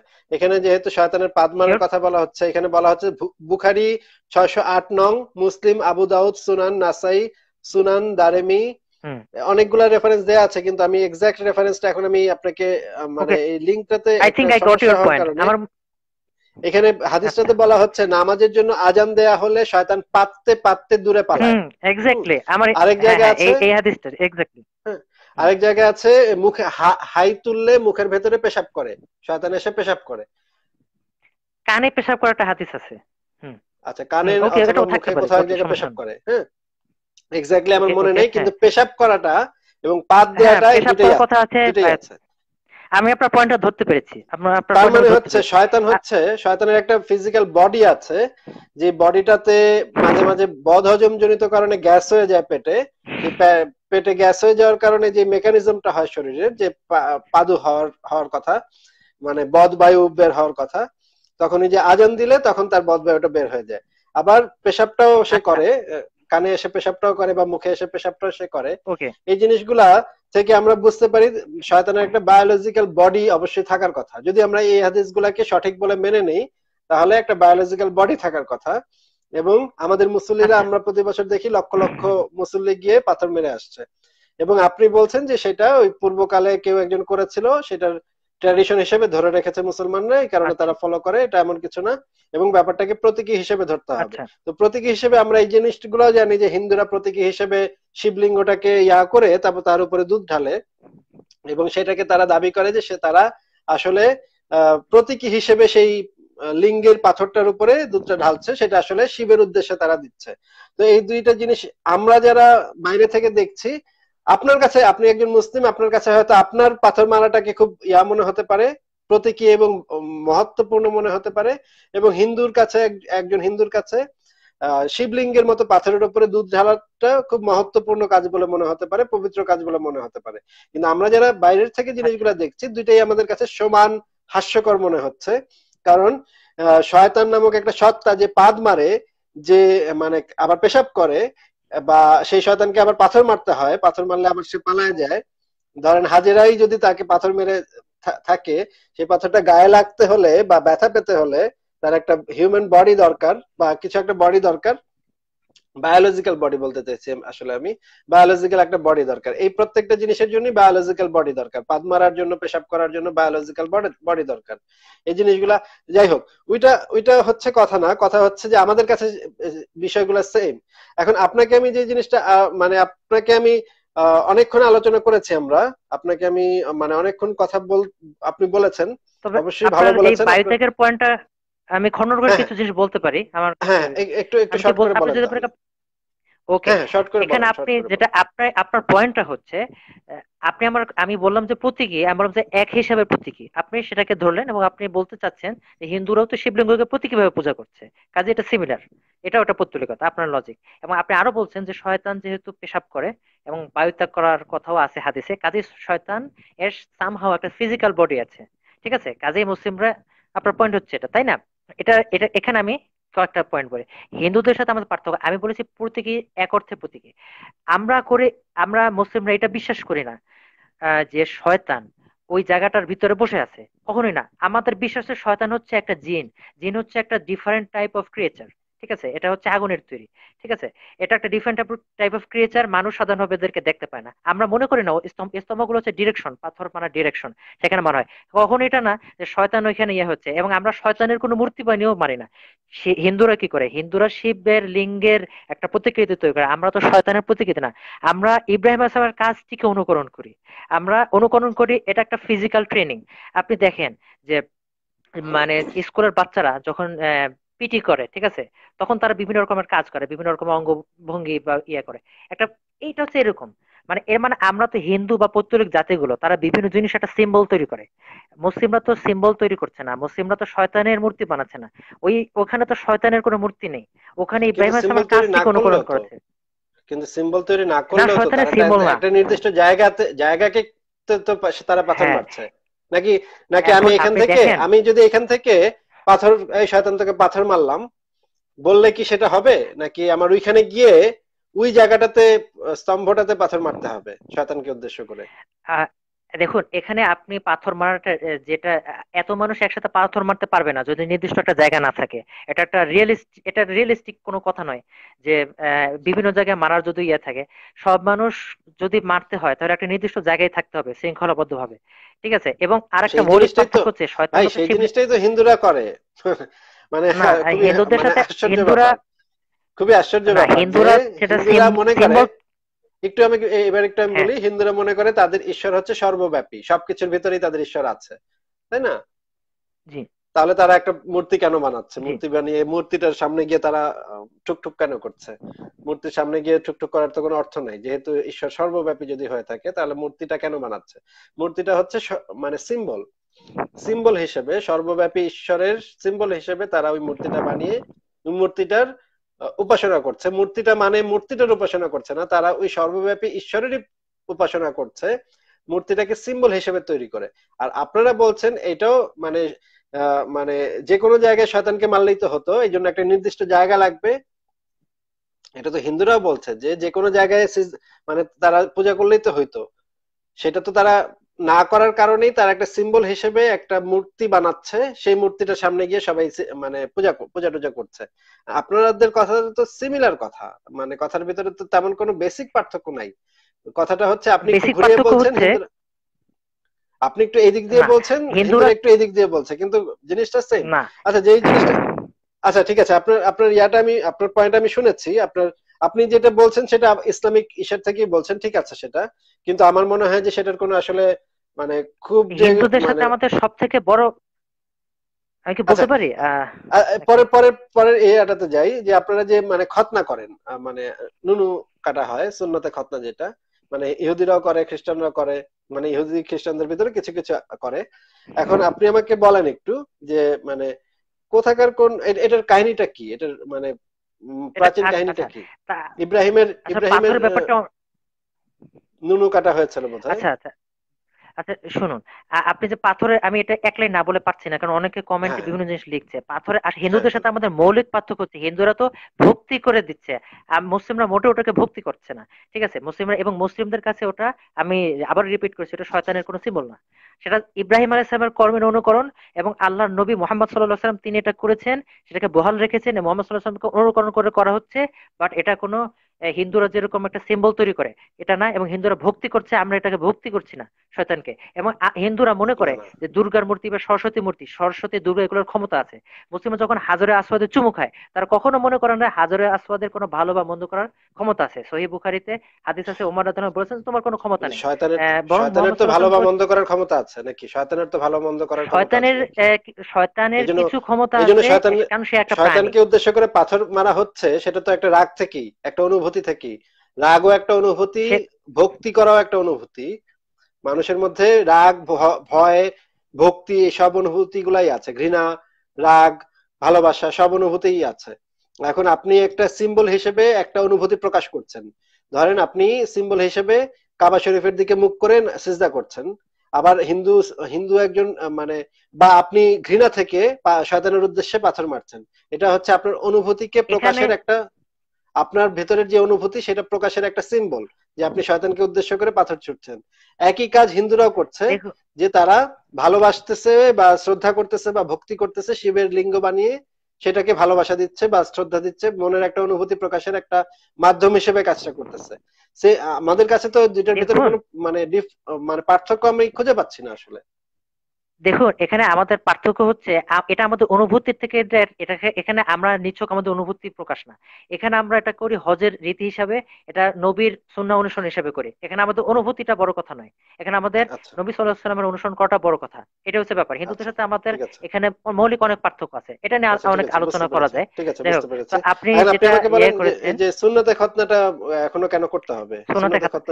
সুন্নতে খতনা মানে সম্পর্কে সুন্নতে খতনা প্রথম কথা করে গেছে না করে গেছে সেগুলো এখনও কেন মানুষের চালিয়ে হ্যাঁ। যেতে হবে?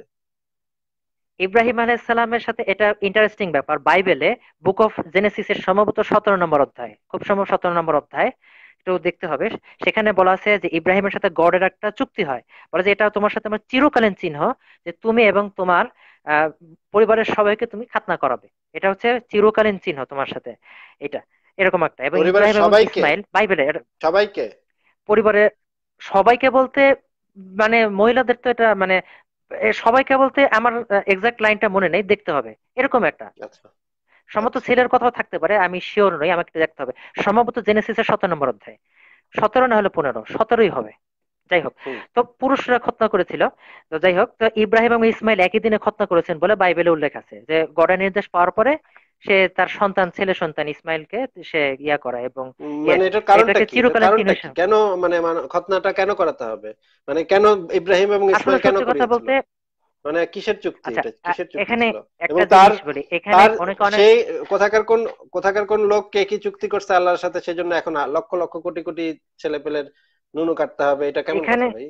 আচ্ছা এখানে অনেকে বিভিন্ন ভাবে উত্তরটা দিতে পারে। অনেকে বলতে পারে যে এটার খাতনা করার কিছু মেডিকেল উপকারিতা আছে। এবং আমার জানা মতে ইউরোপ আমেরিকার হসপিটালগুলোতে জন্মের পরপরই শিশুদেরকে খতনা করানো হয় if I am not mistaken কিছু শারীরিক উপকারিতার জন্য করা হয়। না এটা ভুল কথা। না না ভুল কথা। একেবারে। হ্যাঁ একেবারে ভুল কথা। আপনার বাচ্চা আচ্ছা আমি শুনেছি। আমার একজন কাজিন আমেরিকায় জন্ম হয়েছে আমি শুনেছি তার খাতনা করানো হয়েছে। যাই হোক আমেরিকার কিছু স্টেটে আমেরিকার কিছু হ্যাঁ এটা ঠিক বলেছেন। আমেরিকার কিছু স্টেটে যে যে স্টেটগুলা হচ্ছে খ্রিস্টানরা খুব শক্তিশালী এবং মানে স্টেটের ক্ষমতাতে খ্রিস্টানরা আছে সেই সমস্ত স্টেটের আইন কানুন বিচার ব্যবস্থা অনেক কিছুই সেই স্টেটের লোকেরা নির্ধারণ করে। এই কারণে কিছু কিছু স্টেটে নানা হ্যাঁ। ধরনের উল্টাপাল্টা ভাবি যাবি কিছু মানে আইন কানুন এখনও আছে এবং এমন কি খ্রিস্টান কিছু স্টেট আছে যেখানে রক্ত পর্যন্ত দেওয়া নিয়েও অনেক হইচই হয়েছে। কারণ জেহোভাস উইটনেসরা আবার রক্ত আসলে দেওয়াটাকেও সমর্থন করে না। অর্গান ডোনেশনকেও হ্যাঁ জবর ইয়া করে না। এটা নিয়ে অনেক হইচই হয়েছে অনেক হ্যাঁ। মামলা মোকদ্দমা হয়েছে এগুলো নিয়েও। তো তো ইউএসএ কে মানে আপনি ইয়া হিসেবে ধরতে পারেন না এই কারণে? আমি ইউএসএ কে ধরছি না। আমি বিভিন্ন আর্টিকেল দেখেছি যেখানে খাতনার কিছু মেডিকেল বেনিফিটের কথা বলা আছে। অনেকে অনেক ভাবে উত্তর দিবে আমি সেভাবে উত্তর দিব না। এটার কিছু মেডিকেল বেনিফিট আছে এটা এটা বাস্তব। যাই হোক এটা আমরা এটা কেন করি? আমরা এটা করি কারণ আল্লাহ আমাদেরকে নির্দেশ দিয়েছেন তার নবীর মাধ্যমে। এই জন্য আমরা করি। এটা একমাত্র কারণ আর কোনো কারণ নেই। এবং ব্যাপার হচ্ছে ইন্টারেস্টিং ব্যাপার যে ইহুদিরা করে থাকে তারাও গড়ের নির্দেশ হিসেবে। এবং প্রি ইসলামিক আরাবিয়াতে এবং বাইবেলে বলা আছে যে ইসমাইল বা ইসমাইল আলাইহিস সালাম তাকেও খতনা করানো হয় এবং তার যে বংশের মানে সেটা কিসের চুক্তি? সেটা তো আপনি একটু বলবেন কিসের চুক্তি ছিল? কি চুক্তি? কেন আমার মানে চুক্তিটা কি ছিল আল্লাহর সাথে মানে এটা ইব্রাহিমের সাথে বাইবেলে যেটা বলা হয়েছে এটা আসলে চুক্তিটা তারা বলেছে এটা একটা চিহ্ন যে এর মাধ্যমে আপনি সতেরো দেখেন। আল্লাহ চিনতে পারবে না তার ইব্রাহিমের বংশধরদের চিনতে পারবে না। অবশ্যই তা না। অবশ্যই আচ্ছা এটা এটা বিবলিক্যাল ব্যাপার। আমি এটা ডিফেন্ড করতে বাধ্য নই। এটা খ্রিস্টান এবং আচ্ছা। ইহুদিদের ব্যাপার। মানে কিন্তু আপনারা তো আপনারা করেন। কিন্তু আপনারা তো করেন আমরা করি কেন না আমরা করি আমরা ইসলাম মানে হচ্ছে আল্লাহর প্রতি পূর্ণ আত্মসমর্পণ। আমরা করি আল্লাহ আমাদেরকে নির্দেশ দিয়েছেন। তিনি আমাদের স্রষ্টা he has full right to command anything ঠিক আছে? মানে মানে নির্দেশ যা বলা হবে সেটা মানে কোনো ধরনের দ্বিধাদ্বন্দ্ব ছাড়াই আপনাদের আমরা আল্লাহ জি আল্লাহ যা নির্দেশ দিবেন আমরা আমরা দ্বিধাদ্বন্দ্ব ছাড়াই সেটি মেনে নিব। এটি হচ্ছে ইসলাম। যাই হোক আপনি হয়তো দ্বিমত করবেন বাট ইসলাম হচ্ছে মূলত এটি। আল্লাহ যেটি নিয়ে- আমরা এই জন্যই করি আর কোনো কারণ নেই। এই কারণে এই কারণে তাহলে আপনারা আবার উপকারিতা কেন খুঁজতেছেন? এটা যদি উপকারিতা হয় বা উপকার অপকারিতা খুঁজিনি যাই হোক। যাই হোক আপনারা তো সেটা ফলো করবেন। এখন যদি মেডিকেল সায়েন্স বের করে যে এটা খুব অপকারী তাহলে কি আপনারা এটা বন্ধ করে হ্যাঁ। দিবেন? আপনারা তো বন্ধ করবেন না। অবশ্যই না। তাই না? আমরা করব তাহলে তাহলে কেন আবার এটা এটার মানে এটার সপক্ষে কেন আপনাদের এই যুক্তিগুলা খুঁজতে হবে? আমি আপনাকে একটু বলি এখন আমি আপনাকে একটু বলি যে যদি এখানে ইনফেকশন হয় বা এখানে কোনো ধরনের সমস্যা হয় মানে পুরুষাঙ্গে যদি কোনো ধরনের সমস্যা হয় ধরেন এই যে যেটার হুম, সামনের যে ছিদ্রটা থাকে সেই ছিদ্রটা যদি খুব ছোট থাকে এবং সেখানে যদি পানি বের হতে এবং পরিচ্ছন্ন পরিষ্কার করতে যদি সমস্যা হয় তাহলে কিছু কিছু ক্ষেত্রে ডাক্তার এটা আপনাকে বলে দিবে যে আপনার এটা করতে হবে। কিন্তু তার মানে এটা না যে ঢালাও ভাবে সবার সেটা করতে হবে। সেটা হচ্ছে আপনার উপরে নির্ভর করছে আপনার পুরুষাঙ্গের উপর নির্ভর করছে যে আপনার পুরুষাঙ্গটা কেমন সেটা খতনা করতে হবে কি হবে না। তখন ডাক্তারই আপনাকে মানে মানে ইয়া দিবে। যেমন ধরেন অনেক কিছুই আমাদের কেটে ফেলতে হয় অনেক কিছুই আমাদের ইয়া করতে হয় সেটা ডাক্তার বলবে। কিন্তু ঢালাও ভাবে করার তো কোনো অর্থ নেই। আর সবচেয়ে জরুরি ব্যাপার হচ্ছে যে আপনাদের আল্লাহ বলছে আপনারা করতেছেন। তাহলে তো এখানে আপনাদের ইয়া খোঁজার তো প্রয়োজন নেই। মানে উপকারিতা মেডিকেল বেনিফিট খোঁজার দরকার নেই। আপনারা যেটা পালন করবেন এটা তো করবেনই। হ্যাঁ। আপনাদের যদি এখন আমি তো মানে আপনাকে এটা ক্লিয়ার করেছি যদি ইব্রাহিম নবী যদি তার পোলার পোলার মাথা কাটতো তাহলে এখন আপনারা পোলার মাথা কাটতেন। তাহলে এটা নিয়ে এত মানে এটার পোলার মাথা কাটার মেডিকেল বেনিফিট কি? সেটা খোঁজার তো কি দরকার আপনাদের? আপনি আসলে ব্যাপারটি ব্যাপার হচ্ছে আমি বলেছি যে অনেকে অনেক ভাবে উত্তর দিতে পারে। অনেকে মেডিকেল বেনিফিট আমি তো বলেছি কারণ একটা যে আল্লাহ নির্দেশ পালন করা। ঠিক আছে? এরা যদি মেডিকেল বেনিফিট নাও আপনি থাকতো আমরা আপনার কথা আমি মেনে নিচ্ছি। আপনার হ্যাঁ। আপনি কি যে লজিক দিয়েছেন সেটা কিন্তু আমি মেনে নিয়েছি। আমি কিন্তু মেনে নিয়েই বলেছি। হ্যাঁ আপনি আমাকে যদি সেই সময় আপনারা কেন এটা করেন? না না আমি হ্যাঁ আপনার মানে আমি জানতে আসলে জানতে চাচ্ছিলাম যে ইব্রাহিমের সাথে সেই চুক্তিটা কি ছিল? সেটা জিজ্ঞেস করেছিলাম। আমি আপনারা কেন করেন সেটা জানতে আচ্ছা। চাইনি আসলে। আমি আমার জানা আমার বলাটার উদ্দেশ্যটা ছিল যে আমরা মানে আমার জিজ্ঞাসাটা ছিল চুক্তিটা কি? চুক্তিটা সম্পর্কে। চুক্তিটা আসলে এটা বিবলিক্যাল জিনিস এটা আমি ডিফেন্ড করব না। এটা আচ্ছা। হচ্ছে তাদের জিনিস। আমাদের কিতাবে এরকম এরকম জিনিস আমি পাইনি। কিন্তু আপনারা তো করেন কিন্তু আপনারা আল্লাহ না যে আচ্ছা। আমাদের আমাদের মানে আমরা জানি। কারণ যে এটা হাদিসে এটা এটার কথা বলা আছে আমরা জানি। আমরা আমরা আমরা নবী সাল্লাল্লাহু নির্দেশ হিসেবে এটা করি। এটা একমাত্র কারণ। আপনি প্রথমে বলেছেন কেন করেন? উত্তর এটা। আমরা নবী আচ্ছা। সাল্লাল্লাহু আলাইহি আদেশ। ঠিক আছে হাদিসে আছে সেহেতু আপনারা ফলো করেন। আর তো কোনো মানে হ্যাঁ হ্যাঁ আমরা ফলো আপনারা না আমরা ফলো এই যে এই জন্য আপনাকে আমি একটা সাধুবাদ দেই যে আপনি মানে ছলচাতুরি করেন নাই বা অসততা করেন নাই। এটা আমার কাছে খুবই ভালো লেগেছে। আপনার এই আচরণটা আমি খুবই অ্যাপ্রিসিয়েট করি। যে আপনি কোনো ধরনের এই পর্যন্ত এখন পর্যন্ত কোনো ধরনের ছলচাতুরির আশ্রয় নেন নাই যেটা স্ট্রেট যেটা সত্য কথা সেটা সত্য বলে দিয়েছেন। এটা আপনার আপনার মধ্যে না ভাই এটা সত্য না। যেমন ধরেন আপনাদের আপনাদের মতাবলম্বী যারা যারা এখানে নানা জায়গায় লাইভ টাইপ করে নানা জায়গায় লাইভ টাইপ করে বেড়ায় তারা প্রতিটা দিন অসংখ্য পরিমাণ মিথ্যা বলে। হয়তো আপনি গিয়ে সেখানেও লাইক দেন লাইক দিয়ে আসেন কিন্তু তারা প্রতিটা দিন অসংখ্য পরিমাণ মিথ্যা বলে ভাই। এটা মানে আমি জ্ঞানত কোনো মিথ্যা তথ্যে লাইক দেই না তবে ভুলবশত হতে পারে কারণ আমি ভুলের ঊর্ধ্বে আচ্ছা। নই। তবে আচ্ছা। আমি যদি বুঝতে পারি যে মিথ্যা আমি সেখানে লাইক দেই না। তবে আমি এটা আপনার সাথে একমত যে আমাদের অনেক মুসলিম আছে যেমন অনেক পেজ আছে ফেসবুক পেজ আছে যেগুলোতে দেখা যায় গাছের উপরে আল্লাহ মাছের উপরে আল্লাহ এই ধরনের ফেক মিরাকল ছড়ানো হয়। একটা পাথর আকাশে ভেসে আছে ঠিক আছে? অথবা একটা মুরগি কক কক করতেছে আল্লাহ আল্লাহ মনে হইতেছে সেটাকে তারা দাবি করতেছে। এ ধরনের বিভিন্ন ফালতু জিনিস তারা ইয়া করে। আমি এটাতে খুব বিরক্ত এবং ক্রুদ্ধ হই। এবং আমি পার্সোনালি তাদেরকে ইনবক্সে বলি যে আপনারা এটা করেন না। আপনারা মিথ্যা করে আপনারা নিজেদেরকে ছোট করছেন আমাদের ইসলামকে ছোট করেছেন। মিথ্যা আচ্ছা। দিয়ে আসলে কোনো কিছু প্রতিষ্ঠিত হয় না। আচ্ছা। সত্য ঠিক আছে ভাই। শক্তি। হ্যাঁ আপনাকে অনেক ধন্যবাদ যুক্ত হওয়ার জন্য এবং আপনার মূল্যবান সমালোচনা এবং মতামত দেওয়ার জন্য আপনাকে অনেক ধন্যবাদ। আমি আশা করি আপনার সাথে মানে মাঝে মাঝেই এরকম আমাদের, আমার কথা হবে, বিভিন্ন আলাপ আলোচনা হবে। আপনি আপনার ওয়েবসাইটের জন্য রেসপন্ড টু এন্টি ইসলাম ওয়েবসাইটের জন্য আমি মানে সাধুবাদ জানাই আপনাদের এই ওয়েবসাইটকে এই উদ্যোগকে এবং তো এটার সাফল্য কামনা করি। এবং আপনারও সাফল্য কামনা করি। আপনার সাথে আমার কথা বলে ভালো লেগেছে।